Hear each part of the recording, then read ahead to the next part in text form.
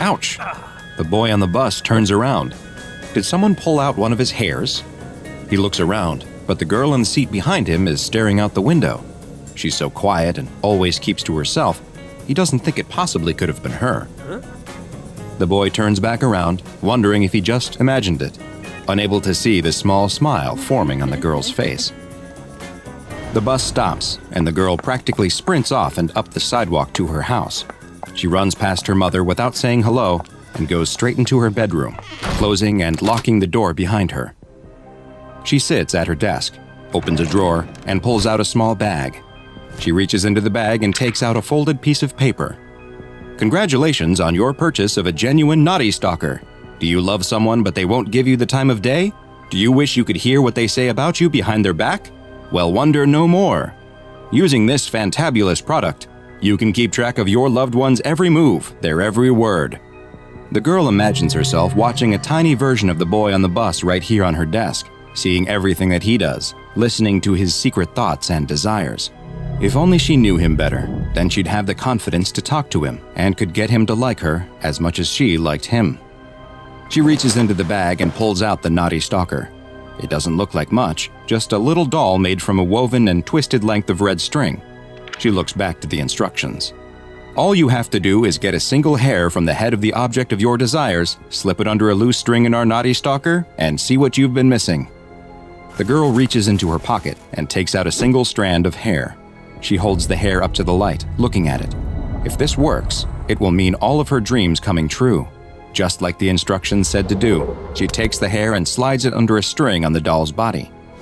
She sets the doll down on her desk and waits, and waits, and nothing happens.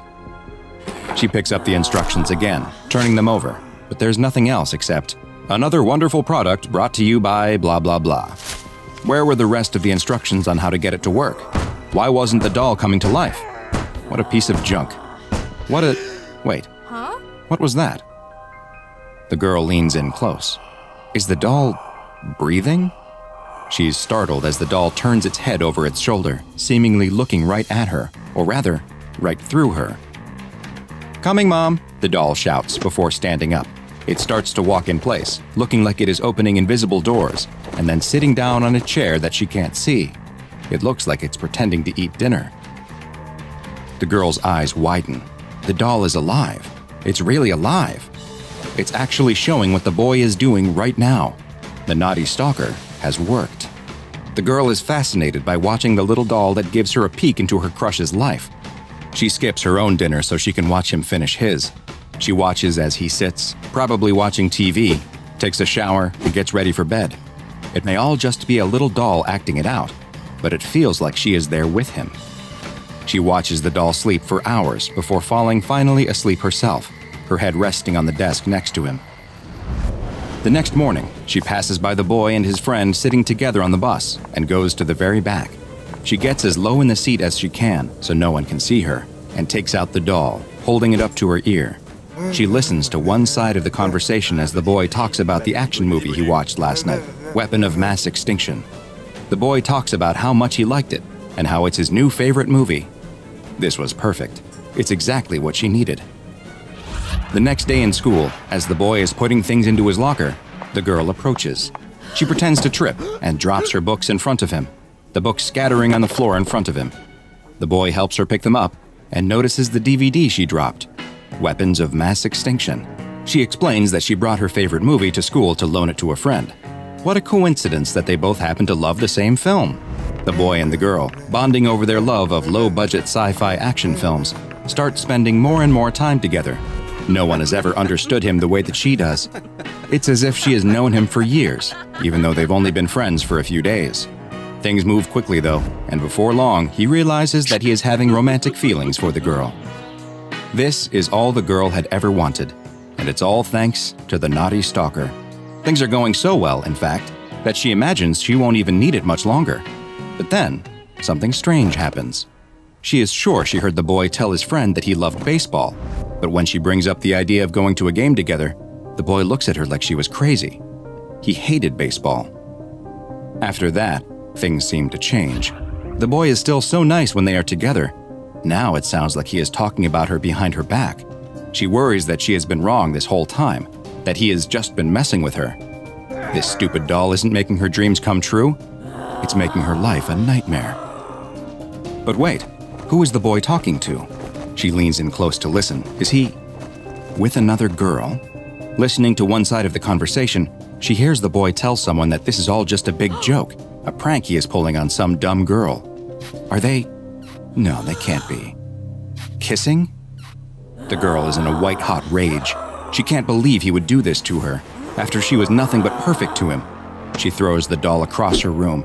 She's going to confront the boy and whoever he's with. She'll teach him a lesson. She'll teach both of them a lesson. It's starting to rain as the girl gets her bike out and starts to ride to where she knows he is, the spot that was supposed to be their own special place. Cars pass close by on the narrow road, splashing her with water, but she doesn't care. She finally reaches the picnic spot where he took her just a few days ago, and she sees a car parked nearby. It must belong to the evil seductress he is with. The girl glares at the car. She grits her teeth until they feel like they might crack. Her fists are clenched so tight that she can't tell if it's the rain or blood from her fingernails digging in that she feels running down her palms. But she doesn't care. She's going to show both of them what happens when you break someone's heart. She takes a step towards the car and. The car that struck her slams on its brakes. The driver gets out and rushes towards her. It's the boy. Her boy. The older couple who were stopped on the side of the road with a flat tire run over to help. The boy gets down next to her and cradles her head in his lap and they have one last moment to look into each other's eyes before the light fades from hers. Unfortunately for all involved, their lives would never be the same. But how could they have known that they were the victims of an encounter with an anomaly that, while small, is extremely dangerous? One that is known to the SCP Foundation as SCP 693, the Knotty Stalker.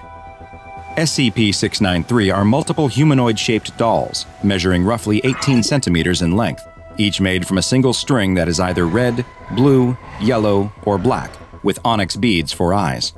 Their clothing will vary in color and style, and seems to have no bearing on the properties of the doll. The string doll will behave exactly as one would expect, showing no anomalous properties at all, until the owner takes the steps that are spelled out in the instructions that always accompany SCP 693. The instruction sheet congratulates the owner on their acquisition of a knotty stalker and explains that in order to use it, a single hair from another person must be inserted into a loop of its string, at which point, the doll will attune to that person. The doll will then come alive, mimicking the actions of the hair's owner in real time, including their speech. The doll will perfectly portray the attuned individual for nine days, after which point it will become unreliable.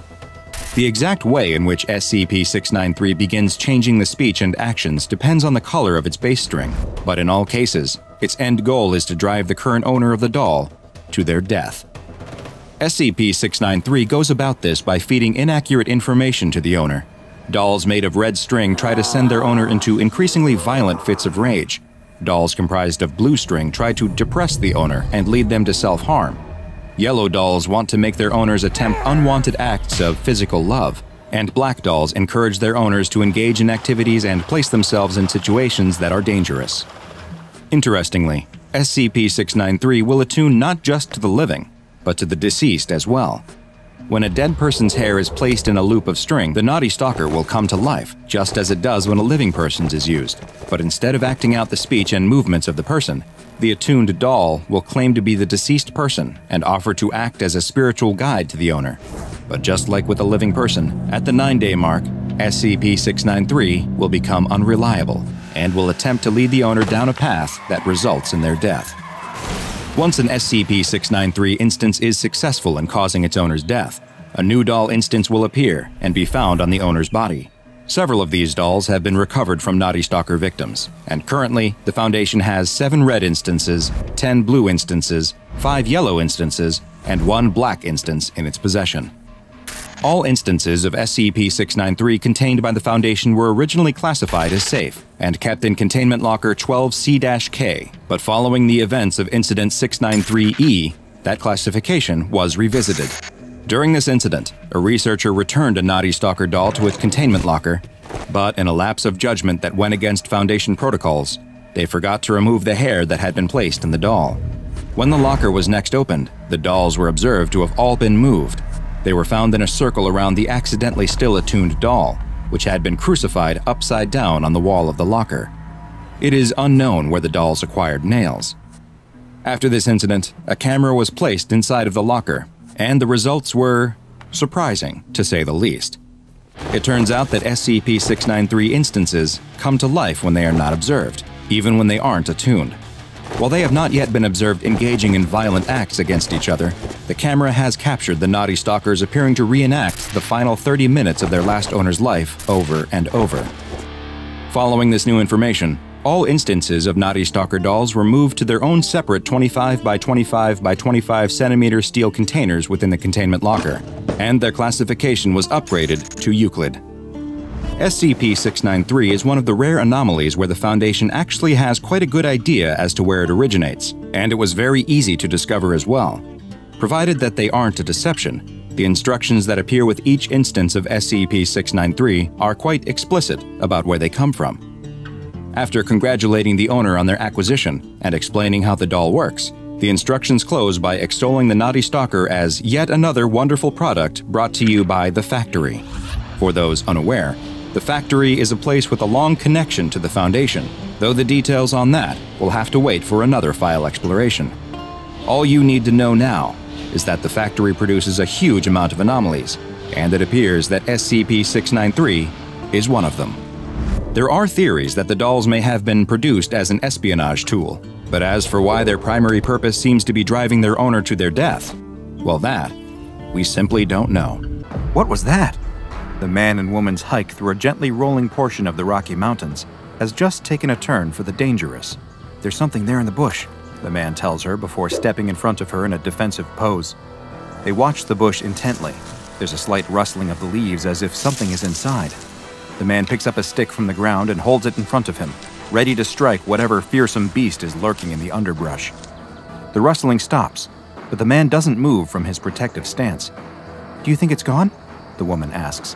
The man isn't sure. He leans in towards the bush, searching for signs of what might be hiding inside when. Ah! The man screams and falls backwards as the creature emerges from the bush. Aw, the woman cries. It's a pika! She kneels down to get a closer look at the adorable little creature. Pikas are native to this part of Colorado, and they resemble rabbits but with small, rounded ears. She watches it hop back off the trail before turning around to see her friend lying tangled in the branches of a tree. She can't help but laugh as she offers a hand to help pull him out of his predicament. Are you all right? She asks between fits of laughter. Yes, he's fine. The only thing hurt was his pride. He notices a small red spot on his arm and rubs it, but it doesn't seem to hurt at all. His attention is diverted by the woman, though, who is marveling at the tree he was just stuck in. Free of the branches, he can appreciate now that the tree really is incredible. It looked like a huge blue spruce, but the name is a complete misnomer because this tree is a vibrant red color. I've never seen anything like it, she says, and the man hasn't either. Neither knows what species it is, and strangely, there don't seem to be any others like it. Maybe this is the result of an odd genetic defect that turns blue spruces red. After admiring the tree for a moment, the pair decides that they've hiked far enough and that they should probably head back to the car. She jokes that he's likely exhausted from his run in with a wild animal, and he laughs, but clearly his ego has been bruised. The man stops his car in front of the woman's house and she thanks him for taking her on the hike. As she starts to get out, though, he stops her. He asks if she wants to go do something else, like dinner? The woman thanks him for his offer, but she has to be up early the next day for work. Just a quick drink then? An hour? 30 minutes? The woman tries her best to let her friend down easy, explaining that she likes him as a friend and as only that. The man opens his mouth to respond, but she stops him. If he valued their friendship, then he wouldn't try to take advantage of it by using it as a backdoor to dating her. The man again looks like his pride has been shattered. He apologizes and admits that she is right. It's just that he has such a good time with her that he never wants it to end. She gives him a sad smile as she closes the car door, and he watches her enter her house before he finally drives away. It's two weeks later when the man's phone rings. It's his friend. She explains that she's been thinking a lot about what he said in the car and that she likes spending time with him too.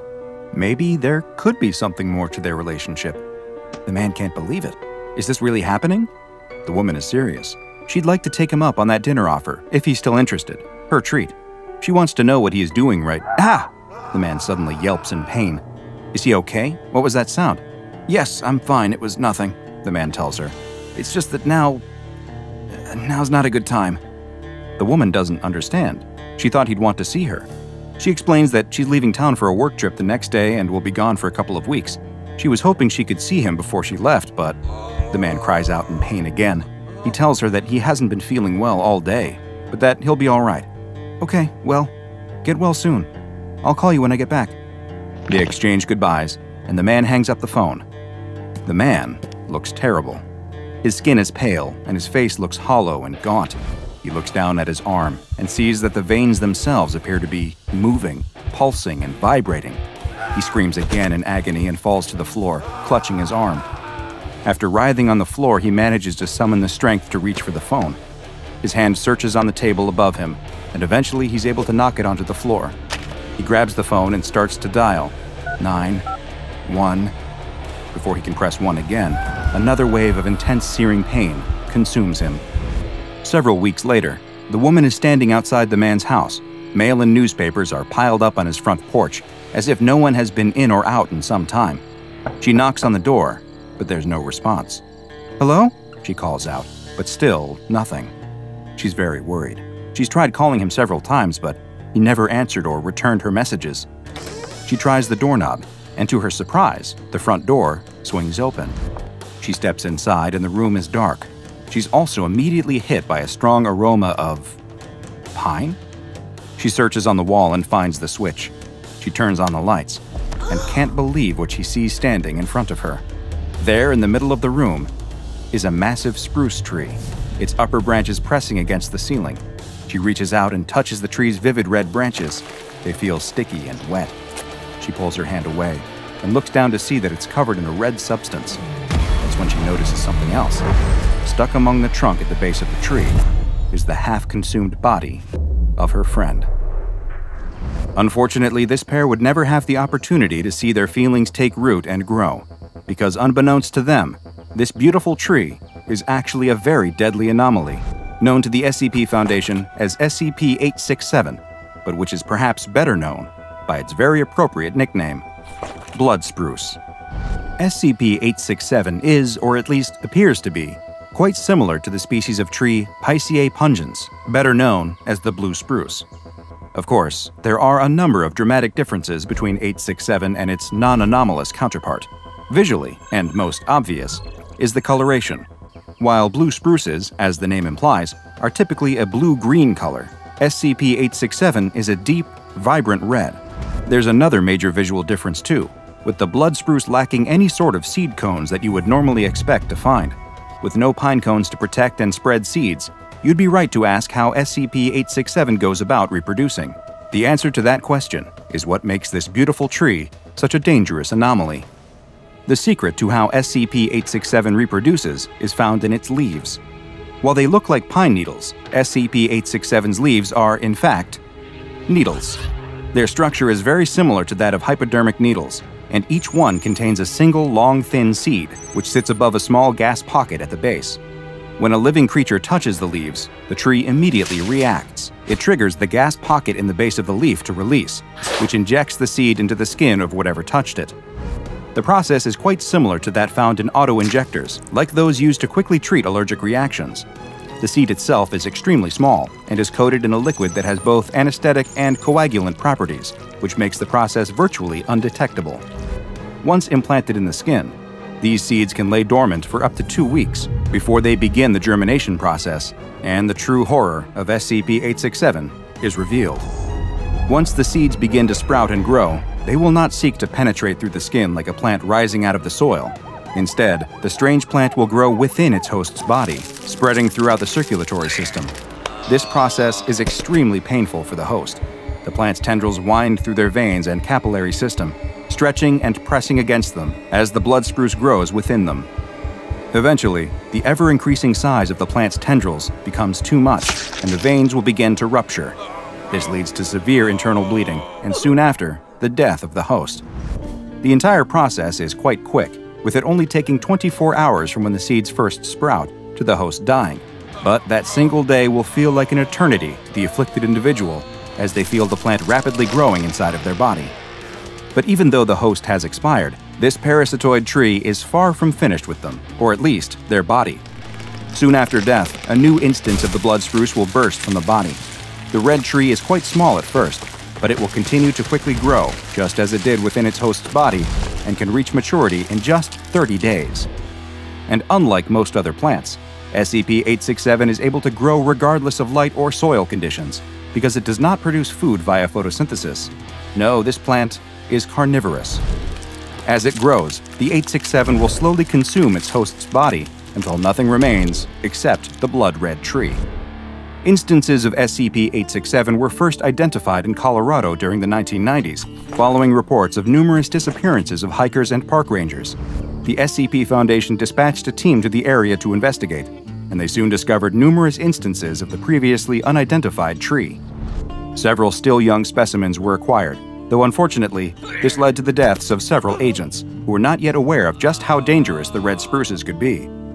Once their threat level was properly assessed, Several specimens were flagged for containment and research purposes, while all of the other identified instances still in the wild were destroyed. The remaining instances of SCP 867 were classified as Euclid and are now securely kept at a Foundation biocontainment site.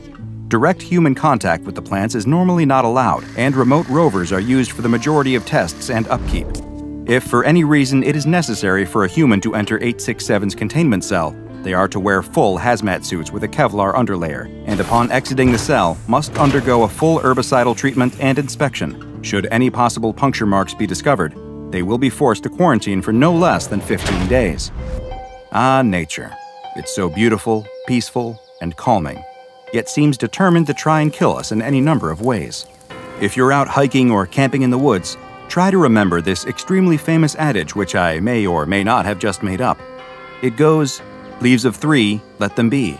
Needles of red, well, you're probably already dead.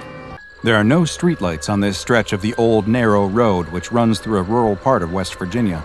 A car has gone off the road into a ditch and needs to be pulled out.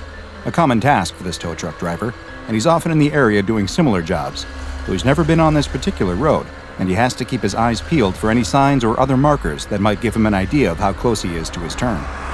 He spots something up ahead, but as he gets closer, he sees that it isn't a road sign, it's a billboard. As he passes by, he can make out the weathered lettering advertising a diner 20 miles down the road that's probably been closed for at least as many years. As he continues driving, he sees more dilapidated billboards, advertising other long since shuttered businesses like gas stations and auto body shops.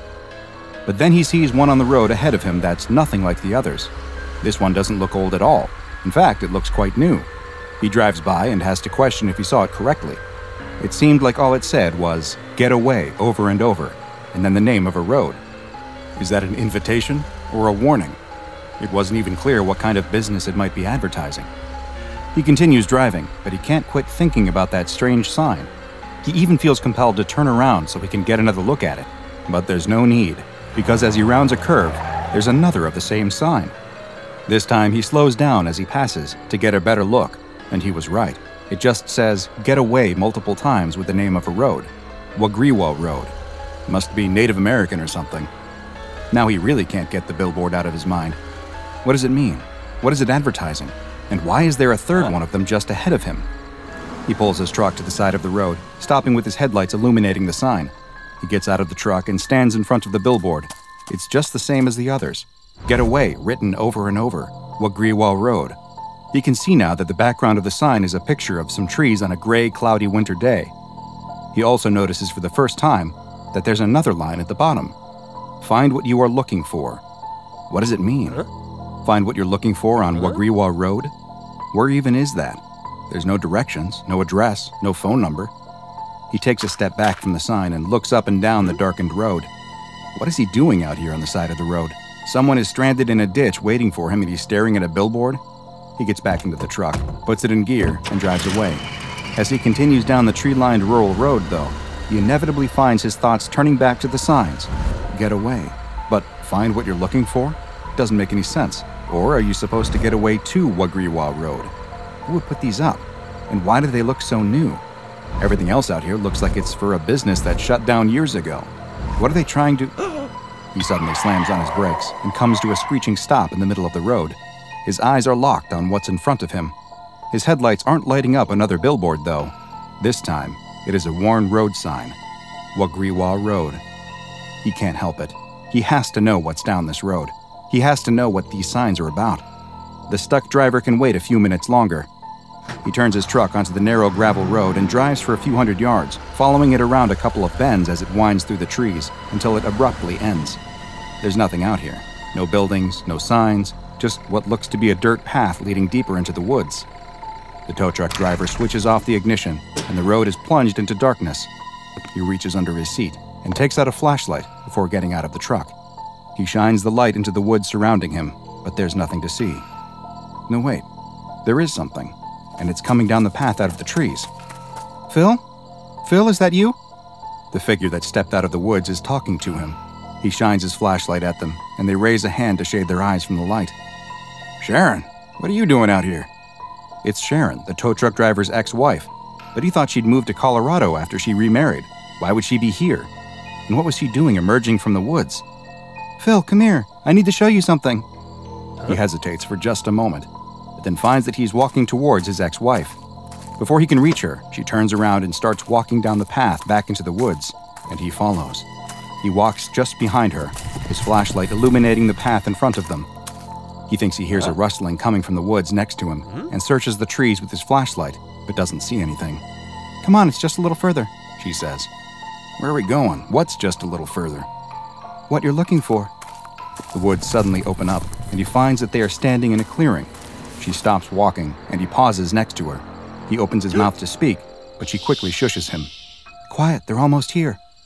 The tow truck driver looks around, but he doesn't see anything, just the faint outline of trees that are barely visible on this moonless night. But then he watches as several creatures begin to emerge out of the woods into the clearing. They're deer? He watches as just a few come towards him at first, but then he notices that they have completely surrounded him. There must be over 20. Turn off your light, she tells him. He obeys, and in the darkness, he can see now that there is something special about these deer. Their eyes are glowing with a pale white light. One of the smaller deer steps forward and cautiously approaches him. He squats down and holds his hand out, showing it that he means it no harm. The deer looks back nervously at a larger one that he thinks must be its mother. It looks like it nods in approval, and the smaller deer moves closer. He can clearly see its big, beautiful doe eyes glow brightly in the dark. You're okay, he says, and leans forward to give it a reassuring pet when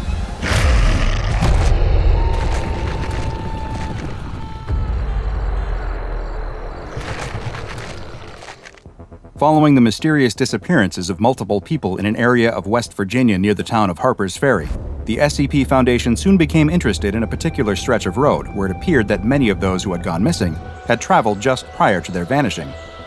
Agents were dispatched to the area and immediately detected high levels of thaumaturgic energy, with the epicenter appearing to be on a plot of privately owned land. Investigation of local records revealed that the land was owned by a man named Richard Redkin, the Foundation staff contacted Mr. Redkin under the guise of being federal agents investigating a crime that had been committed on the property while he was away. Mr. Redkin happily cooperated with the agents, explaining to them that he had never experienced any abnormal events on the property while he was living there, but that he had not resided on the land for some time. Strangely, he claimed to not know the road as Wagriwa Road, insisting that as far as he knew, it had never had an official name, being nothing more than a long driveway out to his property.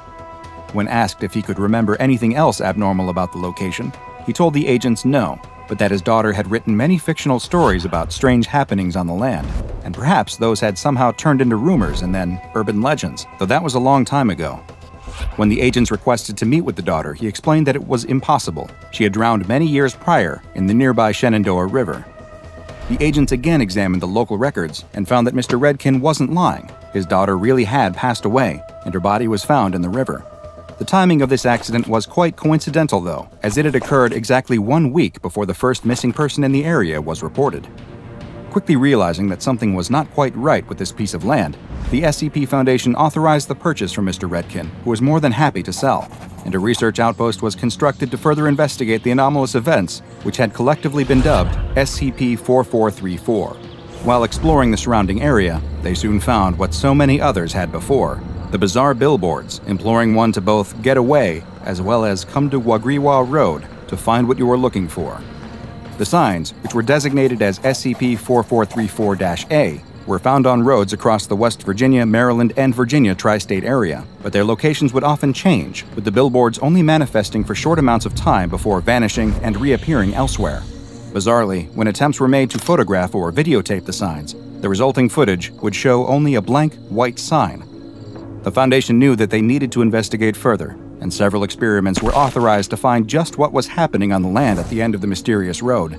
A D class personnel, D84021, was given a radio and implanted with GPS locators in his neck, torso, and thigh, and sent down the road with orders to report back on what they experienced. Though, unlike the people who had gone missing, he was not shown the billboard prior to entering the area. The D class walked to the end of the road, where he reported that a creature was emerging from a path leading into the woods. He soon exclaimed that the creature was a dog that he used to own. The researchers monitoring the test were confused since the dog had apparently been deceased for some time, and yet, here it was standing in front of him. Although the D class had seemed hesitant at the start of the mission, once he saw his childhood dog, all of his fears were set aside, and he willingly followed it deeper into the forest. After 90 seconds, the D class reported that he had entered a clearing and was being surrounded by a group of deer. The report stopped soon after and were replaced by the sound of screams as D84021 was attacked and apparently consumed by the deer. Two of the three GPS trackers remained active for the next 40 minutes, and SCP researchers followed their path as they moved to the middle of the clearing and then appeared to enter a sinkhole or cave of some sort, where they traveled slowly in a winding pattern downward until contact was lost. Following this test, the Foundation researchers suspected that the creature that would emerge from the woods, which had been designated as SCP 4434 B, was able to change forms into one that would be trusted by those who entered the 4434 area. The deer, on the other hand, seemed to always maintain their appearance, and the whole group was designated as SCP 4434 C. The tests were far from over, though. For the next, Two D classes were sent into SCP 4434 in order to see what form 4434 B would take when more than one person was present. Just like before, an entity emerged from the woods, but this time it took the form of a young man in a suit who immediately offered to clear any and all debts the D classes held, as well as expunging their criminal records, freeing them from their life as test subjects. All they would need do is follow him into the woods. The agents monitoring the test ordered the D classes not to follow the man, but they were ignored and the researchers listened as they instead began conversing with SCP 4434 B, seeming to be quite interested in his offer. They soon followed him into the woods, and just over two minutes later, they too were attacked and consumed by SCP 4434 C. It appeared now that once someone entered the SCP 4434 area, they were all but helpless to resist the compulsive effects of SCP 4434 B. The Foundation researchers wanted to test the limits of SCP 4434's power, and so they then came up with a rather creative procedure for the next test. Another D class personnel was sent down the road, but this one was wearing a body harness that was connected to a pulley system, as well as being equipped with a camera. He was ordered to wait at the edge of the SCP 4434 area until the 4434 B entity appeared. The entity soon emerged, taking the form of a middle aged woman as soon as the D class was seen conversing with the entity and agreed to follow it, the pulley was engaged in order to forcibly pull him out of the area. This was followed by an entirely unexpected event. The middle aged woman quickly produced a knife and, with a supernatural speed, severed the rope on the pulley system. The now freed D class stood up, followed the woman into the woods, and was consumed soon after. The researchers were growing frustrated with their lack of advancement in understanding the anomaly, and so for the fourth test, they decided to take quite extreme measures. A drone was used to fly over the area, which identified the mouth of the cave that the GPS trackers had been taken into. It was a three and a half meter wide hole in the ground, too dark to see anything past the entrance, and the drone installed an anchor point in the ground at the mouth of the hole before flying in to explore further. But the signal was almost immediately lost. Progress had been made, though. Yet another D class was selected, this time one who had climbing experience. D84041 was warned in advance that the SCP 4434 B entity would appear to her and would have a compulsive effect, and that she was to ignore them no matter what form they took, and instead proceed as quickly as possible to the cave, which had been designated as SCP 4434 D. D84041 was taken to the road, and she immediately began running down the path into the woods. She was able to reach the mouth of the cave without seeing any anomalous entities, neither 4434 B nor the carnivorous deer. She quickly attached the rope she had brought to the anchor that was installed by the drone and began rappelling into the hole. As she descended down, she described the normal, rocky cave, one that grew wetter the further down she went. Surprisingly, she soon reached the bottom, where she found a spherical room, roughly 8 meters across. But this was not anything like the entrance to the cave. The floor of this room wasn't made of rock or dirt, it was more like flesh, and it appeared to be breathing. And there was something else down there, too a folded piece of paper with writing on it. The D class was ordered to pick up the paper, take a sample of the cave floor, and exit the area as soon as possible, as there was no way to predict if the SCP 4434 B and C entities, or something worse, would soon appear. After taking a sample, she began climbing out of the cave. When she emerged, there were still no signs of any anomalous creatures, but she quickly made her way down the road and out of the SCP 4434 area. When she reached the waiting agents at the edge of the area, D84041 handed them the sample and the paper that she found, but then stopped and turned around. There, on the ground, roughly five meters away, was a plate of food. Without any hesitation, she walked back into the SCP 4434 area, picked up the plate, and walked back into the woods. She was never seen again.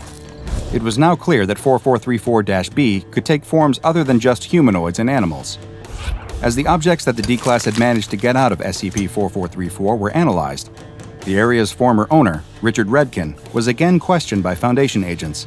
They asked him if there was anything he failed to mention in their previous interview, and he told them that there was one thing that he preferred not to normally discuss. Just before his daughter's death, in addition to her fascination with writing and coming up with stories, she had become obsessed with the occult. When they asked him about the paper they had found within SCP 4434 D, he told them that it was very likely that she had written it. The SCP Foundation now understood why they had detected so many thaumaturgic particles in the area, which is the residual energy left over from a particular form of ritualistic practice that is more commonly known as magic or witchcraft. The contents of the paper found in the cave seemed to add additional weight to the theory that his daughter may have been involved in a ritual that led to the creation of SCP 4434, because written on the single page is a poem which reads The forest is a sea, the wind is the waves, and the water is the leaves. The streams become undercurrents, the birds become fish, and coral finds its home as fungus, growth sprouting as I wish. The ground is the shore, pulling me by the feet, dragging me down and pulling me back, back and forth on repeat. I dove down past the light, down where I couldn't breathe, and found nature looking for a fight. Yes, the forest is a sea, but I've made it barely big enough for me. The forest is a sea, so now something's bound to come eat. Things only became more mysterious, though, when Foundation researchers performed a DNA test on the sample taken from the bottom of the SCP 4434 D cave. What they found was that it was, just as D84041 had described, a flesh like substance, and that it was a 78.9% match to Melanocetus johnsonii, better known as the deep sea anglerfish. And there was one final discovery to be made as well. Linguistic teams within the Foundation investigated the name of the road that had appeared on the SCP 4434 A billboards and discovered that the word was very similar to the Native American Tutelo tribe word Wagriwa, which roughly translates to the phrase, I have come back. A small convertible sports car rumbles down a desert road, kicking up a cloud of dust high into the air behind it. The driver is sharply dressed and looks at himself in the rearview mirror giving his sunglasses a slight adjustment. He knows he looks as good as he feels. And why shouldn't the producer of Hollywood's ninth most successful film in the month of September be happy? The car comes to a sudden stop in front of a cluster of buildings, which appear to be the only structures in this vast, otherwise empty desert. The producer hops out of the car and surveys the desolate location the cracked concrete airstrip, the weather beaten buildings, the endless, lonely desert stretching on for miles in every direction. This place is great, the producer says out loud to no one in particular. The whole location would be perfect for his new movie, which is set entirely at a desert airstrip and tells the story of a lonely airplane mechanic who falls in love with a female bounty hunter chasing an escaped convict. A tale as old as time. But now, where's the guy who called him? He kept rambling about wanting to make a documentary about the desert or something, but that doesn't matter now. He doesn't realize what a great filming location he's sitting on. The producer calls out, Hello? But the only response is the desert breeze. He takes off his sunglasses and looks around. He sees that the doors to the hangar are cracked. Maybe the guy who owns this place is in there. The producer walks inside the hangar, but abruptly stops. His mouth goes agape. He can't believe what he's seeing. This place is even better than the guy on the phone had described it. The hangar is huge and completely empty. He could probably build almost all the sets in the hangar, maybe even shoot the entire picture out here. He'd save a fortune on the budget by not having to pay the soundstage rates that the studios charge on the movie lots in LA. You beautiful genius, he thinks to himself. The movie could flop and still be a financial success. But where's the guy who called him? Doesn't he know who he is? He's a very important producer and doesn't have time to wait around for some desert nobody who runs a two bit airport. All right, that's it. He's leaving. The producer turns to leave, but the doors of the hangar suddenly slide shut with a bang. Is this some kind of joke? He walks up to the hangar doors and starts banging on them, but they don't move. Hello? Hey, I'm trapped in here. What's the big deal? Still no response. Just what is going on at this place? The producer is getting worried. Was this some kind of a setup? Is he about to get robbed?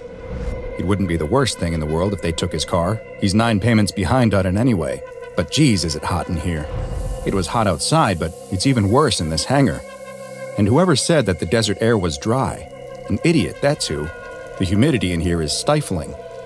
The producer loosens his collar and tugs at it, trying to cool off. All right, I've had just about enough. If you don't let me out of here, there's going to be a big problem for you, fella. Just then, the producer hears a noise behind him, coming from the dark deeper in the hangar. The producer doesn't react, though. He needs to play it cool. He bends down and pretends to tie his shoe, and takes the Derringer pistol out of his ankle holster. He stands up and spins around, pointing the gun in front of him, but he can't see anyone in the darkness. This is your last chance. I'm not playing around here. The strange noise comes again, a low rumbling noise, and the producer stumbles forward. What just happened? It felt like the floor rippled and pushed him forward. There, it happened again.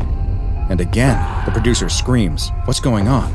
The rumbling, growling noise grows louder as the floor keeps rippling and pushing him forward, like a wave rolling through the solid ground. Is this an earthquake? The producer is knocked off his feet, and still the floor keeps pushing him forward, towards where that horrible growling noise is coming from. He tries to stand, but he can't. The floor is moving too much. He tries to crawl, but keeps getting moved closer and closer to the source of the now deafening roar that seems to be coming from. What is that?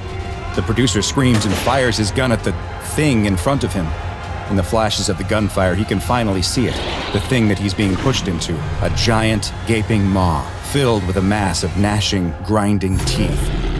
How unlucky for this movie producer that he didn't realize until it was too late that the location for his new movie would be the last one that he'd ever scout. Because, as you have probably already figured out, this unknown building in the middle of the desert isn't at all what it appears to be, and in fact, is quite known to the SCP Foundation as SCP 1051. SCP 1051 isn't actually a building at all, but in fact, is a living organism. This creature's shell, which resembles an aircraft hangar, is quite large and measures roughly 700 meters by 500 meters by 60 meters. It is a completely immobile organism and acts as an ambush predator, luring its prey to it through a number of different forms of sociological and psychological manipulation. SCP 1051 attempts to bring prey to it in a number of ways, but its primary method is by spreading certain ideas into popular culture. It will constantly try to connect to orbiting satellites and use them to beam out television signals, images, and other forms of media. It has been measured as having around a 25% success rate in connecting with and getting its message carried by the satellites, and may have the ability to transmit regular radio broadcasts or connect to standard telephone lines as well. The messages that SCP 1051 sends out tend to fall into the category that could be termed as conspiracy theories, most of which are about itself. It has uploaded information to various conspiracy websites that has included reports of spaceships being held and reverse engineered in its hangar, descriptions of so called men in black using its location as a site for extraterrestrial contact. It has attempted to spread rumors that it is a site used as a testing location for any number of top secret devices, including energy weapons, weather control devices, teleportation machines, and impossible propulsion systems. SCP 1051 has also attempted to spread through radio and television transmissions that it is a site used by a United States shadow government. It's made at least a handful of calls to Hollywood based production companies in an attempt to get them to further spread its information, as well as contacting various tabloid newspapers.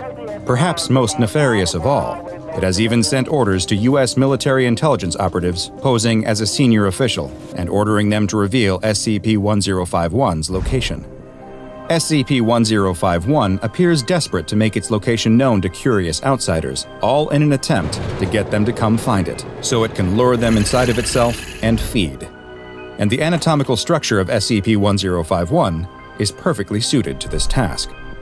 Its bizarre biological structure consists of a large tongue, which looks very similar to a paved runway. The tongue leads directly into a set of large airplane hangar doors that could be called the organism's mouth. This door mouth opens up to what looks like a hangar, but is actually the gizzard like organ of 1051, where it grinds its prey into a fine paste to prepare it for digestion. The next building is the creature's stomach, where it breaks down the liquefied prey into nutrients and separates the waste products that it can't digest. The nutrients are transported to the area where SCP 1051's brain is thought to reside, while the waste is ejected out of the structure. Finally, there are what appears to be a set of antennae on the side of the building. These information distribution organs extend below the ground as well, where many more antennae and wires are thought to exist and give 1051 the ability to send out multiple television, radio, and other signals. SCP 1051 was discovered in 1947 when an egg shaped structure was reported to have crash landed in the desert of the American Southwest, near the town of Roswell, New Mexico.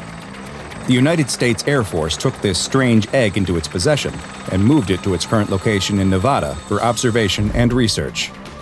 The Air Force scientists who were assigned to the object first thought that they were dealing with a meteorite, the one that was composed of some yet unknown material. They soon discovered that the object was hollow and was filled with some kind of liquid. Strangest of all, though, was when they detected something inside that liquid core.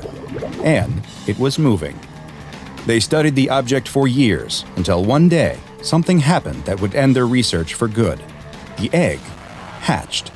One night, as Air Force Sergeant Burnson and two scientists, Dr. James and Dr. Gold, were going about their regular work analyzing the object, they heard a strange sound.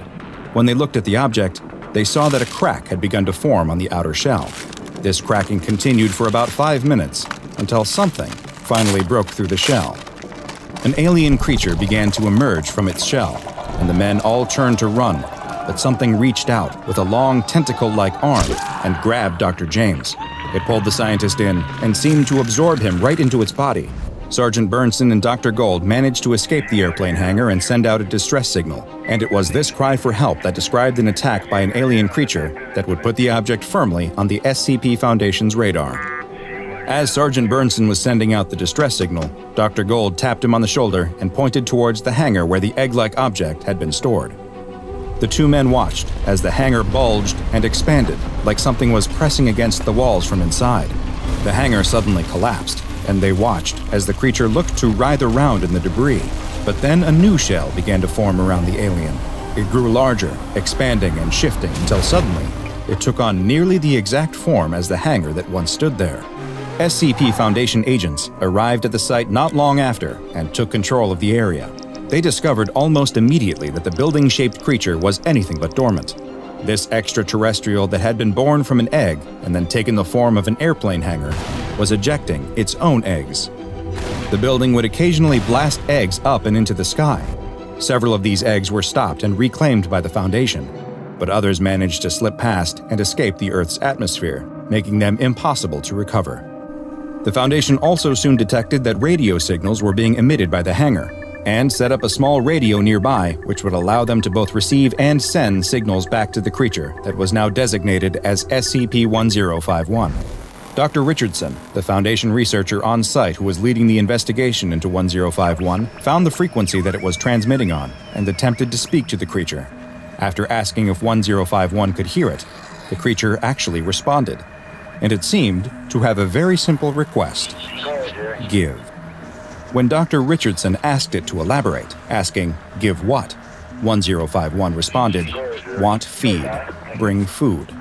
When the doctor told 1051 that it wouldn't be getting any food, the anomaly immediately sent out a new transmission, stating, Area 51 is currently being controlled by the SCP Foundation, a shadow government organization that has designated it SCP 1051. Here are a few names of the operatives Dr. Richardson cut SCP 1051 off and ordered a D class personnel to be sent inside the creature, hopefully appeasing it and stopping it from sending any more broadcasts out about the highly secretive organization. When asked why it was sending these signals, SCP 1051 responded that it was trying to make humans curious.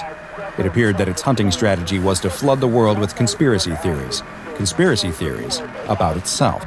This would then cause interested humans to come explore the location, and once they entered the hangar, their curiosity would reward them with an encounter with the alien that they had been seeking. SCP 1051 also explained that the eggs that it was ejecting were its babies, and it seemed quite upset that the Foundation had intercepted some of them as they were on their orbital escape trajectory. But where had SCP 1051 come up with these conspiracy theories? Had it been studying our culture and the boom of science fiction in the 1940s to make up stories it thought would lead people to it? Foundation researcher Dr. Richardson had a hunch that there was something else going on. He next spoke to Dr. Gold, the other Air Force scientist who had been studying the egg shaped meteorite. He asked him to describe SCP 1051's first victim, Dr. James. Dr. Gold told him that Dr. James was obsessed with his job, and that spread into his personal life. He was a real sci fi nut. Dr. James apparently loved B movies, especially ones about aliens and UFOs.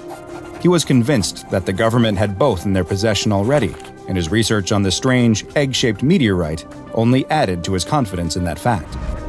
Had SCP 1051 somehow absorbed this knowledge from its first meal here on Earth, and was now using it as a way to lure in new, inquisitive prey? Dr. Richardson thought it may go even deeper than that when he played a recording of the first conversation he'd had with SCP 1051 for Dr. Gold, the one where 1051 told him it wanted him to bring food, Dr. Gold was left shocked. The voice he was hearing belonged to Dr. James. SCP 1051 remains in the Nevadan desert, and its area is patrolled at all times by no less than 20 Foundation personnel in uniforms that resemble those worn by members of the United States Air Force. They are authorized to shoot at intruders, but not with the intention to kill. Instead, only as a means to scare them away. Should any intruders come within one kilometer of SCP 1051, they are to be detained and administered Class A amnestics. Since SCP 1051's primary danger stems from its ability to spread false information, the SCP Foundation's main containment efforts have been focused on stopping its broadcasts. Agents are to respond to any civilian rumors or questions about SCP 1051 with denial and ridicule, to make it clear that these are nothing but stories and that the person is stupid for believing them. Should they exhibit any knowledge beyond the normal myths and rumors, the application of Class A amnestics is also permitted. Any satellites orbiting near 1051's location are to be monitored for interference to their transmissions, and if any antenna with an unknown purpose are discovered within a 10 kilometer area of the building, they are to be destroyed or surrounded by a Faraday cage. SCP 1051 may not be able to move, but its ability to reproduce and the difficulty that the Foundation still faces in stopping its spread of disinformation has led to it being classified as Euclid, and research into its origins and biology are ongoing. You and your friends exit a club and step onto the darkened city street. Everyone is in a happy and joyful mood. It's been a great night, one that you'll be reminiscing about with your friends for years. As you walk and laugh together, you don't notice the large man standing in front of you and almost run straight into him. You offer a quick apology and move to go around the man, but he steps in front of you, blocking your path. All of your friends grow quiet, and you finally take a good look at the man. The man towers over you. He is huge, with giant, elaborate tattoos wrapped around his bulging muscles that it looks like he may have gotten to cover up the numerous white patches of skin that are missing pigmentation. His face, though, is bright red and filled with rage. The man begins screaming at you, asking why you ran into him and calling you horrible names. Again, you try to apologize, but the man just keeps yelling as if he can't even hear you. He pushes you hard in the chest, and you fall back into one of your friends. Another steps forward in an attempt to defuse the situation, but the man punches him in the face, breaking his jaw. A melee ensues, though it could more accurately be described as a massacre. The man has gone ballistic and punches, kicks, and bites your entire group of friends. His strength seems unreal, even for someone as big and muscular as him. A large bouncer runs over in an attempt to break up the fight, but even he is no match for this tattooed giant. You've been on the ground since he shoved you, watching this insanity play out. But now, with everyone else lying on the ground bloodied and bruised, he turns his attention back on you. You try to scramble back to your feet, but he's upon you in an instant. He picks you up over his head and tosses you into some trash cans, knocking you unconscious. You open your eyes to see the man standing over you. You can feel the blood from numerous cuts on your face running down into your eyes and mouth. The man picks you up with one hand and holds you by the throat against the wall. He's still in a rage, breathing hard through clenched teeth, bits of white foaming in the corners of his mouth as he brings up his other hand and curls his fingers into a fist. All you can think is, is this it? But then you notice something. The tattoo that snakes down the man's arm all the way to his hand is moving. The long serpentine dragon is writhing and slithering as if it's alive. Is this really happening, or just a result of the concussive trauma you've received? There's no time to consider it further, though, as the man pulls back and throws a punch right into your face. You can feel your nose flatten and break from the impact, which understandably distracts you from the bizarre occurrence that follows. Right as the man's bloodied fist makes contact with your face, the dragon on his arm seems to swim off of his skin and onto yours. Like a snake moving through water, it glides off his fist onto your face before sliding down your neck onto your body. There is a searing pain as it moves, like you're being poked with needles over and over. You scream from the pain, blood from your broken nose pouring out of your mouth. The man drops you to the ground and steps back. He no longer looks to be in a rage, and instead looks confused. He looks down at his skin to find that the tattoo is completely gone. A look of unbridled joy comes over his face, and he turns and runs away into the night, laughing with glee as he does so. You are left whimpering in pain, curled up in a ball in the pile of trash where he left you, the dragon tattoo now covering your entire body. As you have probably already guessed, this is no normal tattoo. No, this is an anomalous creature that is known to the SCP Foundation as SCP 021, but it also has another name the Skin Wyrm. SCP 021 is an obligate parasite that uses the human body as a host. Its visual appearance is in the form of a large, elaborate tattoo of an Oriental style dragon, which covers roughly one square meter of its host's skin. What makes this tattoo truly unique is that it is fully animated and moves on the host's body just as a real animal would, though in 2D like a cartoon playing out in real time on their skin. The movement of the tattoo causes horrendous pain for the host, and has been described as feeling like thousands of tiny needles are stabbing at them all at once, as if a fresh image is being constantly tattooed on their skin, while at the same time, a tattoo removal process is happening. While the tattoo organism is able to move, it seems to prefer spending most of its time on its host's torso, though it has been seen to move around to other parts of the body on occasion. As SCP 021 moves around on the surface of its host's body, it appears to feed on the pigments in the skin, its favored meal seems to be other tattoos, which it will seek out and devour, though if none are present, or if it has eaten all of the tattoos on its host, it will begin consuming the melanin from the skin instead. Melanin is a naturally occurring pigment found in human skin, and after SCP 021 sucks it from its host, it will leave them with permanent skin damage and patches of unpigmented skin that appear similar to that of the skin condition vitiligo. The feeding itself does not appear to cause the host any pain, and the pigments, whether they are from another tattoo or the natural ones in the skin, will simply disappear as 021 eats them. The pace at which SCP 021 feeds will vary, but it has been observed as being able to clear over half a square meter of skin in roughly one hour. One way to prevent SCP 021 from eating all of the melanin present on a human is to quickly add new tattoos of fruits or small animals as a way to continually distract it from turning to the melanin. Thus far, outside of motion, the organism has displayed no elevated intelligence or the ability to communicate. It simply moves and feeds. SCP 021 is not permanently affixed to the skin of any one host, and in fact, can be transferred back and forth between hosts multiple times. The only way to transfer the organism is through physical contact, though skin to skin contact does not guarantee that the organism will take to a new host. In the event that it does, the dragon tattoo appears to swim across the touching skin and will affix itself to the new human host. Skin to skin contact in the um, romantic sense has been shown to be the most reliable method of transfer from one host to another, with a 93% rate of successful transmission.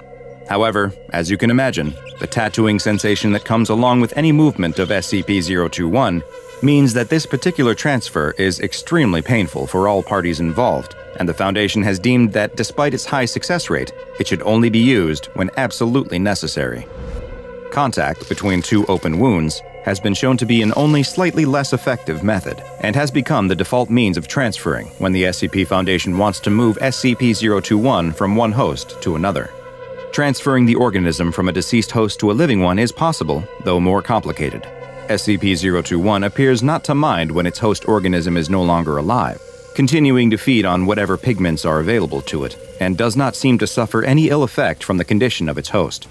It is as yet unknown whether SCP 021 could be transferred to another species. So far, the organism has only been willing to move from human to human, though research into the question is ongoing. It's theorized that if SCP 021 is able to exist on a non human animal, it would only occur in the rarest of circumstances. Unlike most parasites, SCP 021 does offer some small but tangible benefits to its host human. In addition to hosts of the organism appearing to have an improved immune system, research has also shown that the presence of 021 will increase its host's release and reuptake of epinephrine, better known as adrenaline. It will also decrease the buildup of lactic acid, which is what builds up in the muscles during activity and causes burning sensations and soreness. Combined, these benefits from SCP 021 provide its host with increased strength and confidence, as well as give a heightened pain tolerance during stressful situations. Not surprisingly, the host of SCP 021 also displays a high level of aggression, though whether this comes from their elevated hormone levels or simply because the organism causes them to be in constant pain is still an unanswered question. The amount of time that this symbiotic relationship can be sustained is typically limited to how long the host can tolerate the unceasing pain of the tattoo moving about their body. The persistent agony that a host of SCP 021 endures has led to multiple hosts having taken their own lives, and in a few rare cases, they have also succumbed to fatal skin infections.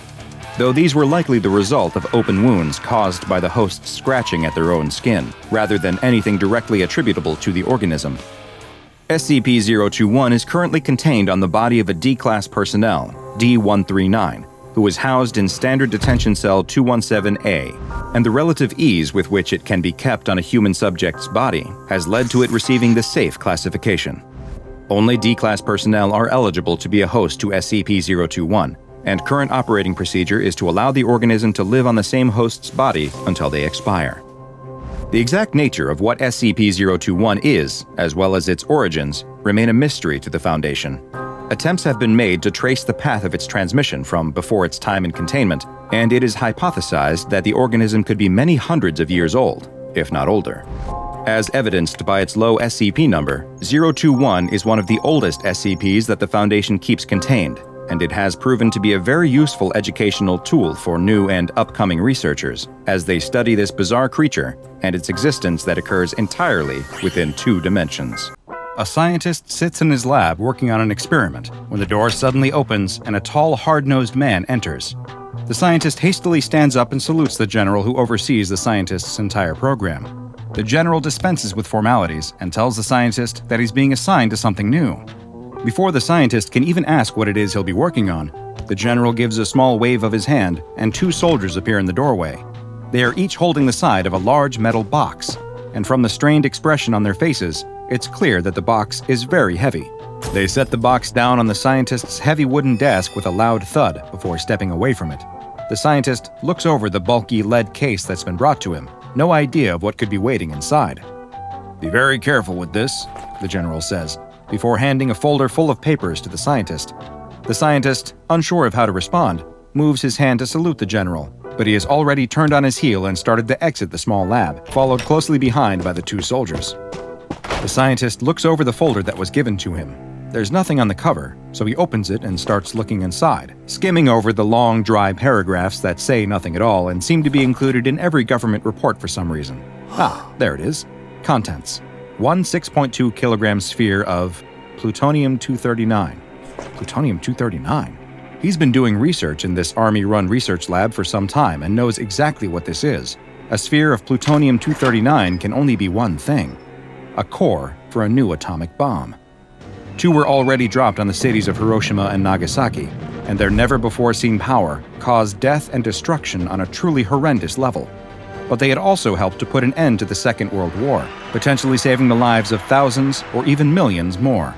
And no matter what moral questions he had about it, this was his job. And as an expert in physics and chemistry, his research would potentially help put a stop to fighting in the future. After all, no one would dare go to war when they knew their opponent had weapons that could cause devastation on this scale, right? The scientist pores over the typewritten records, reading each and every handwritten note in the margins.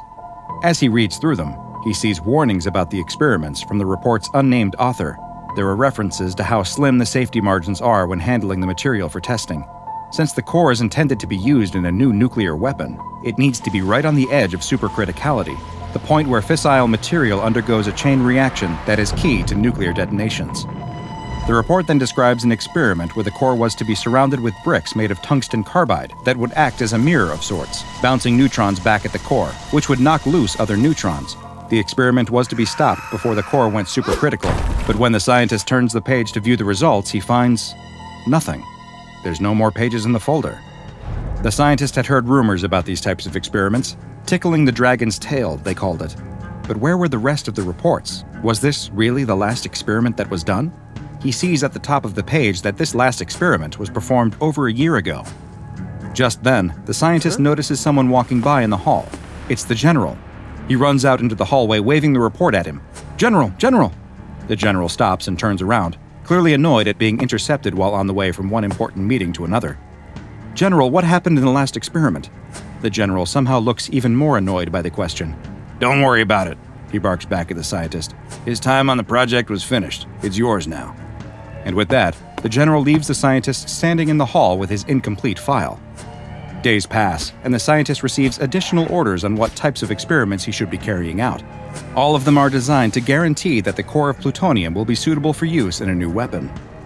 For the latest test, he's performing an experiment not dissimilar to the last one described in the report, but instead of using tungsten carbide bricks to reflect neutrons back at the core and achieve criticality, a beryllium dome had been created, which is to be lowered down over the sphere of plutonium. As he lowers the dome, he knows that if it were to close completely, it would cause the core to go supercritical in an instant. In order to prevent this, he uses a screwdriver to prop up one side of the dome, allowing just enough neutrons to escape so that the core can maintain its stability. As he lowers the dome just a small amount more, he starts to hear something. It's a faint noise at first, but gradually grows more and more audible. Radioactivity produces no sound, so the scientist is confused, especially since it sounds like the noise is coming from inside the dome. But surely that's impossible. There were no processes happening within that should be creating any sort of noise. The scientist bends down and lifts up the edge of the dome ever so slightly more, just enough so that he can peek inside.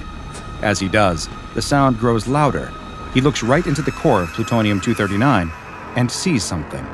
There is movement on the sphere. He knows this is impossible, but he can see them with his own eyes images dancing on the surface of the plutonium sphere. They were faces, unnatural faces, contorted and twisted in pain. He can see now that these are the source of the sound he was hearing because the faces are screaming. The scientist jumps back, and the screwdriver slips away from the edge of the beryllium dome, allowing it to fall and completely cover the plutonium. Out in the hallway, a security guard covers his eyes, momentarily blinded by the flash of intense blue light.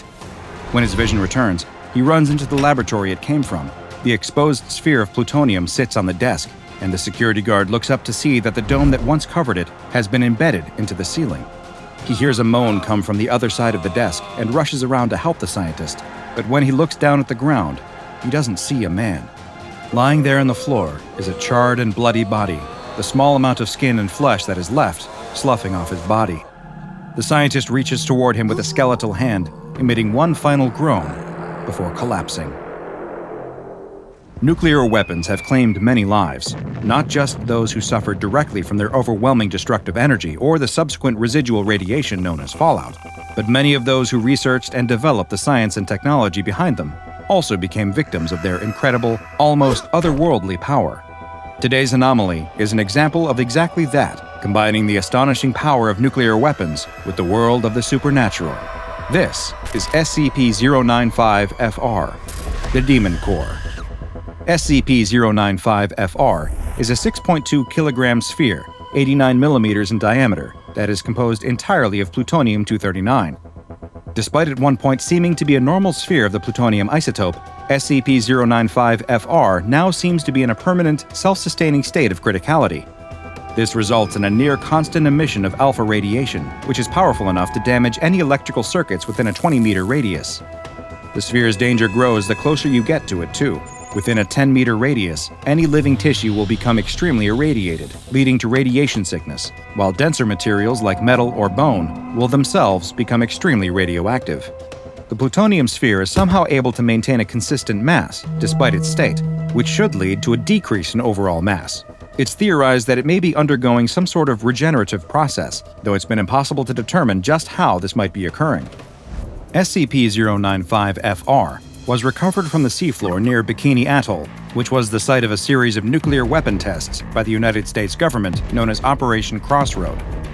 These and later tests, including the Castle Bravo test, resulted in the island chain becoming extremely irradiated, and many of the island's residents soon showed signs of acute radiation syndrome, leading to much of the indigenous population being forced to relocate. Following the Operation Crossroad test, an anomalously high source of radiation was detected in the sea, Though records are incomplete, it appears that the core of plutonium that had been responsible for the deaths of multiple scientists had somehow ended up on the ocean floor. Whether it got there due to being part of a failed bomb detonation, or if it somehow appeared there by other, more anomalous means, is unknown. But regardless of how it got there, the attempted recovery of the object led to the deaths of several American service members from radiation related illnesses, which the SCP Foundation soon learned of. After assisting in the retrieval of the sphere, the plutonium was relinquished to the Foundation's custody for containment. The SCP-095-FR sphere was placed under the purview of the French branch of the SCP Foundation, owing to their having a readily available site for containment, where the sphere was stored in a lead-lined radiation-blocking safe and classified as Euclid. Only D-Class were permitted to transport and handle the plutonium, since its effects amounted to a death sentence for anyone who got too close. They were also responsible for transferring the sphere to a new safe every six months, due to the damage it was causing them from constant bombardment of radiation. All of these containment procedures would have to be changed, though, following the events of January 7, 2015. On that day, 69 years after it first took the lives of two scientists at the Los Alamos laboratory, and despite it being a scientific impossibility, the Demon Core suddenly went supercritical all on its own. The resulting explosion was estimated to be roughly 33 kilotons, or about twice the power of the atomic bombs that had been detonated over Hiroshima and Nagasaki. Nearly the entire site housing SCP 095 FR was destroyed, along with 14 other safe and Euclid class anomalies, and in the end, the death count totaled 285, with casualties coming from either the blast itself, the collapse of structures on the site, or from the resulting radiation poisoning. Incredibly, the sphere itself survived the explosion, showing no signs that it had detonated with the force of a nuclear weapon when it was recovered from the site's wreckage. Foundation researchers studying the Demon Core determined that it was likely to explode again in roughly 50 years, and that the only discernible difference measured in the core before it suddenly went supercritical and destroyed the Foundation site was a sudden spike in radiation. Foundation scientists have no idea how the Demon Core survived, or how it detonated without warning. Some theorize that it may exist in some kind of time loop, which would potentially explain its explosion regeneration cycle, and that it is possible the core has actually detonated several times before entering into Foundation custody. But perhaps the bigger question when it comes to the Demon Core and why it has become such a dangerous object is why? Is there something contained within this seemingly cursed sphere of plutonium? Is it a part of those who have been impacted by the quest to harness the power of atomic energy somehow contained within? Now desperate to get out and unleash their anger on the world? Research continues, but due to the extreme danger that comes from working with the anomaly, it's likely these questions will remain unanswered for some time. Following the destruction of the Foundation site, SCP 095 FR was reclassified to Keter and moved to an underground bunker designed to withstand an explosion equivalent to a standard atomic bomb, which it is hoped will be enough to contain the blast that is almost inevitably going to happen again. It's a sobering thought, even for those of us who work with and around anomalies on a daily basis, to be reminded of the incredible destructive power of nuclear weapons. Some of the most feared and deadly anomalies contained by the SCP Foundation pale in comparison to the carnage that we've inflicted on ourselves. And it's important to remember that sometimes the true demons are found inside of us. A construction worker puts the final nail into the wall of the room he's working on. He stands up and admires his work. This is going to be a beautiful hotel one day, a true triumph for not just him, but the entire country. And he's proud that he got to play a small part in its construction. He starts to pack up his tools. There's plenty more rooms that need work.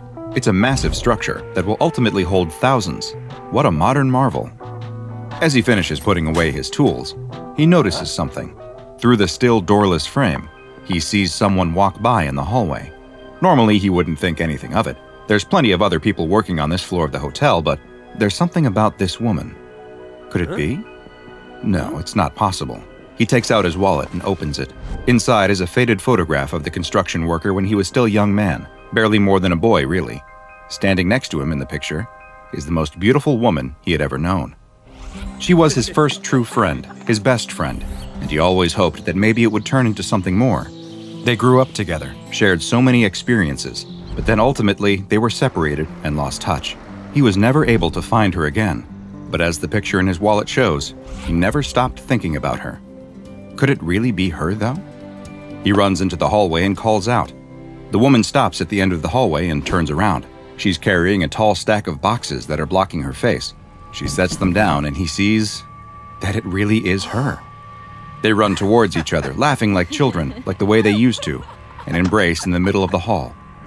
He can't believe it. It's been so many years. He never thought he would see her again. How long has it been? Too long, she tells him. He can't believe how little she's changed. The years have hardly taken any toll on her. She's just as lovely and beautiful as that last day he saw her.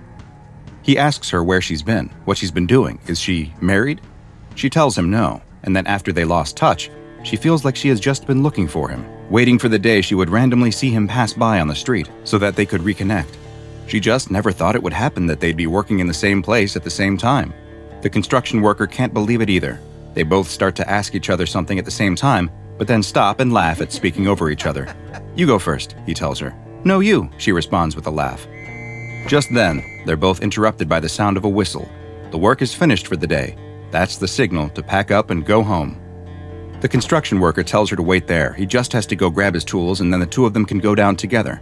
But as he turns to leave, she reaches out and grabs his hand. Wait, she tells him. He stops and turns back to her. It's okay, he tells her. I'll be right back. But she doesn't seem to want to let go of his hand. Please, not yet, she tells him. I just want you to stay with me.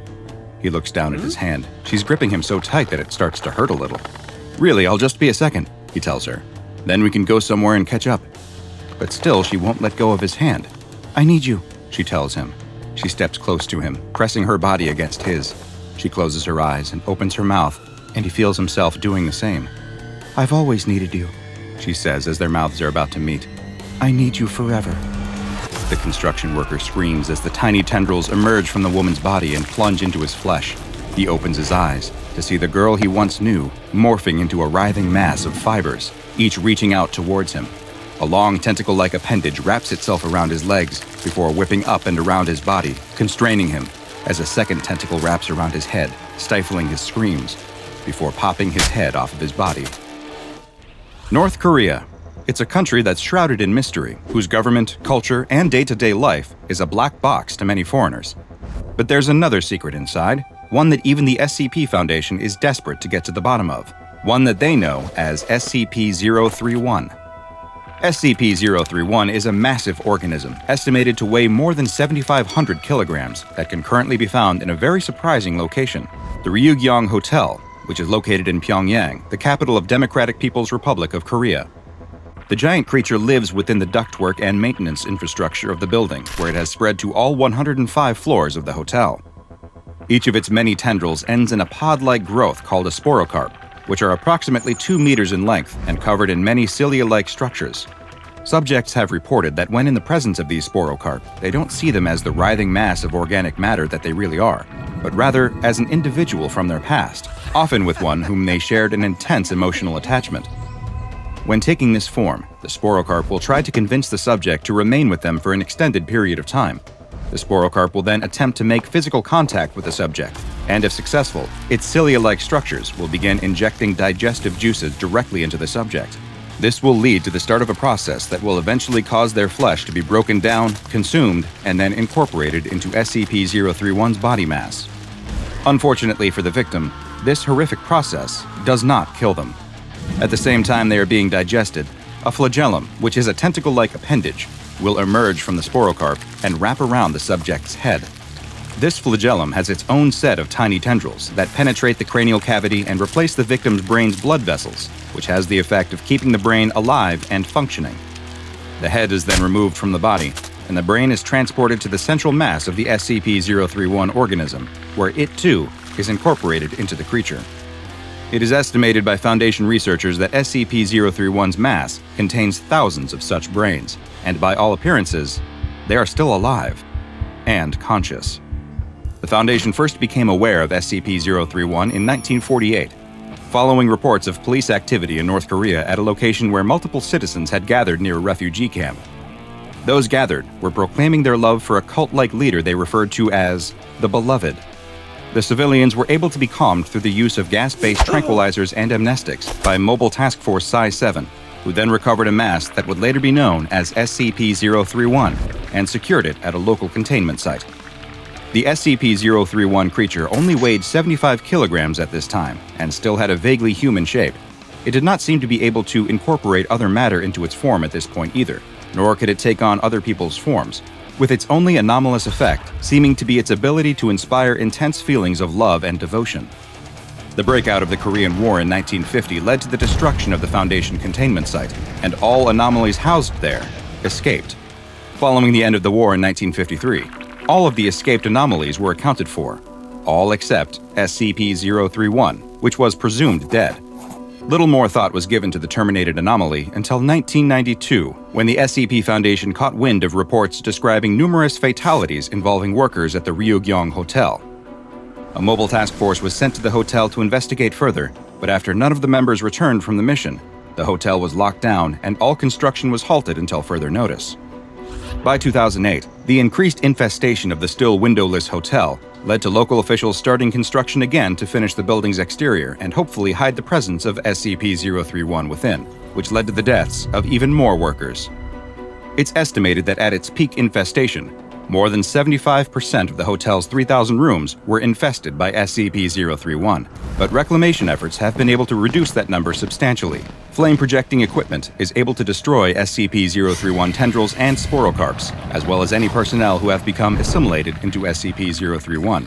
Reclamation efforts are ongoing, and local officials continue to work with the SCP Foundation to facilitate the ultimate containment or neutralization of the entity. But there's one more strange twist to this story. The more astute SCP experts may have noticed the similarities to SCP 1427, a large slab of beryllium bronze with mind altering effects that is also located within the Ryugyong Hotel. How is it that two anomalies, both of which strongly impact the human brain, are both somehow housed at the same location? Some clues exist in the form of a classified communication chain between two senior members of Foundation staff. The two discuss the obvious discrepancies that exist when there are records of two anomalies both existing at the same place at the same time, with neither file referencing the other. It leads to a strange paradox where, for one to exist, the other isn't able to, and yet they both do exist. Teams sent to investigate SCP 1427 will find SCP 1427, and teams sent to investigate SCP 031 will find SCP 031 and yet the first team will have no memory of seeing SCP 031 and vice versa. When the teams were sent at the same time, they were unable to find each other, as if they were existing in parallel dimensions, each with its own version of the Ryugyong Hotel housing its own version of an SCP classified anomaly. Do both anomalies exist? Or perhaps neither of them do? Are both SCPs in fact the result of a third, as yet unknown anomaly? The answer to that question remains unknown at least to the two senior members of the staff who were communicating about the contradictory files. Both were relieved of their duties under, well, suspicious circumstances, and for the time being, both files continue to exist in the database, just as both anomalies seem to exist in the Ryugyong Hotel. For now, this Euclid class anomaly continues to be contained as well as it can be within the ducts and maintenance shafts of the hotel's central spire. The three secondary spires each contain a Type 9 Heaven's Blade restriction system that focuses a disruptive energy field towards the central spire. This system prevents SCP-031's psychic energies from escaping the structure and affecting any off-site personnel, as North Korean teams continue to push back against the spreading tendrils in the hopes that one day they will finally be able to open the hotel. The homeless man in the alley looks down at his arm, wide eyed in horror. Is his skin moving? It almost seems to bubble, like water coming to a boil. He's experiencing a kind of pain he can't even imagine. He can feel something moving up against his bones, chewing through the calcium. He can't move. They're everywhere inside him, just eating. He opens his mouth to scream, but they've already chewed too many holes through his lungs for him to make a sound. Within the hour, he will be dead. But what's killing him? The store owner pulls a gleaming, serrated edge knife from the knife block, and with deft, practiced hands, he slices a delicious ciabatta roll in two. From there, he butters the bread, slices a juicy pair of New York steaks into thick, medium rare chunks, adds in some diced vegetables and lettuce leaves, sprinkles on just a pinch of lime zest, and hey presto, he's got a delectable Caribbean style pork sandwich. It's a thing of beauty. But he can't help but feel it's missing something. Oh, that's it. The thought hits him like a lightning bolt. This sandwich would be delicious, but it'd also be far too dry. How could he have made such a rookie mistake? He saunters across the kitchen and reaches into one of the many luxuriously appointed cabinets, feeling around for one of the many jars of mayonnaise he's got stowed away in there. He twists off the cap with a pleasing pop and spreads a little mayo onto the sandwich. It looks positively delicious, and he wastes no time in placing it pride of place in the display case. Everything is moving along perfectly. Boston is a foodie town. That's what the store owner tells himself as he flips around the sign on the door from closed to open for the very first time. After years working as a chef in other people's restaurants, the store owner has racked up the experience to strike out on his own and achieve his dream a boutique sandwich store on the Boston waterfront, where tourists from hither and yon would be able to enjoy artisanal sandwiches while browsing the city's many historic locales. His employees are busying themselves around the store. They're all people he personally interviewed and selected. They all aligned with his mission and had a passion for sandwiches. One wipes down the tables in prep for the inevitable rush of customers when it turns lunchtime. Another is artfully posing a selection of pre made sandwiches behind a sheet of glass at the counter leg ham and strong cheese, BLT, tuna mayo, and, of course, lobster. We can't forget that this is Boston after all. But as the hours creep on, something horrible happens. Nobody shows up. The store owner doesn't know what he's done wrong. He managed to pay for an ad about the grand opening in one of the local papers and released some coupons in a local food magazine, too. He even put a grand opening sign and garland in the window, showing off the grand opening discount. For every sandwich a customer buys, they'll get another half off. But it seems that none of this conventional business wisdom actually shook out. His optimism wanes as the course of the day passes, and though they're all keeping up brave faces, he can see the doubt in the eyes of his employees, too. All of their minds are bubbling with the same terrifying thought, too awful to ever be spoken aloud. This whole thing has been a complete bust. When closing time comes, the store owner gathers his employees together to give him a pep talk, hoping to assuage all their fears about potentially losing their new jobs the same week they got them. He gives an inspiring speech about the importance of perseverance and grit and sticking to their dreams, despite the fact that there may be discouraging setbacks along the way. As he listens to himself talking, it occurs to him that these are the words he needs to hear, as much as they are the words he needs to say. But after they've all gone home, he's left alone looking at the uneaten sandwiches in the display case. The anxiety of the day has killed any hope of his appetite, and then it dawns on him. Those sandwiches are going to be stale by tomorrow. All his hard work, all his passion, and he's going to need to throw them out. He takes the Caribbean pork sandwich first and morosely exit out of the back door. He sees the dumpster around the back of the building, but he also sees something else. A homeless man, looking cold and hungry, wrapped in dirty sheets deep in the alley and in that moment, he has an idea. Perhaps he can still serve a hungry person today. The store owner offers his precious sandwich to the homeless man, who gratefully accepts, deciding it would be a terrible waste to just throw food away while there was a man going hungry behind his building, he gives all the sandwiches from the display case to the homeless man, who acts like it's the first time someone has been kind to him in many, many years. He eats every single sandwich and tells the store owner that it's one of the tastiest meals he's ever had. Clearly, when it comes to making sandwiches, the store owner has a gift. In one moment, he's reminded of why he does this making people happy with food. He has no idea that, in a sense, he's just murdered the man who rekindled his passion. The next day, things change for the better. With renewed passion and vigor for the art of making and selling delicious sandwiches to tourists and the Boston public, he puts his all into the sandwich business, and Lady Luck responds. A few customers each day at first, and then the place becomes a local curiosity, the subject of online write ups and must visit in Boston lists. There are familiar faces that he sees every single day, and it's only a matter of weeks until he needs to start implementing a waiting list for customers. Business is booming, and despite his sudden and miraculous success, the store owner never forgets what sparked his second wind. He owes it all to the homeless man out behind the store, who reminded him of his true purpose. One day, he decides he needs to repay his old friend. He whips up a delicious tuna mayo sub and steps outside to give it to the homeless man. But the man is gone. It's strange. He's left some crumpled clothes behind and the piece of cardboard he'd always sleep on. But the man is gone. The store owner steps forward, concerned for the man's safety. It had been a particularly cold and unforgiving winter after all, but he sees something instead that utterly disgusts him.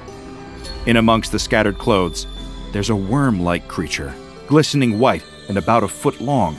It lays there in the pile of clothes, mercifully dead. But the mere sight of it so revolts the store owner that he drops the tuna mayo sub onto the ground, splattering it across the asphalt. It's a terrible waste of food, but after seeing that disgusting worm thing, he doesn't have any kind of appetite for the rest of the day. If that's as terrible as this whole thing got, it would have been bad enough. But the floodgates of terror are about to open, and when it does, only a certain organization has the tools to close it. The store owner starts noticing strange things at work after that. Something about the regulars. Some of them seem kind of strange and doughy. They've got pallid skin and a vacant look behind their eyes. Some of them who've ordered the same sandwich day after day, who've memorized the menus by heart, are taking full minutes to decide what they want to order, as though the workings of their very minds have been gummed up. As disturbing as these strange little signs are, they're nothing compared to the nightmarish things a number of Boston EMTs and emergency room doctors were encountering around that same time. People collapsing in their homes in a state of extreme pain, their panicked friends and spouses calling in, crying and unable to explain what's happening to their formerly healthy loved ones. This, of course, would be disturbing enough, but what happens to these people after being taken in takes it to a whole other level. In every single case, the technicians see something moving under their skin. They take x rays, ultrasounds, or in some cases, even make incisions, and the result is always the same. The bodies of the people experiencing these symptoms are full of thousands upon thousands of white worms eating their innards from within, slowly killing them in perhaps the most painful way imaginable. Even seasoned doctors are passing out from sheer horror when they see the masses of impossible white parasites wriggling within their patients. The one piece of vital information they don't have is that all these victims had recently eaten at a certain up and coming sandwich store on the Boston Harbor. After 10 weeks of business, things are starting to cool down again for the sandwich store. The owner thinks that's to be expected. That opening FOMO hype can't go on forever. But the mysterious absence of some of his most loyal repeat customers is undeniably a little disturbing to him. Is it something he did wrong? Did he somehow alienate them? These thoughts are plaguing his mind when he's alone in the store one evening, cleaning up after everyone else has gone home. His thoughts are so occupied that, as he's preparing to screw the top back onto a jar of mayonnaise, he accidentally drops it. The jar stays intact, but a large, disgusting blob of mayo splatters out onto the floor. Ah, great, now he has to clean that up. He picks up the jar and takes it into the back alley, where he intends to throw it into the dumpster. With half of it spilled out onto the ground, it's too much of a hygiene risk for him to keep it in the restaurant anymore. But before he can throw it into the trash, his arm freezes in a moment of inexplicable hesitation. In that strange moment, it occurs to him that it's the only one in the cabinet of that particular brand. He's used it on so many sandwiches before, and yet he's never needed to buy a new jar of it either. On a pure whim, he decides to inspect it closer. The label on the back of the jar reads Water, vegetable oil, vinegar, eggs, eggs, eggs, eat eggs, be eggs. Your flesh is but the nursery and sustenance of our incalculable ravenous mouths.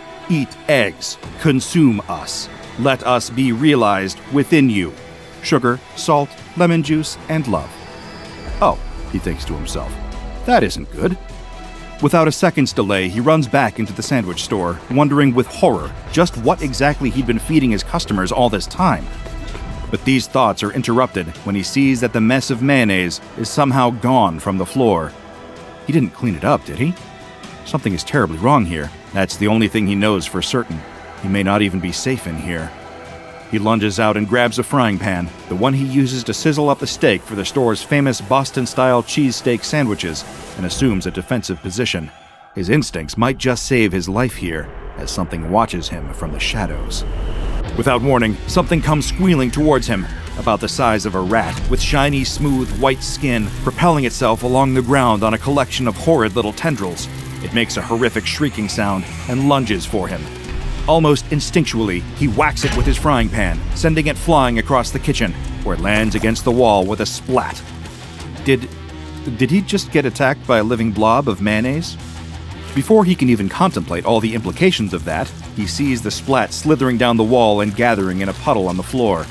This puddle then twists and warps, taking the exact same horrible shape it had before. Tendrils sliding out of its shimmering skin. It must have formed out of the contents of almost the entire mysterious jar. And it dawns on him all at once in every single sandwich his shop had served which contained mayonnaise, he's been putting these little monsters into people's bodies. And as the beast shakes off the shock and prepares to charge again, he's starting to worry that he might be in for the same fate. Only in Boston, right? Whether you love or despise mayonnaise, it's likely that SCP 2484, aptly titled The Parasitic Mayonnaise Worms, made you feel a little queasy. But if you're anything like the Foundation field agents who first discovered this caustic condiment, you likely have some pressing questions about what exactly you just witnessed. Thanks to my research into a number of classified files, I'm able to give you the answers, but I'm afraid I can't tell you that it won't get any less repulsive. To the untrained eye, SCP 2484 is a mayonnaise jar of indeterminate brand containing approximately 1,024 grams of a substance that, to all chemical tests, seems to be identical to regular mayonnaise. This substance, for the sake of avoiding confusion, will be referred to as SCP 2484 A. While inside the jar, SCP 2484 A poses no threat to anyone but the second the anomalous mayonnaise leaves the jar or is consumed by a vertebrate animal, the disturbing effects you've already witnessed take hold. The jar contains an infinite quantity of this mayonnaise, too. When the contents of SCP 2484 are removed, it will begin to refill by 2 milliliters every hour. Luckily for the Foundation's biohazard control units, SCP 2484 A can be destroyed in any manner that non anomalous mayonnaise can be destroyed. Personally, I've never contemplated ways of destroying mayonnaise, so I'll leave the devising of these methods to greater minds than my own. Any quantity of SCP 2484 A less than 5 grams doesn't seem to display any anomalous properties, so if you're content with a tiny quantity of mayo on your food, you may encounter this anomaly and live to tell the tale. But masses between 5 grams and 63 grams are another story. These masses will develop a repulsive, congealed membrane, a kind of smooth, glossy skin over their body, as well as crude, tentacle like pseudopods. These creatures will slither and crawl around without any real direction. These won't pose any threat to other organisms so long as they don't touch or ingest them.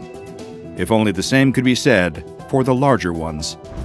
Slightly larger creatures formed out of SCP 2484 A, specifically ones weighing between 63 grams and 235 grams, will move with more direction and purpose. They will seek out solid foods and potable liquids, diffusing themselves into them and infecting them with their secondary anomalous quality, which we'll discuss shortly. Needless to say, one should avoid consuming food infected in this manner at all costs. Masses of SCP 2484 A ranging from 235 grams to 804 grams take a more direct and aggressive route to infecting their hosts. They will use their pseudopods to actively seek out vertebrate animals and try to enter their body through any means necessary. From all major bodily orifices and even more novel methods of intrusion, such as pores and open wounds. But this is nothing compared to the danger presented by masses of SCP 2484 A, ranging from 804 grams to 1,024 grams. These creatures are highly violent and aggressive, stopping at nothing to attack and enter vertebrate animals, going as far as forcing themselves through the victim's skin. It goes without saying that these are the most dangerous types to encounter of any of them, and you may need to brush up on your methods of destroying mayonnaise that we mentioned earlier in order to survive. But let's say, for the sake of argument, that your greatest anti mayonnaise contingency plans have failed. The anomalous SCP 2484 A mayonnaise has entered your body in a dangerous quantity, which is to say, 3 grams per every kilogram of body weight. If this describes your experience, then you're about to undergo the secondary effects of this anomaly, which I'm sorry to tell you are even more unpleasant than the primary effects. At first, the effects will appear to be relatively benign, including higher blood sugar levels, increased heart rate, slower cognition, and higher body heat. Not dissimilar to the effects of consuming a large quantity of non anomalous mayonnaise. Within the body, however, things will be taking a considerably more drastic turn.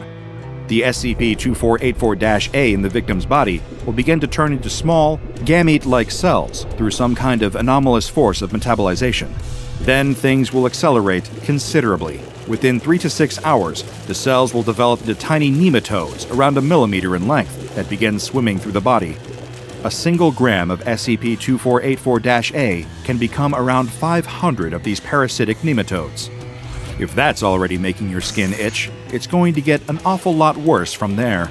Between 5 and 40 hours after SCP 2484 A infects its hosts, whether through consumption or forceful entry, the parasitic nematodes will begin eating the host's tissues, giving them the mass to grow up to 12 centimeters long. At which point, the host is likely to experience horrific pain as they're eaten from within. When the host has been entirely devoured, the parasitic mayonnaise worms will turn on each other and start eating. After all this, only one worm will be left, measuring from 20 to 30 centimeters in length. It will then enter a dormant state and die within four days. As obligate parasites, the creatures spawned by SCP 2484 A are not designed to survive outside the host body after they've developed. Any worms removed from the victim's body will die within five hours, but no attempts thus far to save anyone infected with SCP 2484 A have been successful. Infection is, sadly, invariably lethal. Our opening tale was also the first recorded case study of SCP 2484 encountered by Foundation field agents. The source was an independent sandwich store in Boston, Massachusetts, triangulated after a series of reports of strange parasite behavior over a 10 week period. The SCP 2484 jar had been in the store's refrigerator with a number of non anomalous mayonnaise jars, though the store's owner, when questioned by Foundation operatives, could not remember ever having bought this particular jar of mayo. How it made its way into the store is, to this day, a mystery. Once the Foundation had contained the threat, all surviving sandwich store employees were given amnestics, along with a number of medical personnel who'd also encountered the parasites. All the hosts were, of course, lost. SCP 2484 is currently classified as safe. It is kept in a standard refrigerated perishables unit, essentially a kind of high security fridge. No more than 400 grams of the anomalous mayonnaise is allowed to be removed for experimentation at any time, and no destructive tests are authorized at this time. Any personnel hoping to access SCP 2484 need to have Level 3 access clearance or above. Condiments can be a loaded issue. I've personally witnessed arguments on the merits of ketchup, mustard, and mayonnaise that have reached greater intensity than some Keter class containment breaches, but I'd advise you to exercise caution. Next time you make yourself a delicious BLT and you're preparing to spread some mayo across the bread, or you're wondering which flavor will perfectly accompany your next hot dog, take a second to think you may not know what you're really putting into your body. The old married couple is hiding, terrified, under their bed, and a hand reaches underneath, grabbing for them. In the intruder's other hand, the silvery glint of a knife. It looks like this is curtains for them. It's just a little bit after 8 p.m., and the old woman has just finished brewing a pot of fresh coffee, filling the kitchen with its warm, rich aroma most people associate coffee with mornings, with breakfast and newspaper. a hurried bite of toast on the way out the door to work or school. But she prefers to prepare her coffee in the evenings, just as darkness and quiet have settled over her neighborhood and wrapped the house in a cozy blanket of night. She pours two cups, watching the steam curl up into the air, and carries them into the living room, where her husband is waiting for her on the couch. It's a familiar ritual, one they've repeated most nights together since their daughter left for college so many years ago. It may seem simple, but it's part of a collage of little, simple things that make their house into a home. Home has meant a lot of different things to the two of them over the years. Nervousness and possibility when they first married and bought the house, chaos and joy when their daughter was born, ripping through the structure of their lives like a tiny, lovable tornado, and now, contentment, peace, safety. Throughout it all, home has been a sanctuary, and as they sit together on the couch, flipping through the TV channels and sipping their twin cups of coffee, it never crosses their minds for a moment that this sanctuary might be invaded.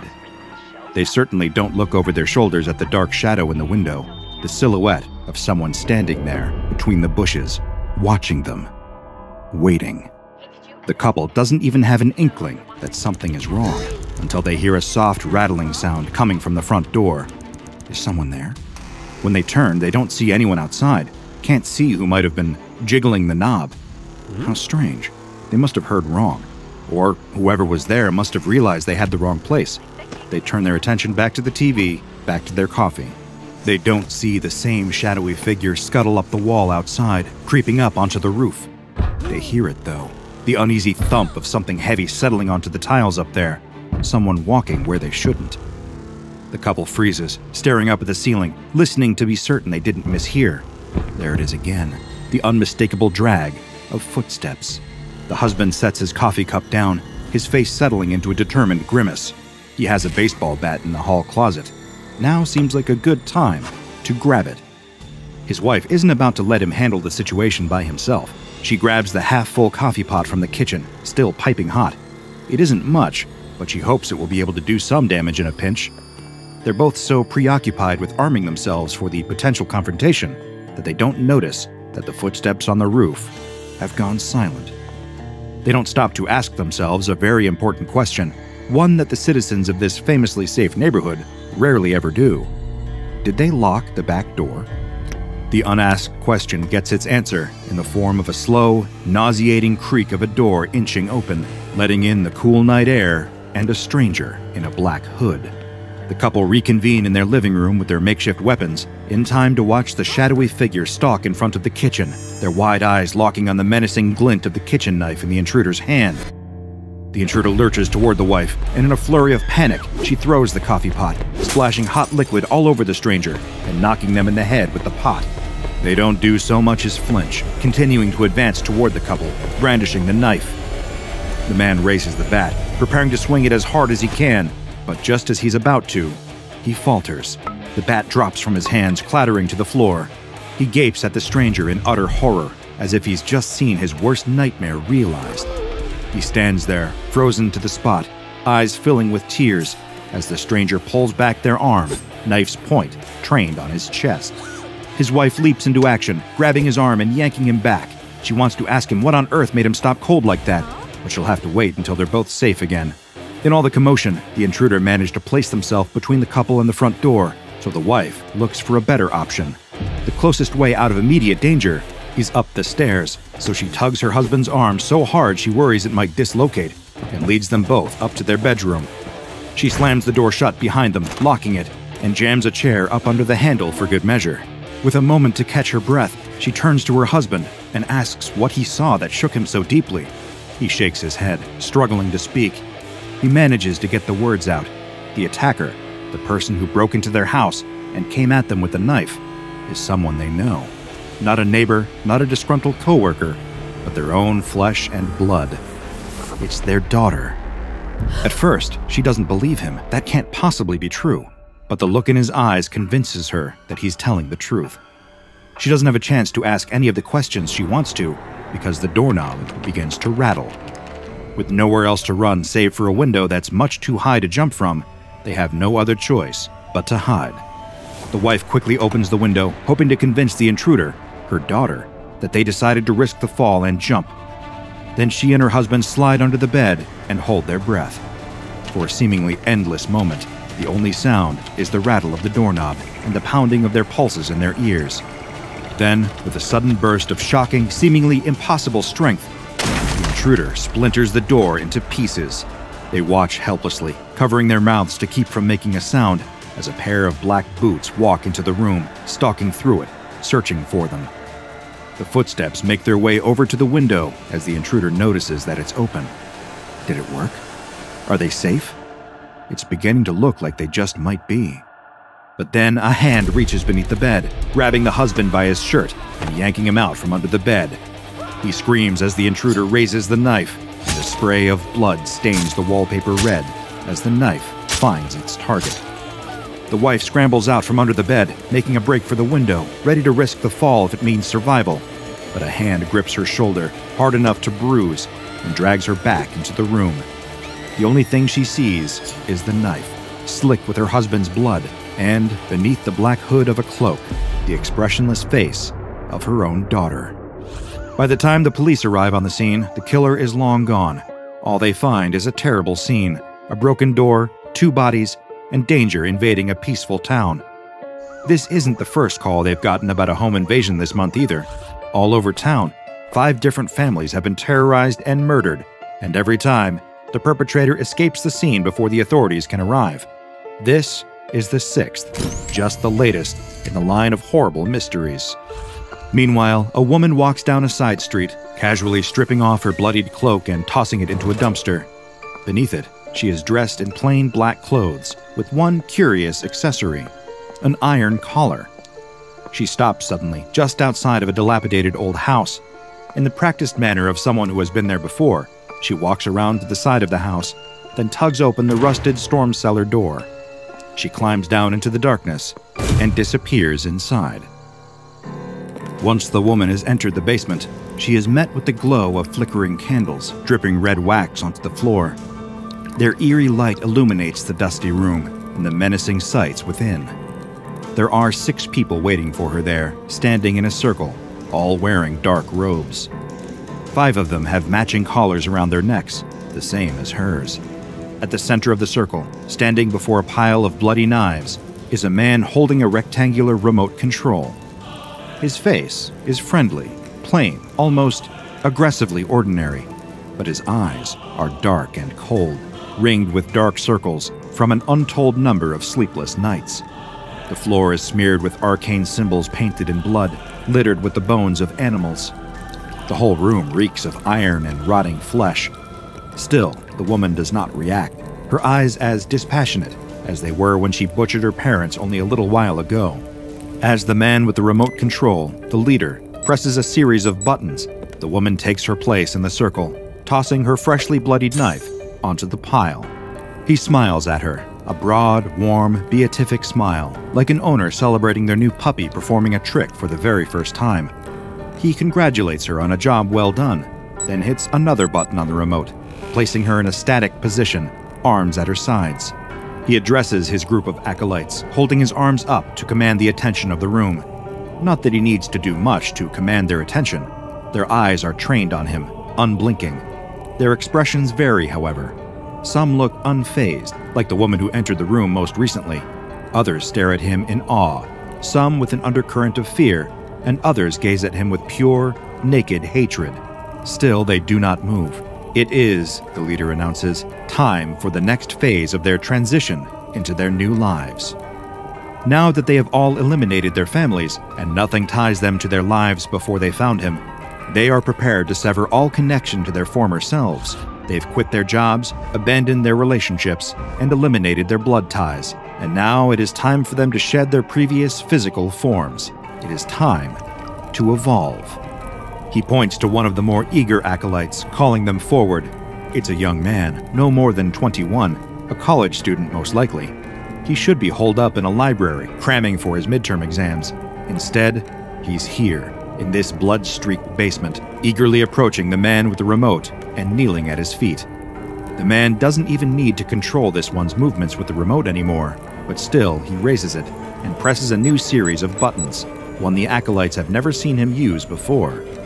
All of a sudden, the young man's back arches at a disturbingly sharp angle, an angle that should be impossible without snapping his spine. His eyes roll back in his head until only the whites are showing. His lips curl back from his teeth in an expression caught somewhere between a snarl, a smile, and a scream. The leader hits another button, and the young man's eyes begin to widen.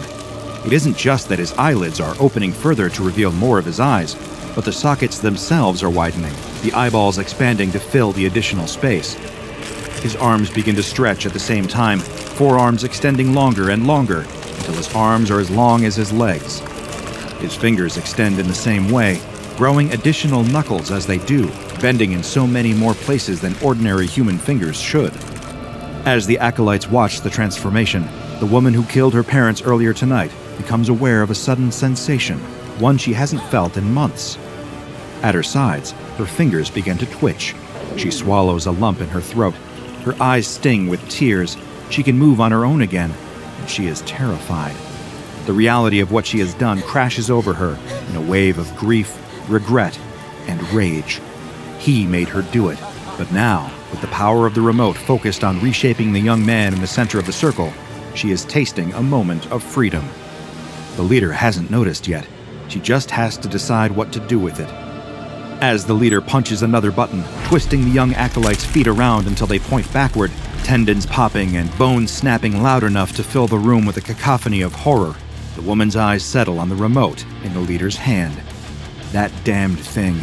It's the cause of all of this. It's the reason she's standing here. And the two people she loved more than anything in the world are lying dead on their bedroom floor. It and him, the leader. She doesn't even know his name, but she does know one thing for certain she's going to kill him tonight. With the feral determination of someone with nothing left to live for, the woman leaps at the leader, knocking him to the ground and knocking the remote out of his hand. He roars with rage at this interruption, at this show of defiance from one of his acolytes, and scrambles to grab it off of the ground. But she gets there first. She doesn't know how to operate it, but she presses buttons at random, hoping to free the others. All around the circle, the acolytes' limbs begin to jerk wildly, their feet moving of their own volition. Some of them are screaming, some laughing, some weeping. The transformed young man on the floor hisses and grabs at the woman, clawing at her hand and trying to rip the remote from her grasp. As she smashes as many buttons as she can, the leader picks up one of the knives from the floor and charges at her, the room plunging into a chaotic blur of violence and fear. When the police burst into the house the next day, when they discover the secrets in the basement, everyone in it is dead. The unusual circumstances of the case attract the attention of the SCP Foundation, who take over the investigation and bring the strange items at the scene into custody, giving them the official designation SCP 010. SCP 010 consists of six visually identical cast iron collars, each equipped with a numbered metal tag, as well as one remote control that appears to go with all of the collars. The collars have been designated SCP 010 2 through 010 7. Each collar contains intricate electronic components and is powered by small rechargeable 100 volt batteries. The remote is a heavy black box that resembles an old fashioned handheld radio transmitter receiver with a primitive blue white cathode ray screen and over 100 buttons, in addition to a frequency tuner. These buttons are all unlabeled. Through a great deal of trial and error, the Foundation research team was able to identify the frequencies of all six collars. The metal is stamped with a label in Russian, as well as a logo that resembles workers building a pyramid.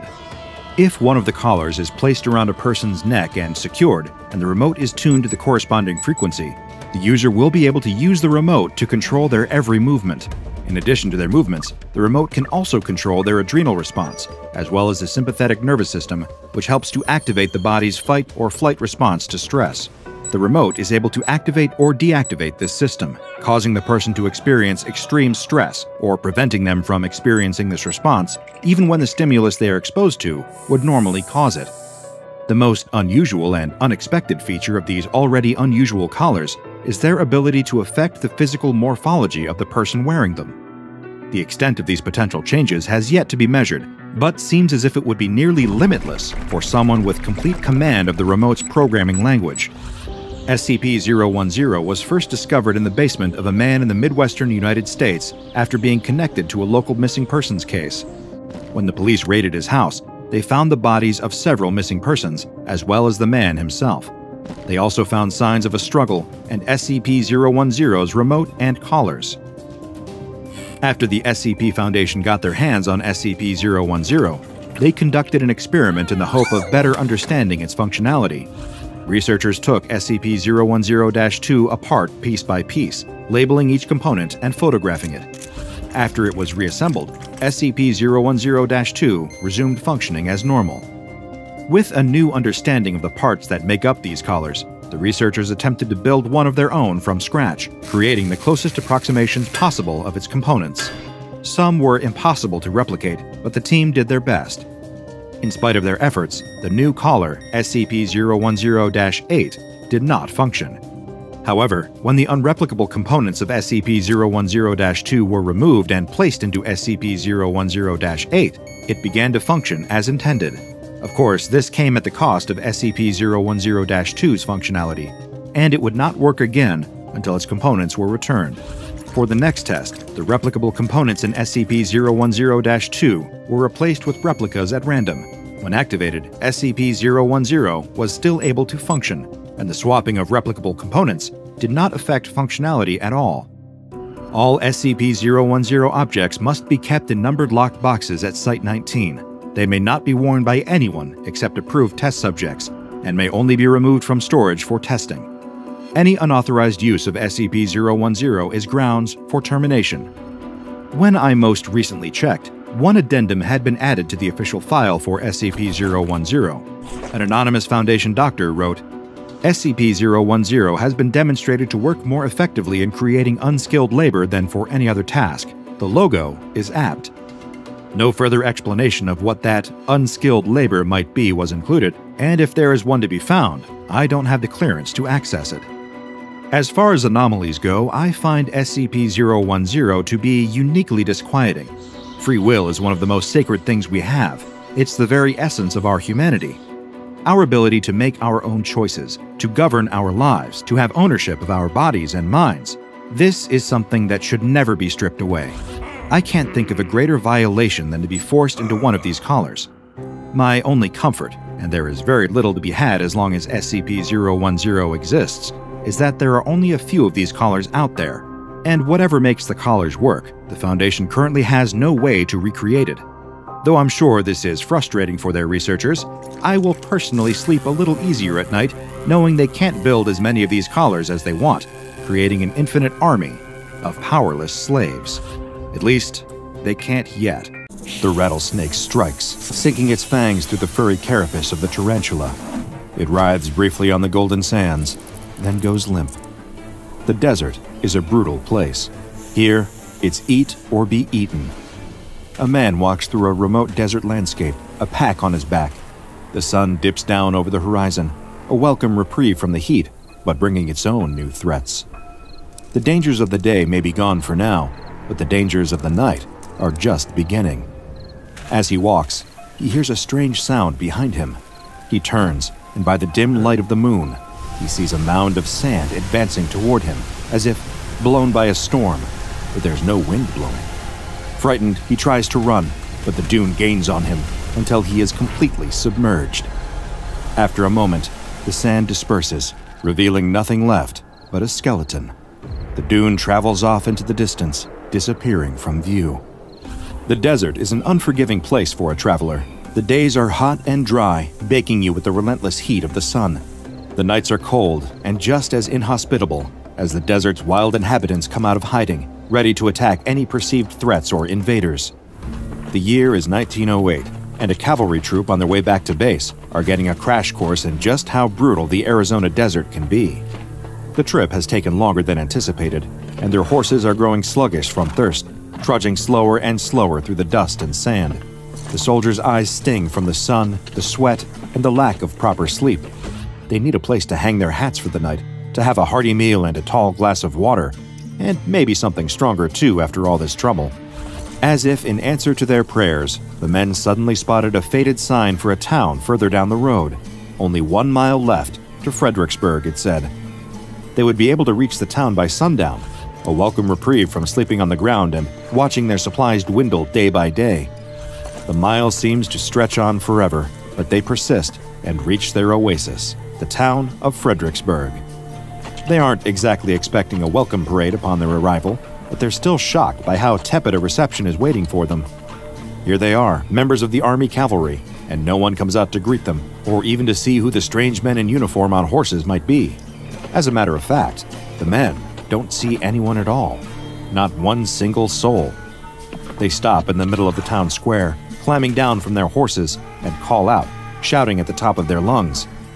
Still, no doors fling open, no windows are cracked, and no one comes to see what all the commotion was. The only evidence that anyone was ever there at all is the buildings themselves, and a few handwritten signs posted throughout the area.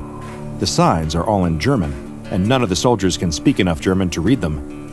If they could, they would probably leave the town as quickly as possible, hop on their horses, and gallop away until it vanishes from view. But they can't, so they don't.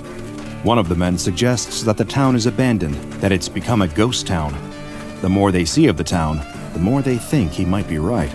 The buildings are still in good condition, but there's no one inside. It's as if the entire town got up one day and decided to leave it all behind. Then it sat untouched until the cavalry came. So one of the other men wonders what should they do? The plan doesn't have to change, another one suggests. A night's sleep in an abandoned town is far better than another night of setting up camp and sleeping on the ground. Near the edge of town, they find a tavern and an adjoining hotel. There may not be any staff or other lodgers, but there's a stable for the horses, plenty of beds, and a few unopened bottles behind the bar. That's more than enough for the night. So they tie up the horses, have a few drinks, sing a few drinking songs, and settle in for what is sure to be the best sleep they've had in many, many days. They're so exhausted and so relieved to find shelter that they don't stop for one moment to wonder what might have caused the residents of Fredericksburg to abandon their homes all at once. Ghost towns don't come out of nowhere, after all ghosts have to be made. But exhaustion is a powerful thing, and the allure of a soft, if dusty bed is hard to resist when one's bones are aching and eyelids are growing heavy. So instead of asking questions, they sleep. A deep, blissfully ignorant sleep. A few hours later, one of the men suddenly wakes, jolted from slumber by a horrible high pitched neigh. One neigh quickly becomes a chorus as more voices join in. The horses, something's wrong. He jumps out of bed and runs down to the stable, expecting to see a rattlesnake or a coyote, or perhaps a thief who snuck into town to loot the empty houses. What he finds is far more disturbing than he ever could have anticipated. The horses are in a state of sheer panic, stamping their hooves and tossing their heads back, eyes rolling wildly in their sockets. As he attempts to find the source of their terror, the man realizes that there are fewer horses in the stable than there were when the men went to bed. Did the others somehow escape? He turns to inspect the stable and sees seven piles of clean, white bones where there once were horses. One pile of bones for each missing horse. It's impossible, but he's looking at it with his own eyes. Something was in here with the horses. It attacked, and it devoured them whole and left only the bones behind. What sort of creature could have done this? None that he wants to meet, that's for sure. There isn't anything in the stable anymore, no threat that he can see. He needs to get back inside and warn the rest of the men, before whatever did this decides to come back. The other soldiers aren't thrilled to be woken up in the middle of the night, and they're even less thrilled when they hear the wild story of what the man saw down there in the stable. But still, they've never seen him so afraid. So they reluctantly pull themselves out of bed, and some of the less bleary eyed men agree to join him in investigating the situation. While they head down to the stable to look for potential danger, the rest of the men roll back over in bed and close their eyes. No use losing sleep over a situation that's as good as handled. They'll take care of the snake or would be thief or what have you, and come morning, it'll all be fine anyway. Down at the stable, the horses have calmed down. Whatever preyed on the seven horses reduced to bone, it's gone now. But even though the horses have stilled, the soldiers do not feel comforted. There's still the mystery of what could have done this. They were afraid of what they might find when they came down to investigate, but finding nothing is somehow worse. They were only asleep for a matter of hours before the horses started screaming. What manner of beast or man could have done away with seven horses in that time? There isn't an animal they can conceive of capable of feeding so efficiently. Sure, a wolf can kill quickly, but to kill seven times in a row without a sound, without a fight, and to clean the bones of any speck of meat, all without being caught, it seems like the work of something beyond the natural world. One of the more superstitious soldiers, pale and trembling, suggests that the abandoned town must be haunted by a vengeful and hungry spirit. It demanded an offering in exchange for their trespassing here and took the horses as a sacrifice. The others laugh at him, but secretly, they're just as frightened as him. They're supposed to be brave in the face of the unknown, but it's the dead of night in a town with no people, and something is eating the horses. Meanwhile, back in the hotel, many of the other men struggle to get back to sleep. They're exhausted, the remnants of sleep still clouding their eyes and weighing down their heads, but the insistent, nervous pounding of their hearts is keeping them awake. They are suddenly acutely aware of the complete silence that surrounds them in the dark, they can't hear anything but their own breathing, quick and shallow. Then, suddenly, another sound breaks through the quiet. It's a soft sound, like a tide rushing ashore. Sand on sand, the flow of something. A gentle, scraping sound. What is that? Could it be the wind? Doesn't sound like any wind they've ever heard. For one thing, it's coming from inside the building. For another, it's getting closer. One curious soldier climbs out of bed to seek out the source of the noise. He opens the door to his room, squinting to make out shapes among the shadows. At first, he thinks the motel must be flooding. Something's pouring into the hall, spilling across the floor and flowing closer and closer. But as it approaches, he sees that it isn't water at all. It's sand. He can't see where it's coming from or how it came into the building in the first place, but that doesn't matter. It's slowly filling the building, and more importantly, it seems to be headed straight for him. Instinctively, he jumps back into his room, slamming the door shut to block the flood of sand. But he didn't account for the crack under the door. And as he watches, the sand begins spilling into his room from beneath the door. It moves as if it were alive, creeping across the floor toward him. He scrambles backward, jumping onto the bed to avoid the tide of sand.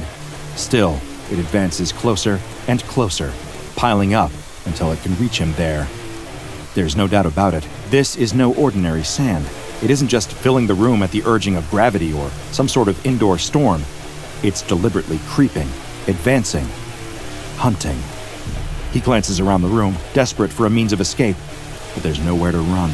The only way out is the door, blocked by the ever increasing tide of sand. It rises to the height of the bed, spilling onto the mattress and preparing to engulf him. He isn't certain what will happen to him when it does, but he's looked death in the face enough times to recognize it on sight. The sand is covering his feet now, climbing up his legs, ready to cover his body and swallow him whole. He opens his mouth to scream, and sand pours through his lips, filling his throat and lungs. He collapses onto the bed under the weight of the assault, and he disappears. One of the sleeping soldiers wakes to the sound of a scream from the next room. He goes to sit up, but finds his arm is strangely heavy. He looks over and is shocked to see that his arm is covered with sand. And the sand is moving, undulating on his arm like a swarm of tiny creatures. He tries to shake them loose, but for some reason, his arm feels paralyzed. With his other hand, he swipes at the sand, brushing it away as quickly as possible to reveal the arm beneath. When he can see it, he wishes he couldn't.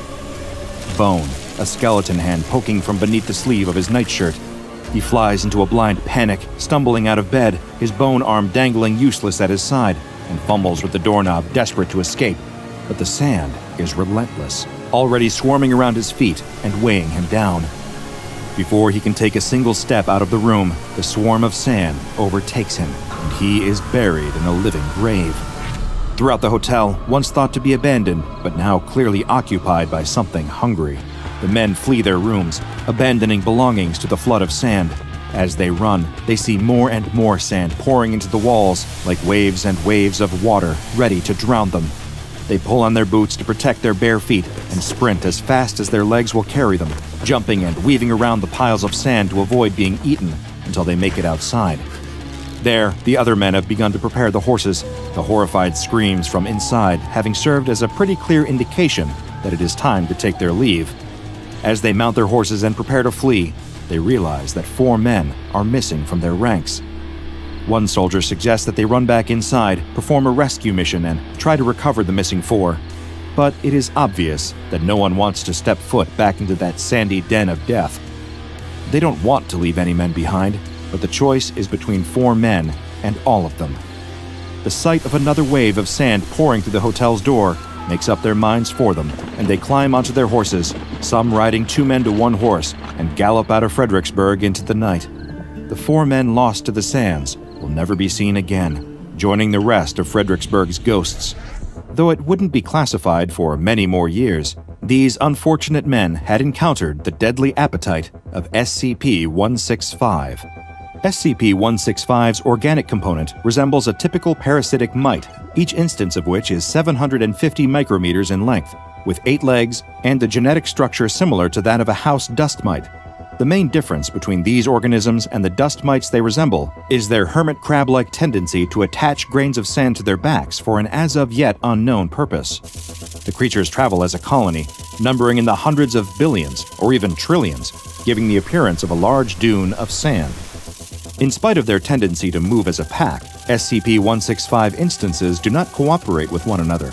Instead, they act in competition with each other, fighting over food with an insatiable appetite much like mosquitoes, these mites detect their prey by sensing carbon dioxide and sugars in the air. Once this prey has been sniffed out, the mites will use their legs to climb over each other, rolling toward their target until they have enveloped it. The bite of SCP 165 releases a numbing chemical toxin, similar to the toxins found in mosquito and flea bites.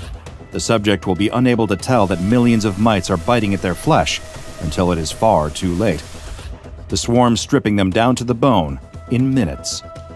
This numbing effect works so well that some victims have been completely devoured in their sleep without ever once waking up. The SCP 165 mites are nearly invulnerable, resistant to all but the deadliest pesticides. They do, however, avoid heat, seeking shade whenever available, and being the most active at night. They show a preference for large, sleeping prey, this dislike for heat and apparent vulnerability to it is the most useful method for containing the mites. While investigating the initial discovery of SCP 165 by the SCP Foundation, I discovered an addendum to the official file. Though some portions had been redacted for, I presume, security purposes, I was able to piece together the most relevant information.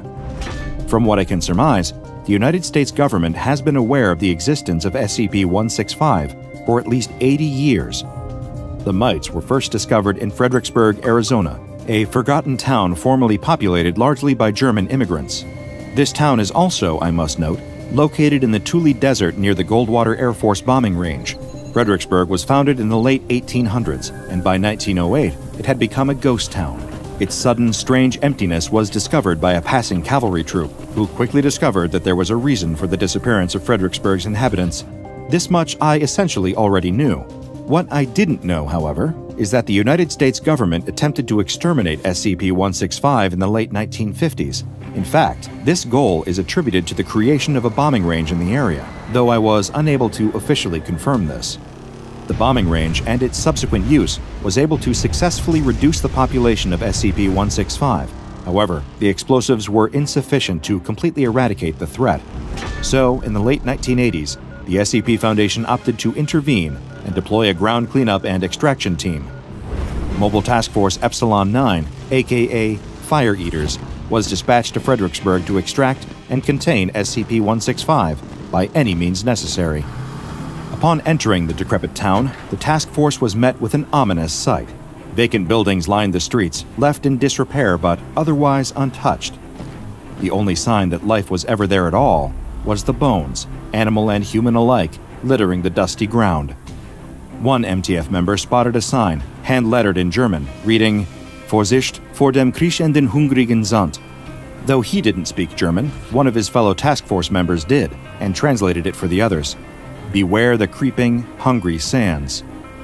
With this ominous warning in mind, MTF Epsilon 9 advanced into a nearby house to investigate.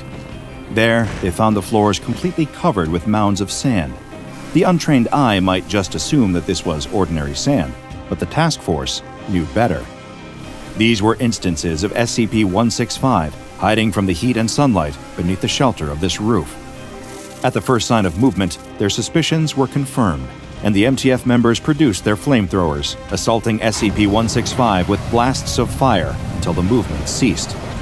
These measures proved highly successful, melting the sand to glass and repelling whatever mites were not trapped inside. A living dune made up of 4 metric tons of SCP 165 was contained and transported to ABC Area 14. SCP 165 is contained in a facility at Armed Biocontainment Area 14. SCP 165 is considered to be a contagious, pathological organism, and so containing it requires the highest sterilization and quarantine procedures to be followed. There are microwave field generators placed around SCP 165's containment area in order to restrict the movement of the dune. Once every nine days, the mass of SCP 165 is to be fed at least 750 kilograms of live cattle. Attempts to feed the entities via pre slaughtered food sources have proven ineffective. For whatever reason, they prefer live prey. Unfortunate for the cows, but the Ethics Committee has proposed that they be sedated prior to feeding time in order to minimize potential suffering. We tend to associate sand with discomfort, whether it's intruding on a day at the beach and wedging itself into the most inconvenient crevices, or sticking to anything and everything placed in its vicinity. As someone once said, it's coarse, it's rough, and it gets everywhere. But if SCP 165 ever breaks containment and spreads to other parts of the country, or even the world, it could do much more harm than some simple irritation. That is, if it isn't already out there. The mites feed so quickly, so efficiently, it's possible they're dwelling in other sandy areas and just haven't been discovered yet.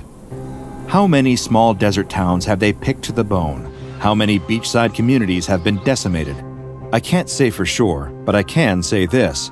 Next time you take a trip to the shore and decide to feel the sand between your toes, make sure to look down from time to time, just to make sure your toes are still there.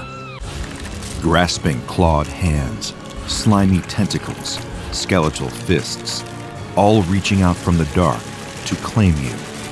Is this the monster in the closet, the beast under the bed, or the horrors inside a simple item of clothing? It's a sunny Saturday afternoon in the early days of summer. The sky is a bright, cloudless blue. The sun beams down on the crowds of kids home from school and adults hoping to get out and soak up a little bit of the cheerful energy. It isn't just the students enjoying the fact that school is out for summer either. Teachers are on vacation too. One particular teacher is enjoying her first day off in months, taking full advantage of the free time. She starts the day with coffee and breakfast, then stops by a local ice cream shop for a strawberry cone, and heads to one of her favorite summer pastimes a yard sale. She follows the signs to a driveway filled with what she just knows will be hidden gems.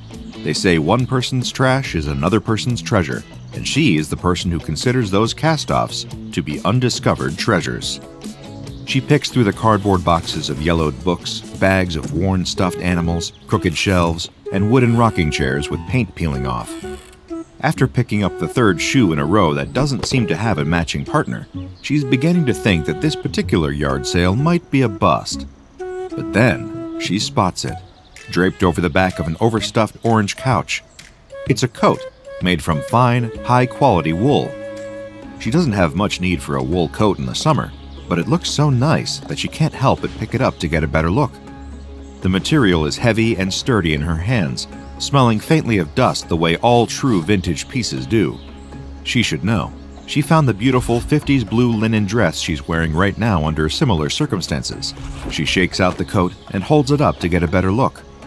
It's even better than she first thought. It's a military greatcoat, and it looks a great deal older than it did while slung over the couch. She'd guess that it's several hundred years old, easily. It might be the oldest piece she's ever seen at a yard sale like this.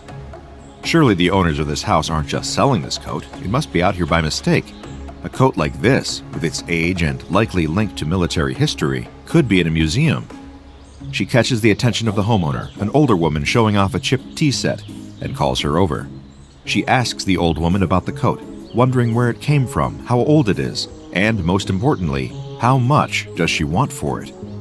The old woman regards the coat with confusion, insisting that she's never seen it before in her life. It didn't belong to her late husband, her father, her grandfather. She has no idea where it came from. If the younger woman likes it so much, she can just pay $5 for it and call it a day. Thrilled at her good luck, The yard sale enthusiast hands the old lady a crumpled $5 bill and takes her prize. On the walk home, she continues examining the coat. No tag, no label, nothing to indicate when it was made or what army might have used it. She doesn't recognize it from any particular era or nation. Between that and the fact that the old lady at the yard sale claimed she had no idea where it came from, the coat seems to be one big mystery. Depending on the angle she looks at it from, it could be from World War I or it could be from the 1600s. She's a history teacher. She should be able to put her finger on it, but she just can't. When she gets home, she rushes upstairs to her full length mirror, cranks the air conditioning up. She doesn't want to sweat all over an antique after all, and throws the coat on. Maybe taking a look at the silhouette of the garment on a person, in this case, herself, will help her make a better estimate of the coat's origin. She slides an arm into each sleeve and takes a look. Not too bad. Definitely too heavy for summer, but it's beautifully constructed and definitely a genuine historical garment. It's going to make an amazing addition to her collection of vintage clothes, and in the winter, she'll be able to stay warm in it on the walk to work. She's just about to remove the coat when she feels someone tap her on the shoulder. She spins around, gasping in shock. Is someone in the house? But when she looks behind her, there's no one there. She calls out to the empty room. Hello? Of course, no one answers, and she kicks herself for acting like the foolish main character in some scary movie. If there's an intruder in the house, they're not just going to answer her. But she can't hear anything, can't see anywhere an intruder might have hidden after tapping her shoulder. She must be imagining things. There's no one here. She reaches for one of the coat sleeves again, and again there's the feeling of someone tapping her on the shoulder. But this time, it doesn't stop. The tapping becomes a hand resting on her shoulder, then pushing past her shoulder and along her arm.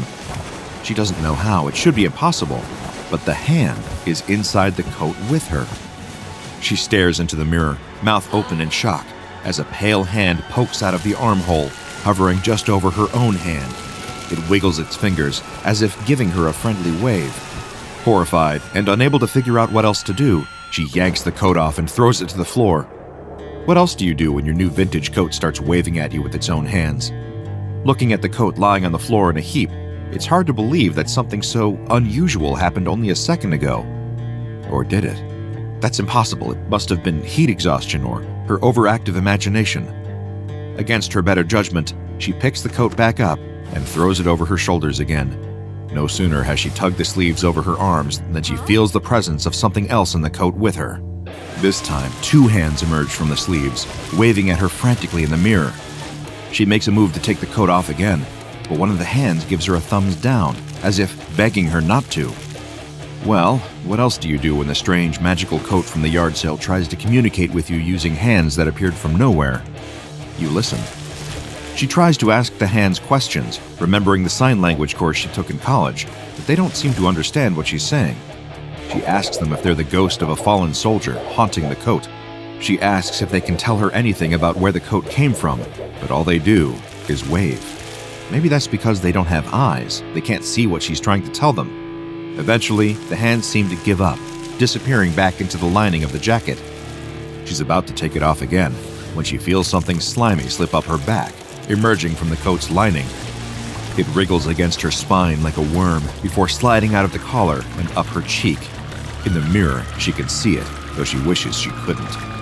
It's a tentacle, like that of a massive octopus she once saw in an aquarium, it suctions to her cheek, and she can't take it anymore. She needs to get this coat off now. She begins tugging at the sleeves, pulling it off, turning one of the sleeves inside out in the process, and the tentacle takes notice. It wraps itself around her throat, trying to hold her inside of the coat, squeezing tighter and tighter. She thrashes, ripping at the fabric and raking the tentacle with her nails, but it only squeezes tighter and tighter still, cutting off her air supply. Her eyes bulge, her mouth gapes wide, gasping for air as she fights for life. The only way to escape is to get the coat off, but every time she tries, the tentacle only squeezes tighter around her throat. She can feel other hands, some human, some with sharp claws that dig into her skin, some covered in fur, all grabbing hold of her and pulling her back into the coat.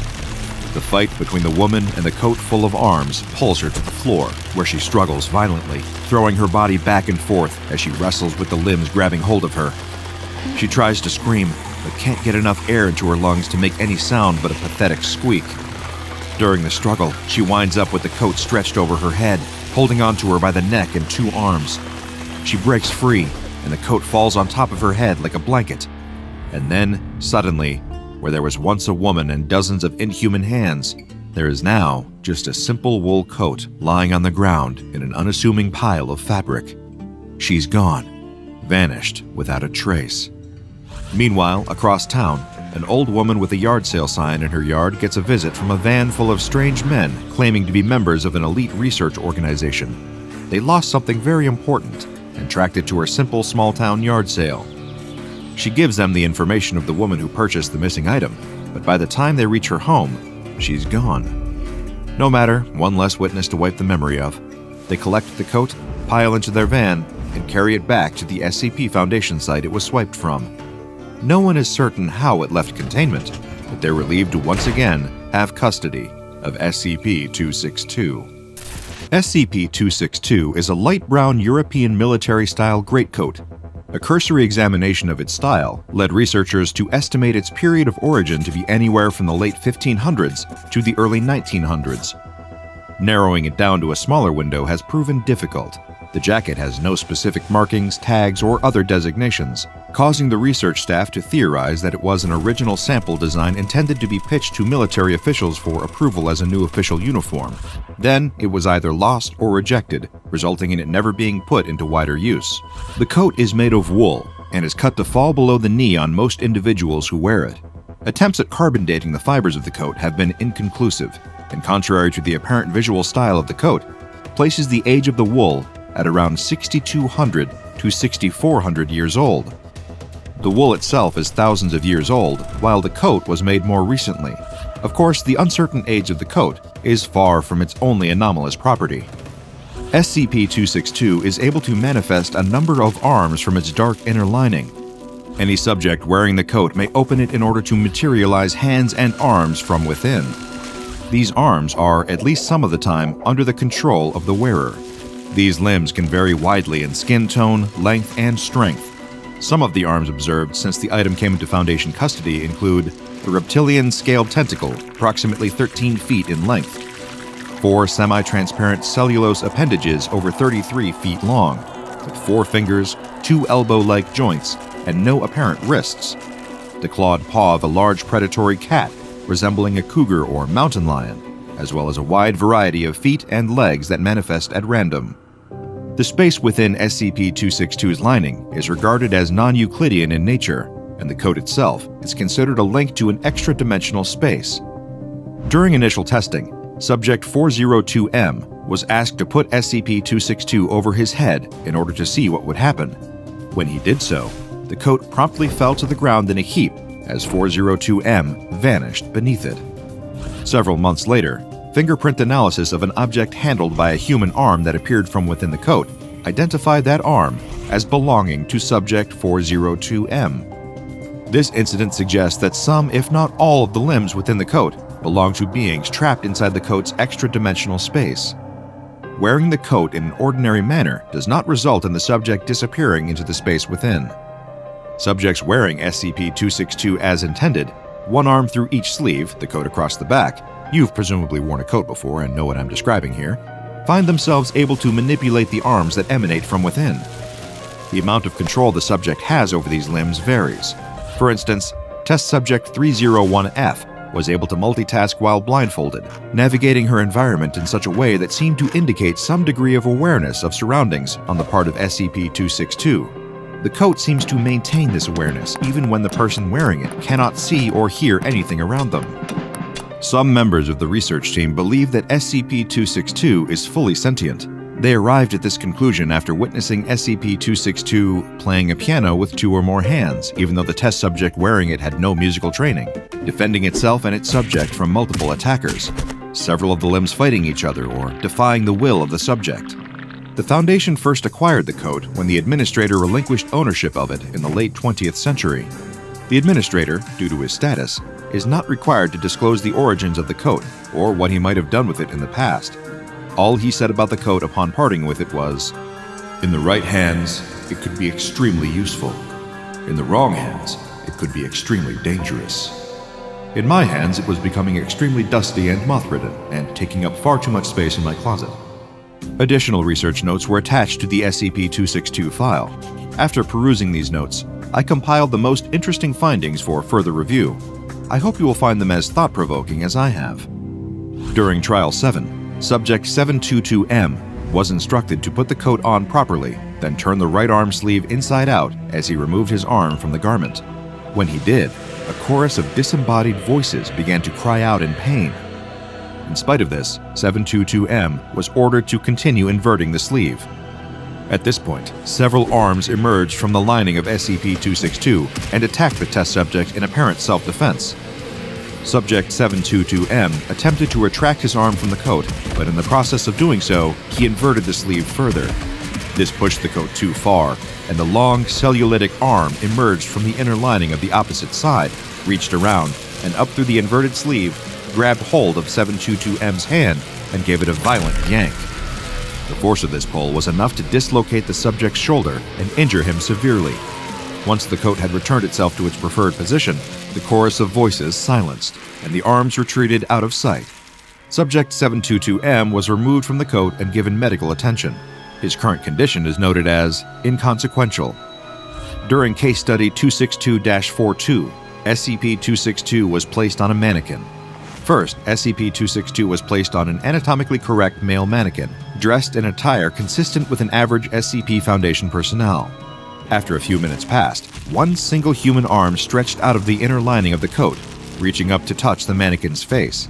It poked and prodded the face curiously a few times, then retreated out of sight and did not emerge again. The following day, researchers placed SCP 262 over the head and shoulders of another male mannequin. After a few moments, the coat collapsed to the ground and the entire test mannequin disappeared. An added research note revealed that a wooden arm, resembling that of the test mannequin, was spotted emerging from SCP 262 on several occasions following the trial. This further confirms the hypothesis that the limbs inside of the coat originate from entities that were somehow trapped inside. During case study 262 307, research staff attempted to observe the behavior of SCP 262 when placed on the body of a recently deceased human being.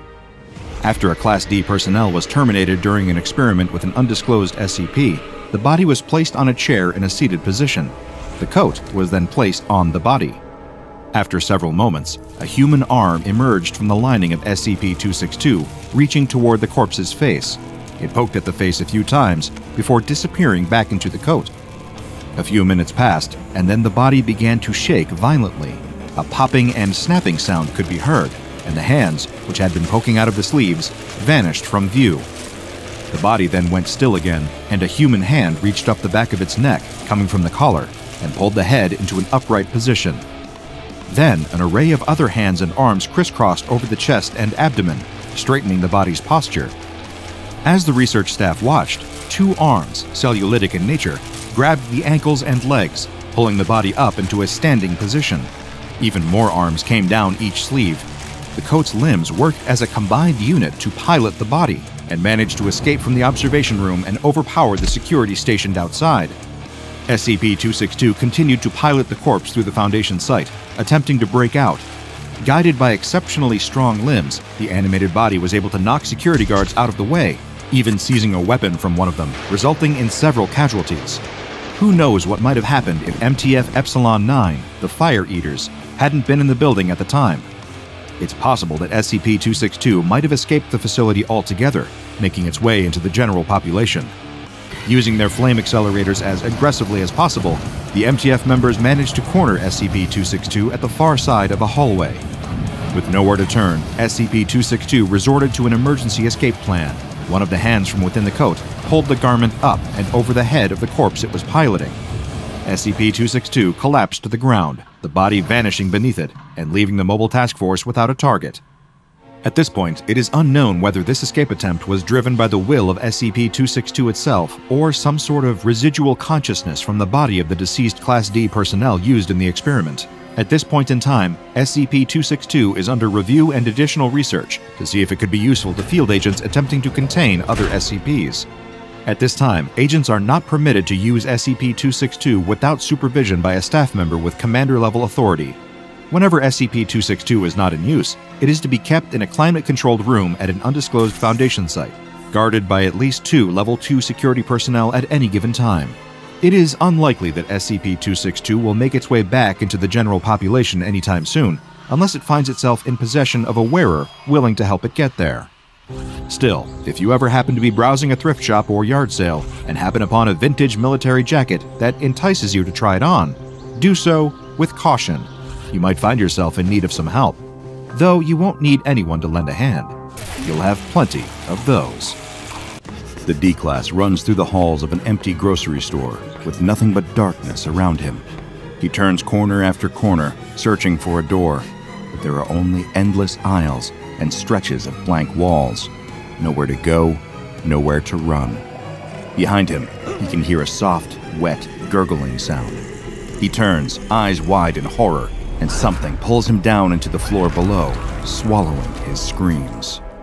The day is drawing to a close, the sun dipping over the horizon as families across the small town wash up after dinner, placing their dirty dishes in the sink and starting to wind down for the evening. For those rare few with office jobs in this town, the workday stopped at 5 p.m., and now there's nothing but rest ahead of them until the day begins fresh again in the morning. But for the employees working the graveyard shift at the local, woefully understaffed grocery store, the day is far from over. There's closing time at 10 p.m., then cleaning, locking up for the night, and eventually, mercifully, clocking out. One of the workers, a young woman, watches the clock through heavy eyes, threatening to close. She shouldn't have picked up this extra shift. Working a double was overly ambitious today, and she can feel exhaustion creeping up on her, threatening to drag her down into an inadvisable on the clock slumber. It's almost 8 o'clock, only a few more hours to go. She can make it.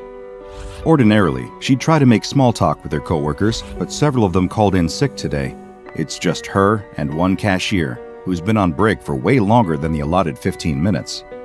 So, really, it's just her. She busies herself, shelving jars of peanut butter, watching the seconds tick by. More of the workday gone. More of her so called summer vacation gone. But every hour worked is more money in the bank, more in the travel fund that will take her out of this town and towards something that might actually make her happy. She just has to save up enough, has to face these monotonous days and the same repeating carousel of faces a little bit longer. Then, it'll all be worth it. She tries not to think about the fact that her older coworkers have said the same thing about themselves, the ones who have worked here for 10 years. They all thought they'd be out of here in a year too, but they aren't. They're still bagging groceries for their neighbors and former classmates, watching the seconds tick by on that grimy old clock. As she reaches down for another jar, someone suddenly speaks just behind her. They ask if they can help her find anything. She spins around, startled, the jar slipping from her grasp and landing on the ground with a crash, glass and peanut butter sprayed across the floor. There's no one there. She must be imagining things, she thinks. But when she turns her back, she hears it again. She spins around, quicker this time, hoping to catch them in the act. There's something so familiar about that voice. Did another coworker come in after all? No, it's not one of her coworkers. Suddenly, as she hears the voice speak again, asking if she wants a paper or plastic bag, her stomach drops. She knows now. The voice is her own. That's it. She's officially too exhausted to keep working right now. There aren't any customers in the store, so she's going to head to the break room and try and get her head together. As she starts the walk there, she suddenly realizes that she can't find the door. The door to the break room is there, but where's the exit? The door she comes through every single day before clocking in. The doors that she practically sprints toward when her shifts close out. The ones that lead to freedom and home and the chance to remember herself as a person and not just an endless stretch of meaningless tasks. Somehow, the door is gone. No, that can't be possible. Doors don't just vanish. She's gotten turned around. She's misplaced it. She paces through the store, determined to find the door, but she can't. It truly seems to have vanished. Sweat begins to bead on her forehead, her hands trembling as she retraces her steps over and over again. It isn't an especially big store, she can't be lost. No, it's just her worst nightmare coming true. She can never go home, can never clock out. She's going to be at work for all eternity. Her mouth dries up, She has trouble swallowing, trouble catching her breath as her breathing becomes shallower, tinged with panic. It's an impossible situation, but she just knows that this is it, that she'll never get to go home again. At the same time, she's never wanted anything more in the world than to get out of here as soon as possible. If she doesn't, she could die in here. And she swore to herself that she would never ever die in this town. As she navigates the aisles, she can hear faint whispering, like people huddled together just out of sight, talking about her in tones just too hushed to make out.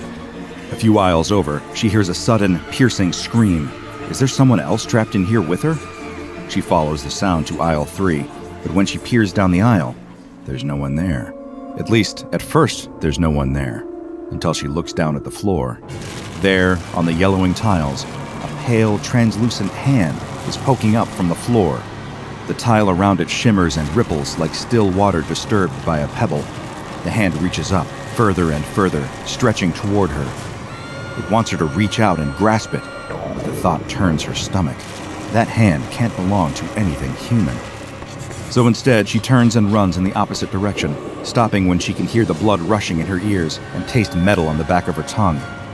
As the sound of her pulse fades, her heart slowing, she hears another sound that causes it to spike all over again. A long, slow, dragging sound, like someone pulling something heavy across the floor. It thumps, then drags some more. There's a sound with it, too a wet, strained sound, like a combination of water bubbling up from a drain and someone struggling to breathe. Every fiber of her being is screaming at her to run, to get out of there right now, but she can't move her feet. The sound draws closer and closer and closer until everything suddenly goes black.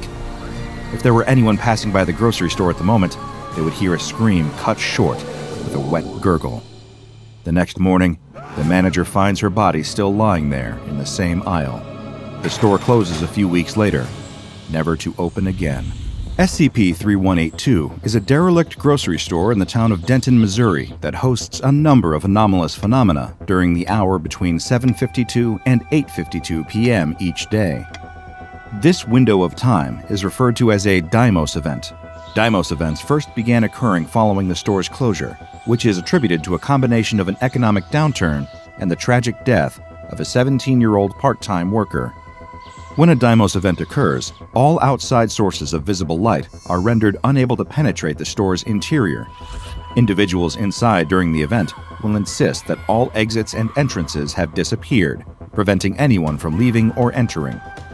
It should be noted that video recordings of SCP 3182 during Deimos events show that the doors do not, in fact, go anywhere, indicating that SCP 3182 impacts the perceptions and mental states of those affected by it, rather than the environment itself. Some of these aforementioned anomalous effects include a sudden, overwhelming, but inexplicable sense of distress or sadness, a sense of severe resentment toward the town of Denton, Missouri, the sudden, recollection of memories belonging to former customers of SCP 3182, a sense of approaching danger, and the urge to do something to prevent or escape it, and an extreme desire to leave the area even though it is impossible to do so. These effects primarily occur in the vicinity of aisle 3 of the store. In addition to the emotional and psychological phenomena, there have also been reports of disembodied moaning and screaming the appearance of humanoid apparitions, and the sound of something heavy being dragged across the floor. In order to obtain a more in depth understanding of SCP 3182 and its Deimos events, researcher Dr. Gradian supervised a series of on site tests. D Class 132449 was selected for the first test, during which he was placed within the former break room of SCP 3182 and instructed to remain there for the full duration of the Deimos event. He was equipped with a camera and earpiece to allow for two way communication between him and Dr. Gradian. At first, D132449's attitude was casual, even cheerful, as he expressed relief at having nothing to do but sit in a chair for an hour. But after 7 minutes and 32 seconds passed, he began to feel quite differently. The D class became anxious, stating, I've got to get home soon, before correcting himself to say that he would go back to his cell after the test concluded.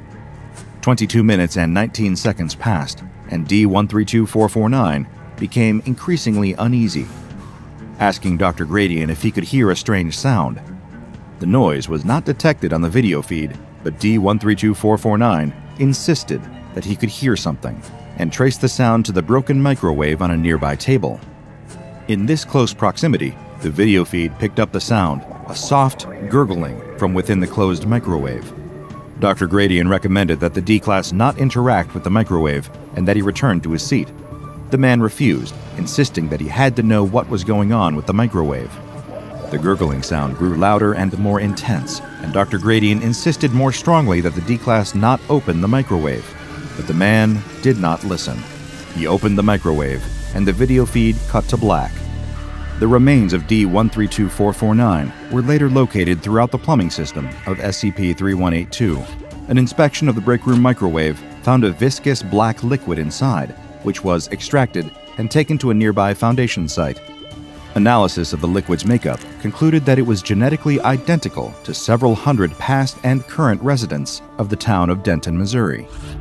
During the next test, D342089 was instructed to examine Aisle 3 during a Deimos event. First, however, he began in the break room. Before beginning the test, Dr. Gradian gave a strong recommendation that the man avoid pursuing the source of any gurgling sounds he might hear. D342089 asked why, but Dr. Gradian dodged the question, instead, asking the D class to move toward aisle 3. Halfway there, he paused, spotting the words, Get out of here right now, scratched into the wall over the main entrance. The D class remarked that this would be impossible given the lack of doors in SCP 3182.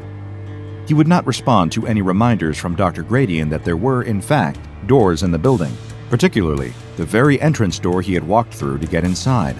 As D342089 advanced further into the eerie, darkened store, almost at the infamous Aisle 3, Dr. Gradian checked in regarding his mental state. Aside from the atmosphere, which he deemed pretty damn spooky, D342089 did not report any adverse mental effects. Before he could elaborate any further on how he was feeling, however, he quickly discovered that he was not alone in the store. A figure, a female humanoid in shape, stood at the other side of aisle 3. She wore a simple shirt and flared jeans, and if one glanced at her quickly, she might pass for an ordinary girl. But she wasn't. As the D class stared at her, he could see her face shifting from ordinary human features to a warped imitation of a face, eyes, nose, and mouth moving out of place and drifting into abnormal configurations. As she raised a hand, he could see that it was a formless, fingerless blob. This was too much for D342089. The panicked man fumbled around on the shelf next to him, searching for a makeshift weapon. He grabbed a cardboard box and prepared to throw it at the apparition. In response, she shook her head rapidly, warped features frozen in a look of terror. She opened her mouth, and the sound of hundreds of opening cash registers came out. She shook her head even harder, trying to communicate something vital to the D class. He refused to listen to the apparition or to Dr. Gradian, who warned him not to do anything rash but he did do something rash. He threw the box at the entity with all his might, and as it made contact, he could hear a soft gurgling sound just behind him. Then, just as it did before, the video cut out. After the Deimos event concluded, D342089 was found alive in a dumpster outside SCP 3182. He was, however, missing something his skin. An investigation of the interior found that the message he had seen written on the wall had completely vanished following the event. During the third test, D693221 was placed in aisle 3 and directed to remain there for the duration of the entire Deimos event. Like the other D class before her, she was equipped with a camera and an earpiece. As the event began, she reported feeling extremely cold. Dr. Gradian suggested that she remain as calm as possible. She refused insisting that she needed to leave as soon as possible. When she turned to leave, however, the apparition was standing at the other side of the aisle. Again, she repeated, I need to get out of here right now. I need to get out of here right now. In response, the apparition nodded in agreement. Dr. Gradian reminded the D class that SCP 3182 would not permit her to leave, and she replied, I need to get out of here right now, or I'll wind up like her. When pressed for further explanation, the terrified D class insisted that she didn't understand what she was saying. It was as if the words were being shoved into her mouth, into her mind. She turned to move toward the entrance. and a soft gurgling was suddenly heard. Dr. Gradian warned her to stop moving immediately, and she froze in her tracks. Once she had calmed enough to respond to further instructions, she was ordered to turn and look at the apparition, or rather, as Dr. Gradian referred to it, the ghost. When she met the ghost's eyes, it was shaking its head fervently, eyes wide with fear. The floor beneath it shifted like liquid, the gurgling sound growing louder and louder until human arms burst through the floor, grabbing the ghost and dragging it down out of sight. The ghost gestured frantically toward the exit doors, screaming until it disappeared beneath the floor. The gurgling stopped, the floor was still, and all was quiet for a moment. Then, D693221 was in full panic mode once more, repeating over and over again, I need to get out of here right now. She repeated this constantly for the remainder of her video footage, running through SCP 3182 frantically, screaming and searching desperately for an exit. Dr. Gradian attempted to direct her, to calm her in some way, but it was as if she could not hear a word he said. She was lost in the dread, lost in the dark. After the Deimos event was through, D693221 was found healthy and unharmed, at least physically. There were no more scheduled tests after this, and she was administered amnestic treatment and returned to the prison population with a reduced sentence. While the woman formerly known as D693221 carried on with her life, the research team reviewed the footage from her test. One researcher analyzed a distinct tattoo visible in one of the spectral arms that reached up from the floor, matching it to that of a man called Colin Mathers, Mathers is the former manager of SCP 3182 and has no reason to be manifesting as a ghostly arm in his abandoned former workplace, given that he is both alive and, as far as anyone can tell, completely ordinary. That is to say, very much not a ghost. Further investigation into the apparition of the girl was conducted, including a series of interviews with past regulars and employees of SCP 3182 Many of those interviewed recounted anomalous activity far before the closing of the store, including an unseen entity that would mimic their voices. This particular detail inspired the research team to conduct one more test. D442099 was sent into SCP 3182, placed in Aisle 3, and instructed to remain there and attempt communication with the entities there via a Foundation developed EVP detector. It should be noted that the civilian versions of this technology are far less effective. First, D442099 began with a simple, Hello? The response recorded by the EVP detector was a mixture of male and female voices, at least three, saying, What can I get for you today? Next, he asked, Can you understand what I am saying to you? And the entities responded, That'll be unintelligible. He followed with, Can you tell me what you look like? This seemed to provoke a more emotional response, and the EVP detector picked up around seven mixed human voices saying, Look at me. This place has ruined me. I should have moved to Jefferson when I had the chance. Where are you now? resulted in over 25 voices saying, One day I'll have enough money. I'll get out of this place. The response to, What is your name? was too garbled to understand, as over 70 voices responded at once. Please, I don't understand, was met with soft gurgling, which then suddenly cut off. I don't want to die here seemed to attract the attention of the lone female ghost, as one solitary female voice replied, You need to get out of here, right now. Can I help you? the D class asked. The same female voice replied, sounding strained and frightened, Please get out of here, right. Her voice cut off. Hello, the D class called out. There was no response. Hello, he asked again. The only response was that same soft gurgling. Then he said one more thing I don't want to die in this goddamn town. The recorded response was uproarious, cacophonous laughter belonging to a chorus of over 10,000 voices. The sound was nearly deafening. There are undercover Foundation personnel stationed outside of SCP 3182, instructed to prevent any civilians from entering the premises. Civilians who ask follow up questions are to be given the cover story involving unstable construction. Any past witnesses to a Deimos event must be located and given amnestics dosed in relation to their level of exposure. Because the town of Denton is relatively isolated, any affected individuals should be easy to track down.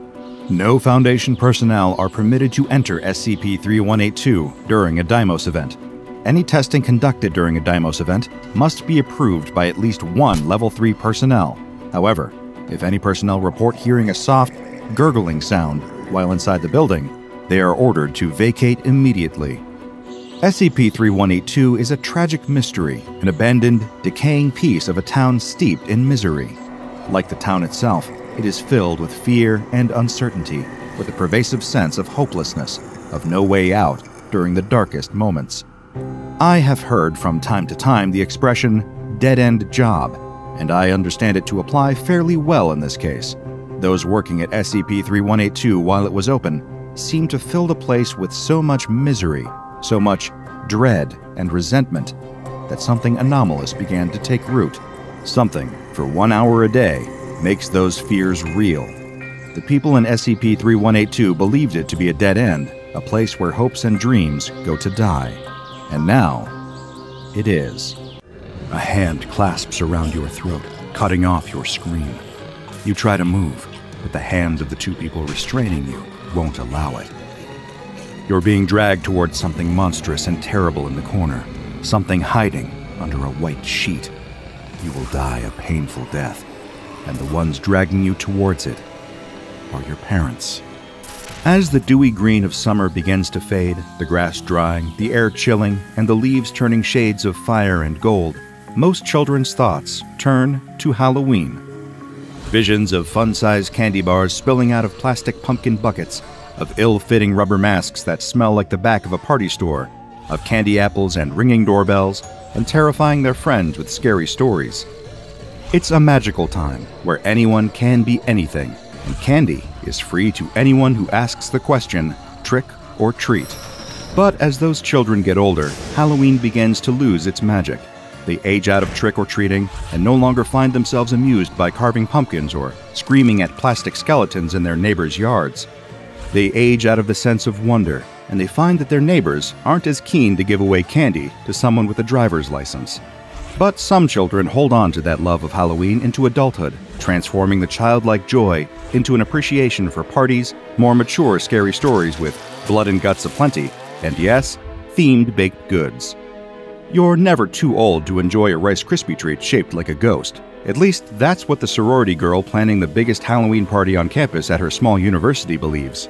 She has festooned the sorority house with fake cobwebs and ghosts made of hanging bits of gauze, with plastic spiders and zombies made of rubber. There are the classic plastic skeletons, the jack o' lanterns filled with battery powered candles, no fire hazards here, and of course, a huge cauldron filled with punch and dry ice. Smoke billows over the sides of the cauldron as she stirs the garish but inviting lime green liquid inside. She has the lights rigged up to give the place an eerie red glow, and has the perfect playlist of Halloween music put together. Now she just needs to wait for the guests to arrive. At first, she worries that no one will come. The first few people to ring the doorbell turn out to be trick or treaters, and she sends them away with a fistful of candy bars and a smile. But each time, she is secretly a little disappointed. About an hour after she finished setting up, guests begin to arrive. Even if not everyone at school is into Halloween, there are very few college students who will pass up an opportunity for a party and before long, the house is filled with dancing pirates, vampires sipping cups of punch, werewolves digging into bowls of chips, and cats flirting with dogs. Everyone is dressed up and embracing the Halloween spirit, and the girl couldn't be happier. She's been so busy playing hostess that she almost forgot to dress up, but she takes a moment to steal away upstairs and put on her costume. A classic witch costume black dress, black shoes, and complete with a pointy black hat as she heads back downstairs, dressed up and ready to have a great time, she takes a moment to survey the crowd. It seems like everyone on campus decided to come to her party. The girl is going to get herself a drink and settle in to enjoy her party when she hears the doorbell ring. Someone else is here. But as she walks toward the door, she pauses for a moment, an icy chill of dread washing over her. The party guests know that they can just walk right in. That's what they've been doing all night. And it's almost midnight, much too late for trick or treaters. Who's out there? She peers through the peephole and sees someone in a rudimentary ghost costume, covered head to toe in a white sheet. Even if it's someone she knows, she wouldn't be able to recognize them like that. She can't explain why, but she has a bad feeling about this person. She doesn't want to be rude, but she wants to let them in even less. She turns back away from the door, ready to let the stranger stand on her porch all night, and finds all of her party guests standing still, staring at the door, staring at her. She tries to laugh it off and get everyone to return to the party, but the energy in the room has shifted. Everyone's focus is on the person on the other side of the door. She walks to the punch bowl, pours herself a cup, and encourages everyone to get back to the party. Instead, a pirate and a mermaid walk to the door, turning the knob even as the girl asks them to stop. They open it, letting the stranger in the sheet inside. The figure glides through the door, moving in a way that seems just a little bit off. The girl is struck with a feeling that she hasn't experienced since she was a little girl the sense, deep down in her gut, that something could really be a monster. Whatever she does, she can't let the thing in the sheet get close to her. She doesn't know what will happen, but the thought of it turns her stomach with a primal sense of danger. She starts to run, but a girl dressed as a tiger grabs hold of her arm, wrenching her back. The girl struggles to free herself, but a man in a vampire costume grabs her other arm, gripping her so tight his knuckles turn white and she can feel the flesh bruising. She pleads with her friends, trying to get them to see reason and release her, but they won't budge. The tiger girl apologizes through tears, but won't let go. As the girl thrashes, pulling so hard to free herself that she worries her arm will break, the figure in the sheet inches closer and closer. She shouts at it, demanding to know who it is, what it wants, why it's hiding behind that sheet. But it doesn't say a word, doesn't give a clue. There's no expression to read, only the blank white fabric. When it reaches the girl, her feet fly out from under her, and she collapses to the ground, yanked forward by an unseen force. Something is pulling her under the sheet. She claws at the floor, trying to drag herself away from the force, but she can't. The party guests watch, helpless, as their hostess disappears under the sheet, until the only thing left is her writhing silhouette and her screams. Then, the screams go quiet. Nothing left of the girl but her witch's hat lying on the floor. The figure gathers its sheet around itself and calmly walks out of the party. Those unfortunate guests watch their even more unfortunate friend encounter the creature known as SCP 6096. SCP 6096 is a humanoid entity that spends all of its time hidden beneath a large cotton sheet. A vague sense of its shape can be garnered by observing the entity, but its body is hidden at all times, preventing a complete physical description from being recorded. However, Foundation researchers have determined via a cursory examination that the entity is 1.55 meters tall and that it weighs approximately 48 kilograms. The sheet itself is larger than SCP 6096's body, trailing on the ground behind it by at least a meter whenever the entity moves. All attempts to remove the sheet in order to get a proper look at the thing have been unsuccessful. One of the most unusual properties of SCP 6096 is that it cannot be harmed. I don't mean that it is impervious to damage, but rather that any living being that attempts to engage in a behavior that would harm the entity finds themselves unable to do so.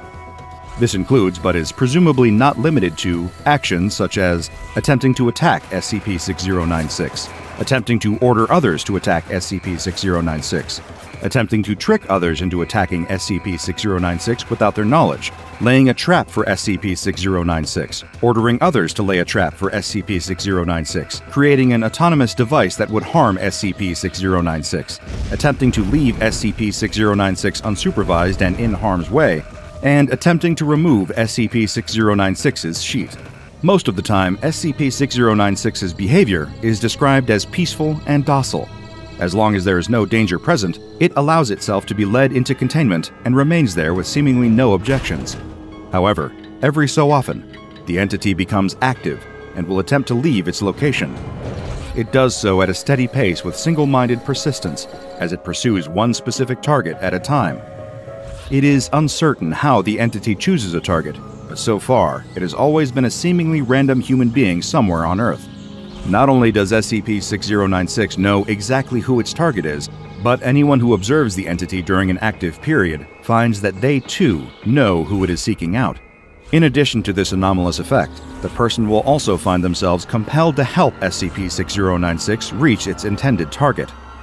These targets appear to be the only individuals unaffected by SCP 6096's anti harm properties. A person that the entity has selected will, in fact, be able to harm it. However, none have managed to successfully do so, mainly due to the protective influence of the other humans caught in the creature's anomalous thrall. But what happens when SCP 6096 reaches its target? Research into this has been largely inconclusive, but a few facts are certain. SCP 6096 will pull the person underneath its sheet until they have disappeared from view. If the victim is conscious, they can be heard fighting, struggling, and screaming in unimaginable agony for up to 40 minutes. Then they go silent and are never seen again. Once its chosen victim has disappeared, SCP 6096 becomes docile and largely immobile again, and can be led back to containment. Whatever happens to its targets under that sheet, it is definitely not anything good.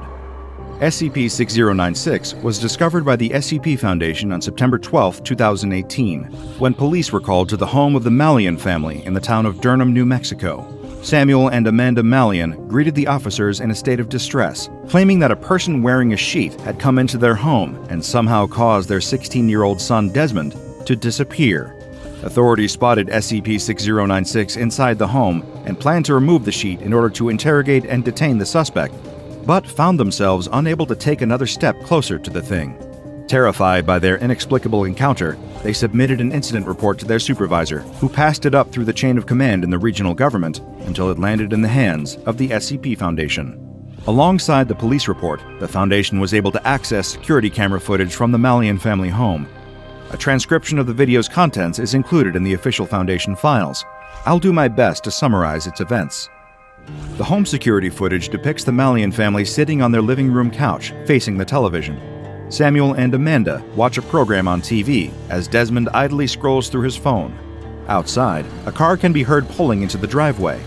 Though the driver's identity has not been confirmed, this is believed to be a local taxi driver named Drake Ellen, dropping SCP 6096 off at the Mallions' door. A moment later, Samuel draws his wife's attention toward a window. At first, the two are surprised but amused, assuming that SCP 6096 is some sort of errant Halloween decoration. However, they become increasingly disturbed as the sheet covered figure approaches their door and begins to knock, so softly it is nearly inaudible.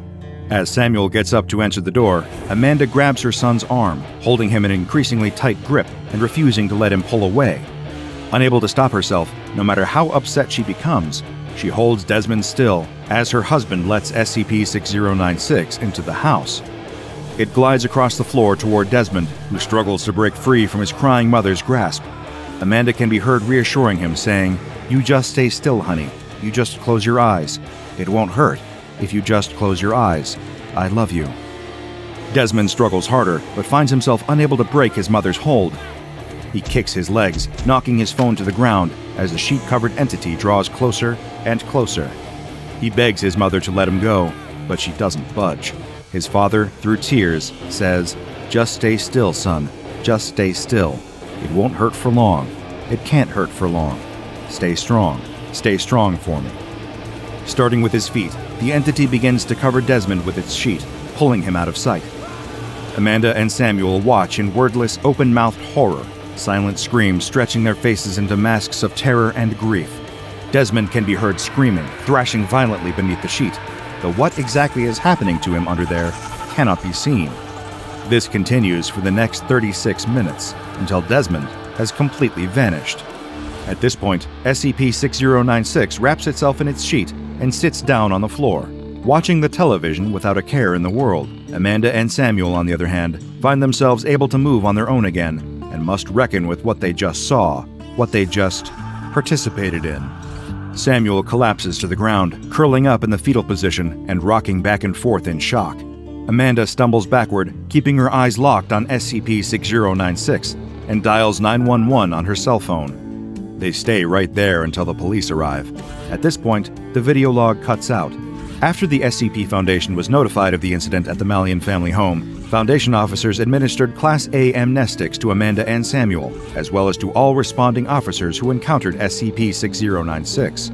It is uncertain how long SCP 6096 was operating before this incident, or where it could have come from. SCP 6096's containment is strictly under the jurisdiction of Mobile Task Force Zeta 29, Blood Brothers. The anomaly is kept in a standard humanoid containment chamber located on the grounds of Site 19. Where it is monitored by on site personnel via video and audio recording devices. If any changes in its behavior are noted, they are to be promptly logged and reported. Unlike most anomalies at the SCP Foundation, SCP 6096 is permitted to leave its containment area whenever it chooses. Whenever it does choose to leave, SCP 6096 must be escorted to its intended destination by MTF Zeta 29. Task Force members may use whatever method of transportation is most convenient at the time. While this group is escorting the entity, a secondary team will travel to its intended target, dosing them with a high grade tranquilizer to render them unconscious. Once the entity has disposed of its target, it will be accompanied back to its containment chamber. There are no easy jobs at the SCP Foundation, aside from the lucky few who get to spend their days playing with SCP 999. But staff assigned to the containment, if you can even call it that, of SCP 6096 reports some of the lowest morale levels at the organization. A welcome notice from Charlie Simansky, commander of Mobile Task Force Zeta 29, Blood Brothers, is included in the official file, presumably for Task Force member eyes only. Nevertheless, I feel it is important that I share the contents of this note with all of you, as they provide a valuable look into the perspective of the members of this unfortunate task force. It reads And there you have it. Welcome to Mobile Task Force Zeta 29. No need to worry about professionalism down here. The higher ups couldn't demote me if they wanted to. Apparently, my presence as the head of SCP 6096 containment is beneficial enough to it that me being reassigned would count as harming it. Lucky me. You're probably wondering how we can be shameless enough to say we have this thing under containment. It comes and goes whenever it feels like it, and if it ever decided it didn't want to come back to its containment cell, we have literally no way of forcing it. And yeah, you're probably also thinking that calling that room a containment chamber instead of a hotel room is just as shameful. To that I say, you're absolutely right. There's nothing we can do against SCP 6096. Feel free to self medicate until you're able to accept that. Don't hold back. You're going to become very familiar with that feeling of gnawing guilt. I know I did, the first time I had to hold the door to a maternity ward open for this thing. The idea of containing SCP 6096 is a bad joke. We all decided a long time ago that the only way out of this nightmare is liquidation, decommissioning, neutralization, whatever you want to call it. But that's no walk in the park either. I've stood in that chamber for hours, gun pointed at 6096's head, screaming at my finger just to tighten slightly. Didn't work. You can't harm SCP 6096, no matter how much you want to. You can't even try to start a Rube Goldberg kind of thing to eventually harm SCP 6096. It's just a fact of the world, maybe a semiohazard or whatever it's called.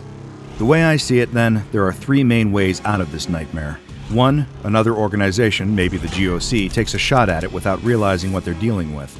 Maybe they think we're transporting something much more dangerous. Maybe they think we're in over our heads with it, and they take it out with a drone or something, blow the thing to hell while we're transporting it. A bomb would kill it easy, I think. It feels weak, this would only work so long as the GOC thinks they're bombing something else entirely. If they knew it was SCP 6096, they'd just be contained too. 2. An AIC deals with it. I don't know if an artificial intelligence is immune to SCP 6096's effects, but the fact that it won't let me tell one of them about it gives me hope. Maybe one day one of those computers gets a mission, and maybe that mission, by complete coincidence, happens to lead them over to this file. Then they use their superior intelligence to set things up so 6096 runs into an accident out of the blue. 3.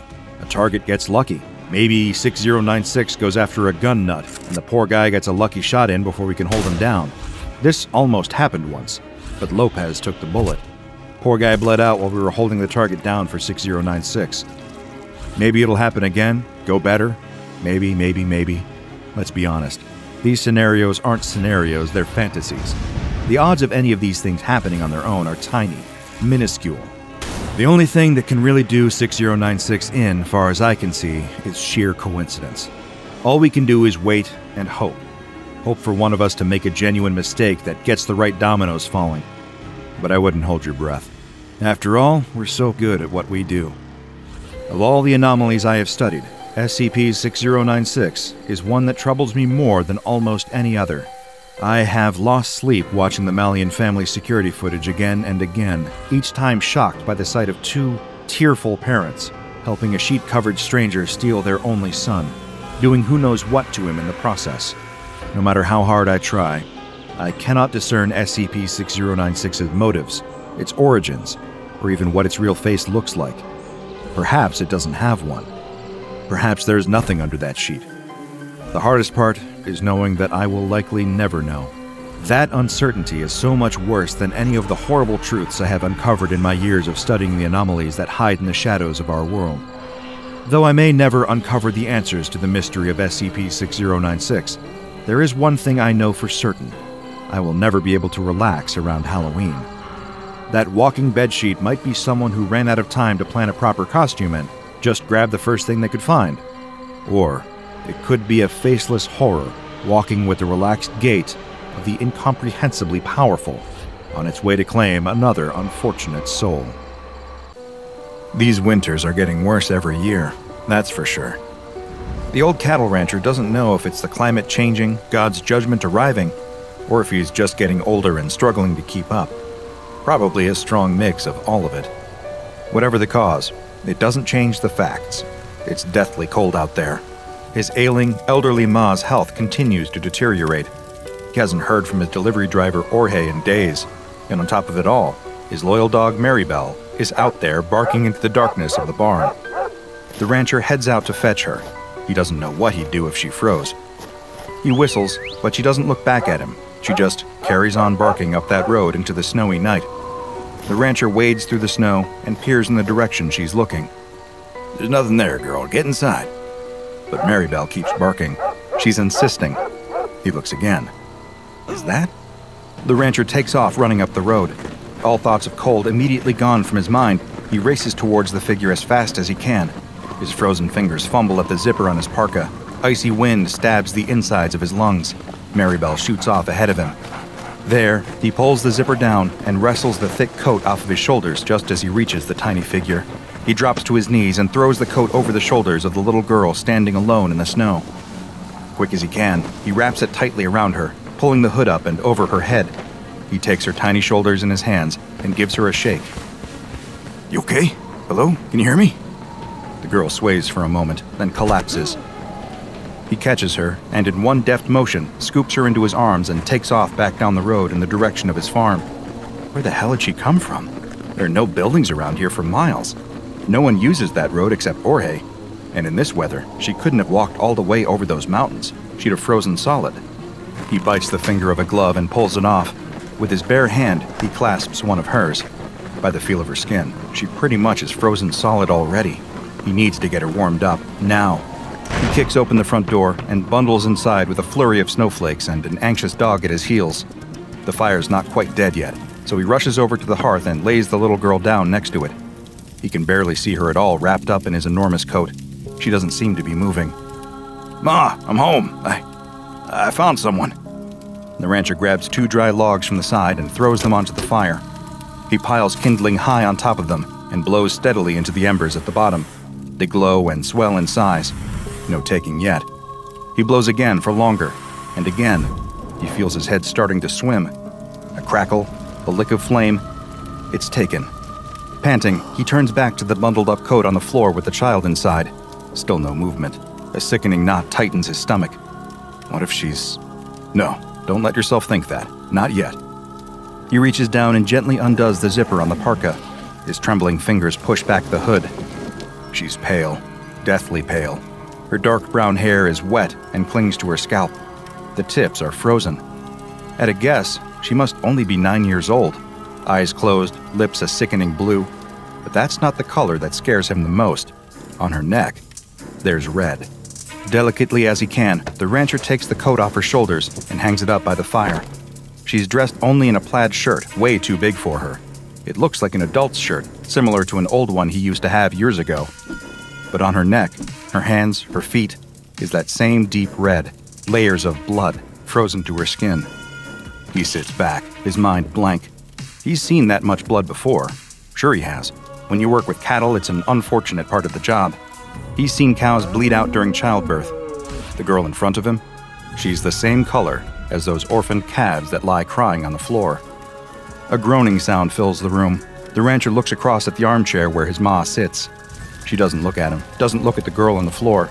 She just stares into the fire, same way she always does. Ma groans again, trying to express something she doesn't understand, being in a world without living in it.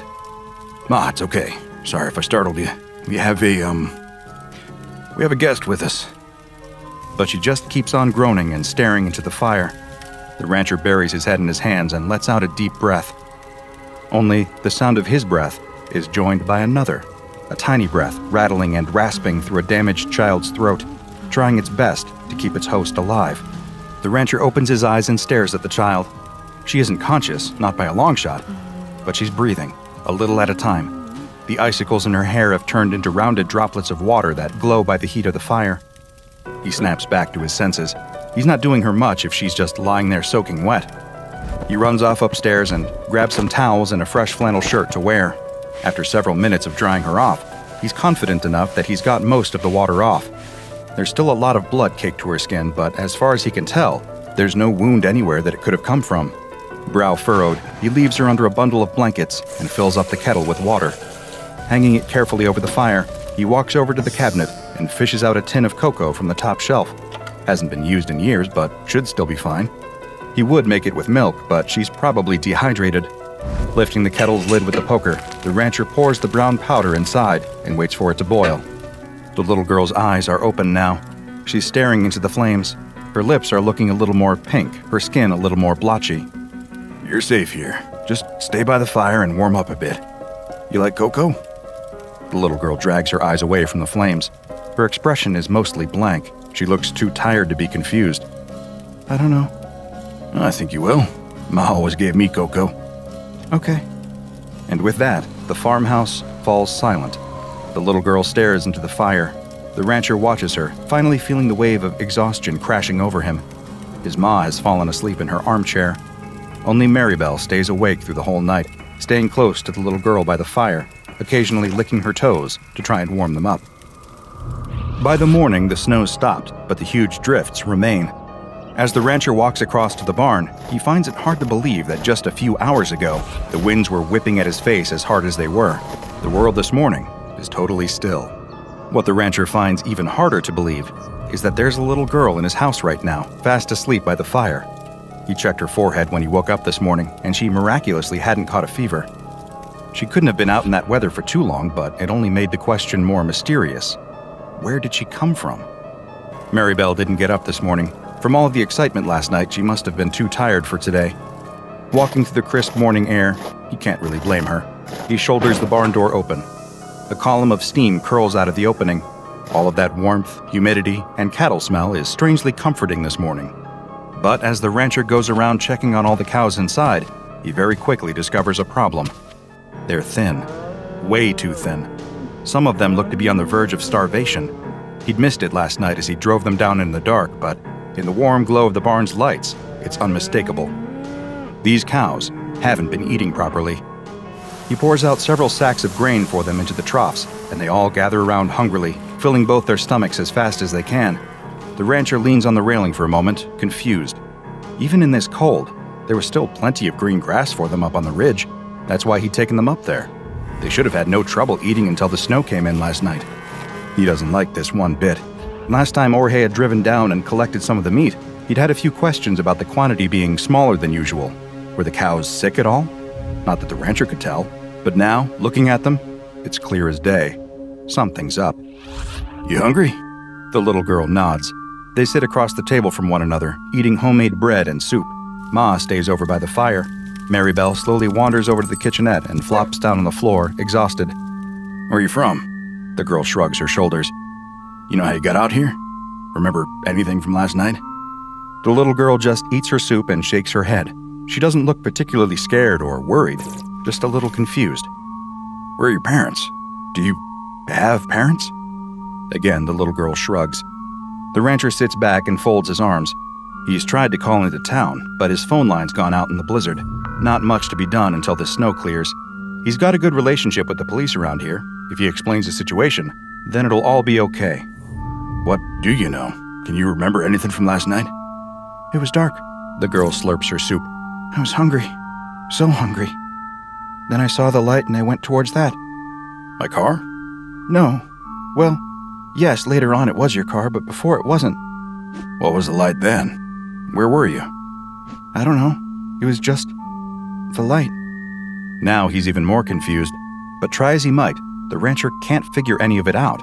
And try as she might, the little girl can't remember anything more precise than that. The pair of them hop into the car and drive back out up the road that afternoon. The snow is piled so high that the rancher is having to get out twice as often as he did the previous night to clear a track for them.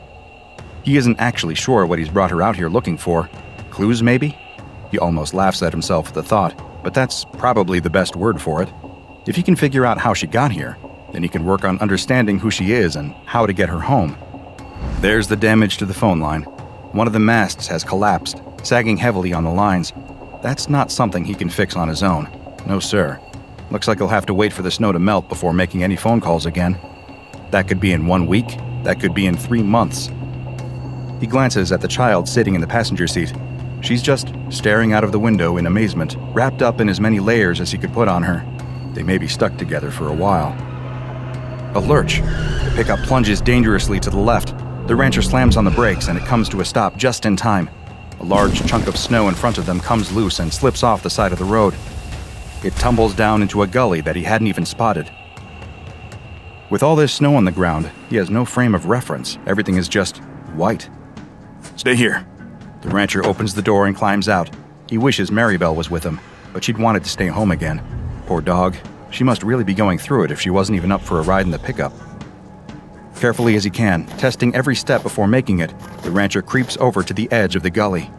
It's bigger than he thought, much bigger. It continues down, more and more sharply for a few hundred feet, all the way down into a. Oh no. There's a semi down there, a big rig, warped and bent, lying on the rocks. Just a glance is enough to tell the rancher it's Jorge's, but he just keeps staring at it in disbelief. Can't be. It. But it is. Stay in the car. The rancher reaches past the little girl and into the back seat. Grabbing a pair of crampons and some rope, he straightens up and looks at the girl. She knows it's serious. He can see the concern on her face. Stay in the car, he repeats. By the time the rancher makes it down to the truck, his legs and back are killing him. All this work over the last 24 hours is going to start taking its toll sooner or later, but some things have to be done. He pauses by the semi. It's on its side. He'll have to climb up onto it and try to open the door. Some things have to be done. He hoists himself up and manages to clamber onto the metal door. It's badly crumpled, and the window is smashed in. He doesn't fancy his chances of being able to get it open. One look through the window shows him that he won't want to do that anyway. Blood coats every inch of the inside of Jorge's truck. The cabin that the rancher is so used to seeing and sitting in is almost unrecognizable. Smashed glass is sprinkled across every surface with a dark brownish red layer of gore frozen into everything else. There, in the midst of it all, still wearing a seatbelt, is Jorge's body. It dangles like a limp carcass at a butcher shop, like the cows he hangs in the slaughterhouse. And like those cows, a large chunk of Jorge is missing. His fat stomach is gone, not just cut open, but gone. The tops of his thighs, too, and much of his chest. So much of him is just missing. Open arteries and lifeless nerves dangle in place. That must have been a hell of a crash. The rancher reaches over and pulls Jorge's cap down over his eyes. Not much else to be done right now. No way he can clean this mess up by himself. But as the rancher climbs up the valley, his mind starts to connect some dots, dots that leave a sick feeling in his stomach. He's seen that much blood somewhere else, or rather, on someone else, just last night. He slams the door to the pickup shut and starts to drive back down the track. Since the snow stopped, all of the drifts that he'd cleared earlier remain clear. It's only a few minutes' drive back down to the farm. He doesn't say a word the whole way, and neither does the little girl. She clearly senses something's up. The sick feeling in his stomach remains. He pulls up the handbrake, and the two of them sit in silence outside the farmhouse. There's a truck in that valley. Did you know that? Yes. Is that where you came from last night? I don't remember. Was he. The rancher stops. Jorge didn't have any kids. What were you doing in his truck? I don't know. Did he. Was he. The rancher can't bring himself to accuse his best friend of the words that almost left his mouth. Do you think you might not remember because something bad happened to you? I don't know. The rancher closes his eyes for a long moment. Silence fills the pickup. Come on, let's get inside. But inside wasn't the safe haven he'd been hoping for. Ma's been throwing up, not just once, but a few times. She's distressed, groaning aimlessly for someone to come and save her. Maribel is pacing around the room, yelping and whining. The rancher immediately goes upstairs to get some rags to clean up with. Perfect timing, as usual. But he stops in his tracks when he comes back down.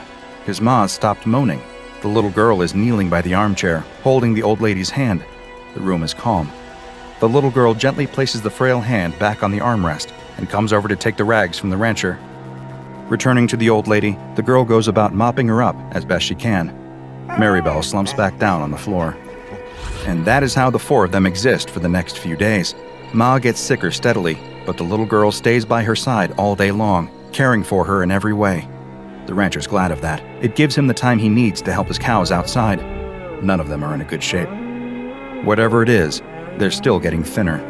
He feeds them all the grain they'd normally need, and then some, and they always finish it off. Yet none of them are getting any fatter. The rancher leans on the railing, trusty dog by his side. His energy is starting to really lag behind what he needs. The last couple of days, even though he hasn't done all that much, have totally taken it out of him.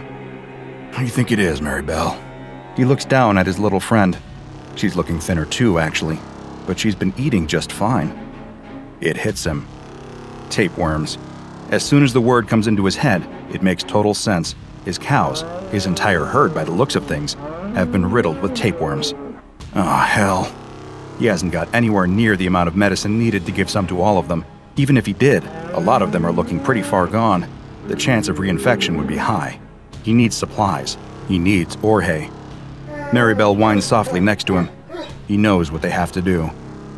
Laying Maribel down carefully by the fire, the rancher administers the tapeworm medicine. For a few hours, they lie there together. He strokes her side, waiting for her to pass it. The little girl watches over his shoulder. His ma sits back in her chair, mumbling to herself. He hasn't talked to the little girl anymore about Jorge yet. He isn't sure what there is to say. Maybe he should ask if Jorge was sick. After all, the cows clearly have had these tapeworms since before the other night. Jorge may have picked up contaminated meat from him last time he came. Maybe. Maribel passes the worm on the rug. Ugh, the smell. The rancher uses the tongs next to the fire to pick the worm up. It's long and pale, and dead. He tosses it into the fire and puts the tongs in the flames for a bit to sterilize them. The worm sizzles and pops in the flames. The sound makes his stomach crawl. The rancher glances around and sees the little girl staring at the tapeworm. He looks past the girl to his ma sitting in the chair. Her turn next. But as that night and the following morning reveal, it's too late. His ma's groans turn into cries of pain. She openly sobs by the fire, clutching at her stomach. Every time the rancher tries to give her the medicine, she just vomits it back up. Each time she vomits, there's more and more blood mixed in. The little girl gets more and more upset. It's not fair on her to have to witness something this traumatic and disgusting. There's nowhere else for her to go. She shouldn't even be here at all. The fact that she is means she has to help. That's all there is to it. By sunrise, his ma has passed away. There is nasty red bruising all across her abdomen, which tells him she must have bled out internally from this worm. He'd been too late to realize what was wrong. Too late with the cows, and too late with his ma. He covers his ma with a blanket and tells the little girl not to go and wash her hands. He needs to check on the cattle. Sure enough, during the night, a handful of them died too. The calves. They were the ones to go first whenever something like this happened. Mother cows stood over their calves, licking their heads, willing them to wake up. The rancher drags each body out to the back and burns them. He can't risk any more contamination. As the carcasses burn, he allows himself to cry. But when the rancher comes back into the house, it's full of noise, a noise that takes his brain a long time to comprehend. Crying, but not his own, not the little girl either. No, it was a new sound. It was a baby, a newborn child screaming at the top of its lungs. The rancher can't believe what he's looking at. The little girl is sitting at the hearth with Maribel at her feet. In her arms, drenched in blood, is a baby. The girl looks up at him and smiles sweetly. It's a boy. Then she turns around to his ma's body under the blanket. A sickening red patch soaks through the fabric, right over where her stomach would be. What the hell happened here? I've got a little brother. Securing and containing SCP 1003 has proven challenging. This is largely because the tapeworm that causes all of this damage is virtually indistinguishable from Echinococcus granulosus, the common variety of tapeworm that causes hydatid disease. The tapeworm, designated SCP 1003 1, follows the same life cycle as other regular worms. Its eggs come into contact with an animal through contaminated meat, saliva, or unclean surfaces and are ingested. Once inside the gut, they grow and latch onto the inside of the digestive tract, where they feed on the nutrients of the food traveling past them, steadily growing bigger and stronger. Once mature, they lay eggs, which pass out in the animal's excrement to continue the process. Infections spread quickly, particularly in unsanitary conditions amongst livestock, and can often be difficult to contain, as by the time the symptoms nausea, weight loss, fever start to manifest in the infected, the worms have likely already reproduced and have a new generation growing in the guts of other animals. As far as the Foundation is aware, SCP 1003 follows this normal pattern in all observed animals except humans. When a human ingests an egg from this tapeworm, a very different creature starts to grow in their gut human embryos with the same genetic code as the tapeworm begin to form. The rate of their growth is greatly accelerated, however. By just eight weeks, they are as mature as the typical three week old neonate or newborn child, although similar in size to an eight week old embryo at 13 to 16 centimeters. Many eggs usually enter this fertilization period, but almost all of them die before having a chance to develop much beyond the early stages they stand the best chance of survival when buried in the hepatic tissue, where they can absorb plenty of nutrients from their host. The host at this point usually starts to experience mild symptoms lethargy, the occasional stomach cramp, nothing particularly severe, yet. The embryos that survive soon develop rows of temporary, razor sharp teeth. At this point, passively absorbing nutrients is no longer enough for them. They bury their teeth into the soft tissue surrounding them and begin to eat. Once they enter this stage, their rate of growth increases exponentially the more flesh they consume. Eventually burrowing out into the world, the tapeworm child is born drenched in blood. The size and apparent age of the child that emerges from the corpse are determined by the size of the person they consume. For example, the child eating its way out of the rancher's ma appeared to be only a 10 month old child, as there was very little of the frail old woman for it to eat. By contrast, the little girl who emerged from Jorge's gut had plenty of fat to feast on, and so was able to grow to the size of a nine year old. Once the child emerges, the teeth that they'd used to eat their way out quickly become loose and are replaced by regular human teeth. The children themselves have no memory at all of where they've come from or what they are. They have the same motor and linguistic skills that a regular child would possess at their age. Nothing, aside from their DNA, marks them out as being any different from the children around them, blissfully ignorant just like the children around them. It is theorized that many of these children end up in orphanages. With no birth certificates or identifiable parents, they fall through the gaps in the system, quickly lost to the world. The only way to really track them at all is to follow the infections they cause. You see, these tapeworm children have one final curse they must live with. Their bodily fluids, their saliva, and sweat contain the same tapeworm protoscolex that will develop into SCP 1003 1 as soon as it is ingested by another creature, making the cycle start all over again. If you want to track down a tapeworm child, and I highly advise that you don't, all you have to do is follow the trail of nasty stomach infections, internal bleeding, and freak pregnancies amongst the outcasts of society. It, unfortunately, will not take long. There are currently 10 instances of SCP 1003 2 in containment. The children live in Bioresearch Area 13 under strict supervision. Researchers are only permitted to enter their cells whilst wearing full body biohazard suits, but first must have level 4 security clearance and must have written permission, and can only enter with specific research goals agreed upon. All staff are regularly tested for the presence of any kind of tapeworms in their system. No other animals are permitted in this facility. A face screams in terrible agony. In the darkness, you can't quite make out the shape of its body, but it doesn't look human. It's large and square, almost boxy, Two things you should know. This is a fate worse than death. And it isn't the only one. It's a busy but ordinary day in Hangzhou, China. People are rushing to and from work, going to school, going for walks, buying a hot meal and a cup of tea. But for one young police officer, this is a monumental day. He has been assigned the biggest case of his career, and he grips the stack of files with sweaty, trembling hands as he considers the weight of this moment. It isn't just one case, not really.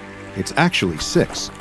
Six separate missing person cases that he's beginning to suspect might be connected. Our detective wishes he could take a moment and transport himself away from these harrowing missing person cases and clear his head.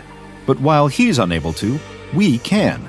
Thanks to the sponsor of today's video, Raid Shadow Legends, the hit mobile hero collection RPG played by over 80 million players across the world. And they've got some huge news for both new and returning players the recently added Live Arena. To tell us about it, I've invited a fellow academic to join us today.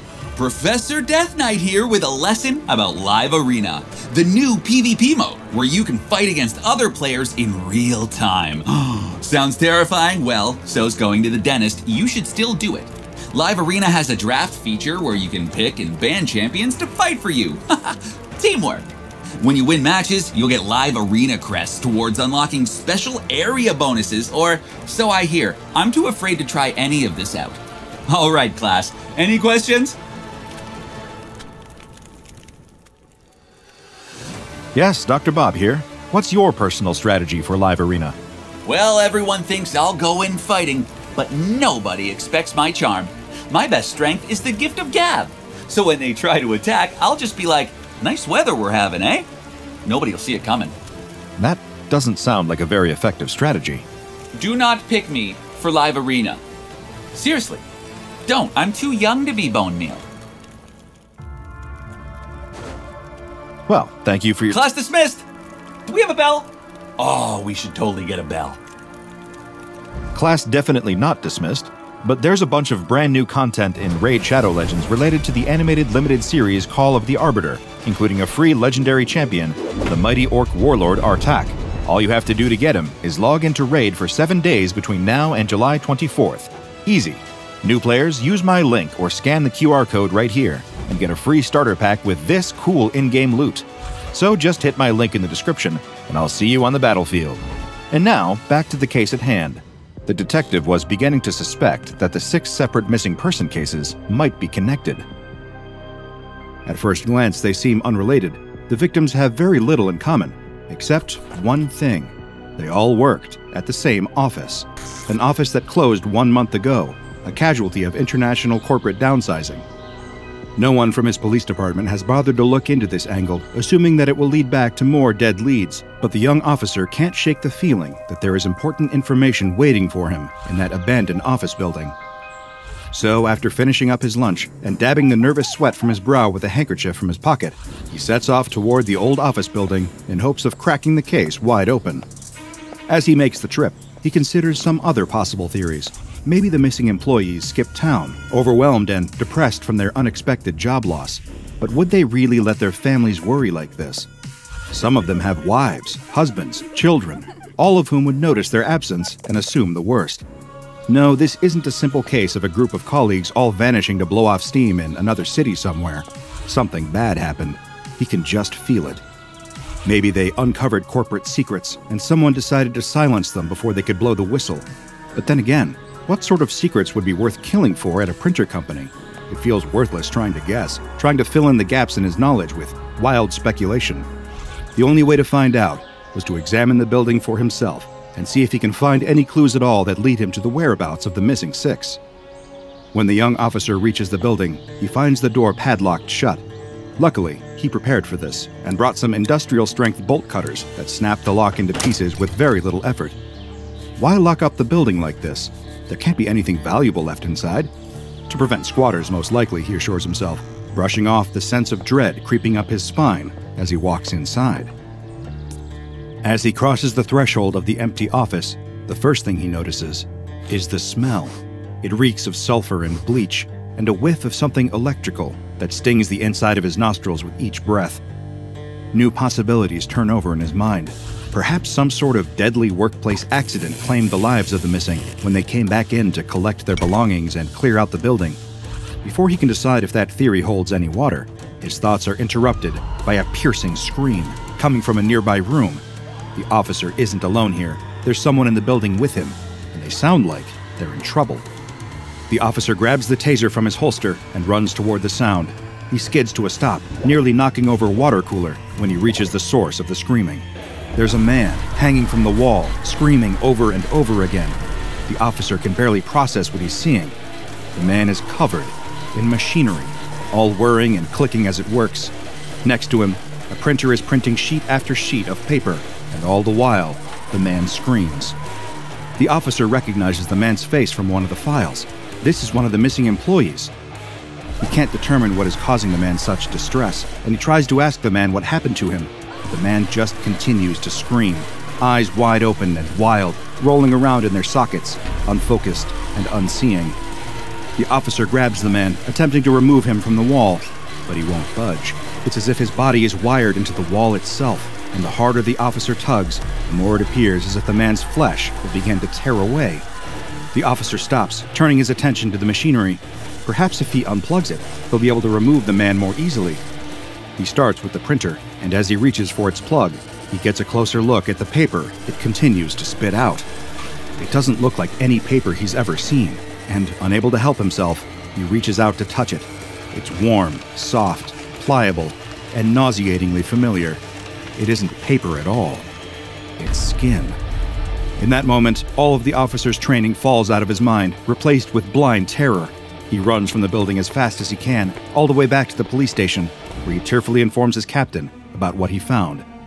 This is no longer a police matter, his captain tells him. They need to escalate this to a specialized organization. The young officer is sent home, placed on psychiatric leave, and the next day, the SCP Foundation investigates the building it will come to refer to as SCP 2535. SCP 2535 is a former two story Hewlett Packard branch office building in the Xiaoshan district of Hangzhou, China. The building's anomalous nature is characterized by the presence of a detailed network of electrical and biological components of unknown origins. The walls of the building's entire first story are covered with 63,512 USB 2.0 standard A sockets, placed in a grid pattern made up of 20 centimeter semi regular intervals. Each of these sockets is connected to wires running through the walls, but these are no ordinary wires. They consist of a woven mixture of copper strands and human optic nerve tissue, all wrapped in a layer of keratin. In spite of the inclusion of organic material in their structure, the wires have not shown any signs of decay or deterioration since the Foundation discovered SCP 2535. This curious, off putting mix of the technological and the biological persists throughout the location and only gets stranger as one moves deeper into the building. If one were to follow the path of these wires, going against their better judgment and the scream of their most primal instincts, they would find that the wires lead to a room on the building's second floor. The room is currently inaccessible, but is thought to have once been the server room. Whatever is blocking the door is large enough that it cannot be budged, and non intrusive imaging has determined that it is some sort of biological mass. The inside of the former server room, like the wires that lead there, emits heat at a consistent temperature of 47.6 degrees Celsius. Foundation personnel who approached the room have reported a persistent smell of sulfur and ozone coming from inside, as well as the loud sound of a running printer. 317 of the USB socket and power outlets in SCP 2535 are connected to HP brand USB 2.0 compatible devices. Of these devices, 20 have displayed anomalous, potentially ectoentropic functions. But what exactly does that mean? Allow me to elaborate. Just remember, you asked for this. Don't blame me if you aren't able to stomach the details. There are five former employees of the Hewlett Packard Hangzhou branch still located inside of SCP 2535. These employees are in an anomalous sort of status, requiring no sleep, food, or water, in spite of their continued, seemingly endless consciousness. Since the building's discovery in April of 2013, they have not changed in any way, or at least not in any visible way. All attempts to remove these former employees from their, let's call them predicaments, have proven unsuccessful. Allow me to discard any euphemism and explain just what exactly became of these unfortunate workers. First, there is Guo Pingping, the former branch manager. He can be found in the bathroom near the receptionist desk on the first floor. Guo's head has been forced into the feed tray of a HP DeskJet 1112 printer, which is plugged into the wall. This is troubling for a number of reasons, one of which is that the internal dimensions of this particular DeskJet model's feed tray are not large enough to accommodate a human head, and its components are not strong enough to crush a human skull into a shape that would fit. Nonetheless, Guo's head is firmly lodged into the feed tray. One would assume this would have killed him, but his body continues to move, kicking and thrashing about as if he is in pain. The former assistant branch manager, James Gu Yonggun, is located in the employee pantry on the building's second floor. His body is attached to the wall in a vertical position, held there via 92 20 inch USB 2.0 M-M cables. Five additional cables have been used to secure the actuating unit of an HP DeskJet 2540 all in one printer to Gu's lower jaw. The arm of the actuating unit is also attached to a single HP 10 original ink cartridge in the color black. This ink cartridge is attached into Gu's throat at a continuous rate of one stroke per second, and in defiance of the known properties of ordinary ink cartridges, has yet to run out of ink in the years since its discovery. Gu appears to be partially conscious, but is unable to communicate intelligibly when addressed. The former Human Resources Department head, Angel Lee Hui Min, is still in her former office on the second floor, though she no longer performs the duties of her old position.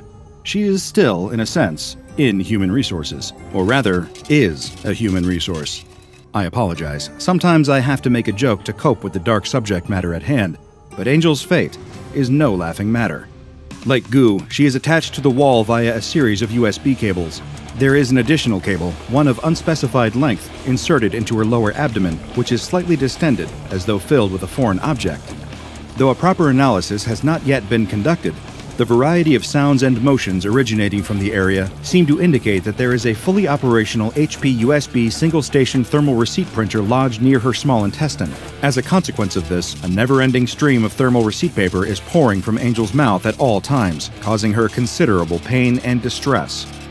Wang Liang, the former head of the IT department, is permanently placed near the water cooler on the first floor. Like the others, he's bound to the wall by several USB cables, 37 to be exact.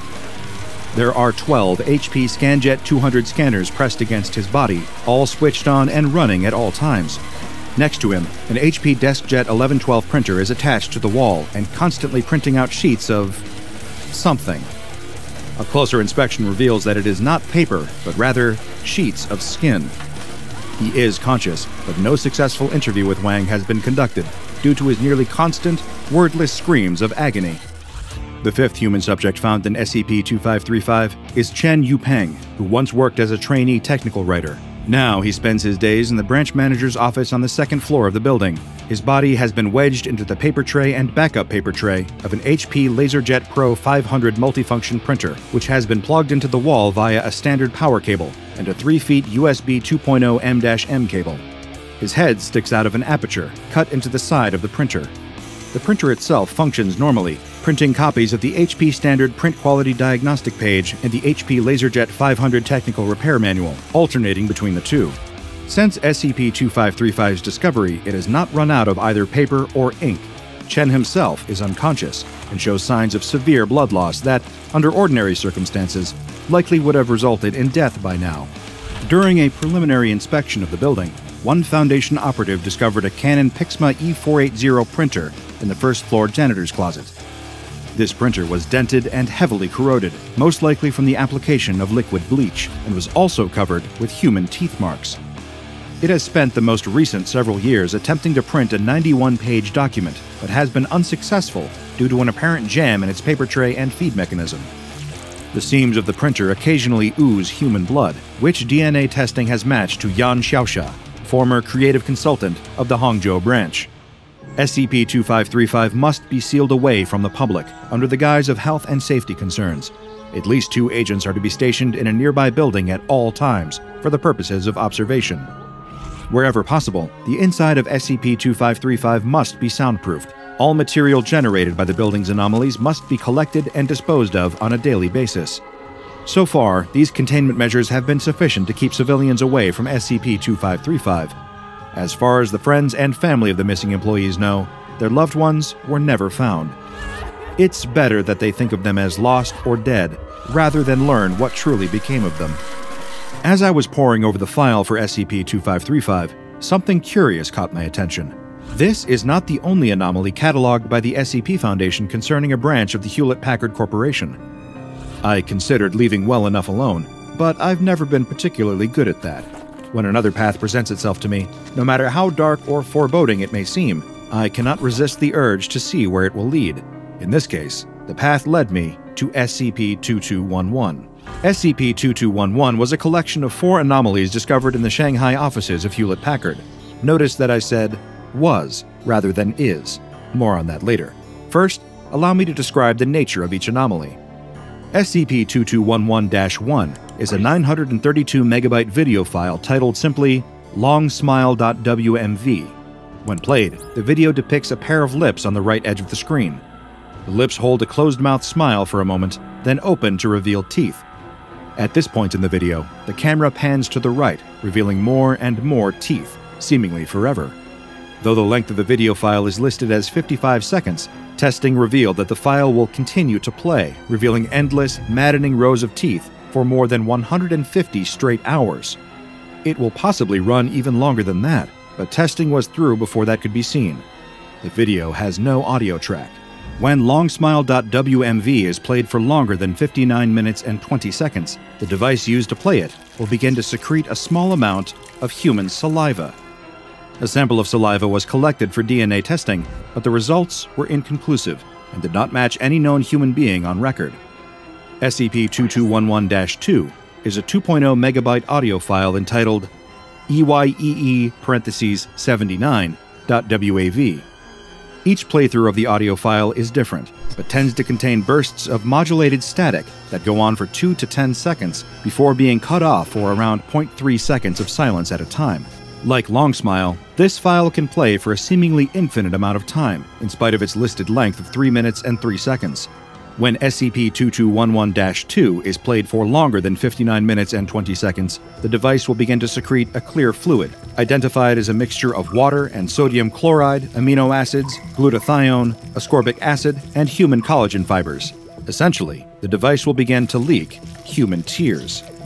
SCP 2211 3 is a 599 kilobyte file titled R.exe. When this file is run on a computer, it uses up a great deal of memory, causing the device to overheat and its built in fans to speed up. In spite of the overheating and any damage it might cause, the computer will continue to run until disconnected from its power source. When the file is run for longer than 59 minutes and 20 seconds, air coming through the built in fans will begin to emit a strong smell of earwax, though no physical traces of earwax have been found. SCP 2211 4 is a USB adapter powered coffee reheater.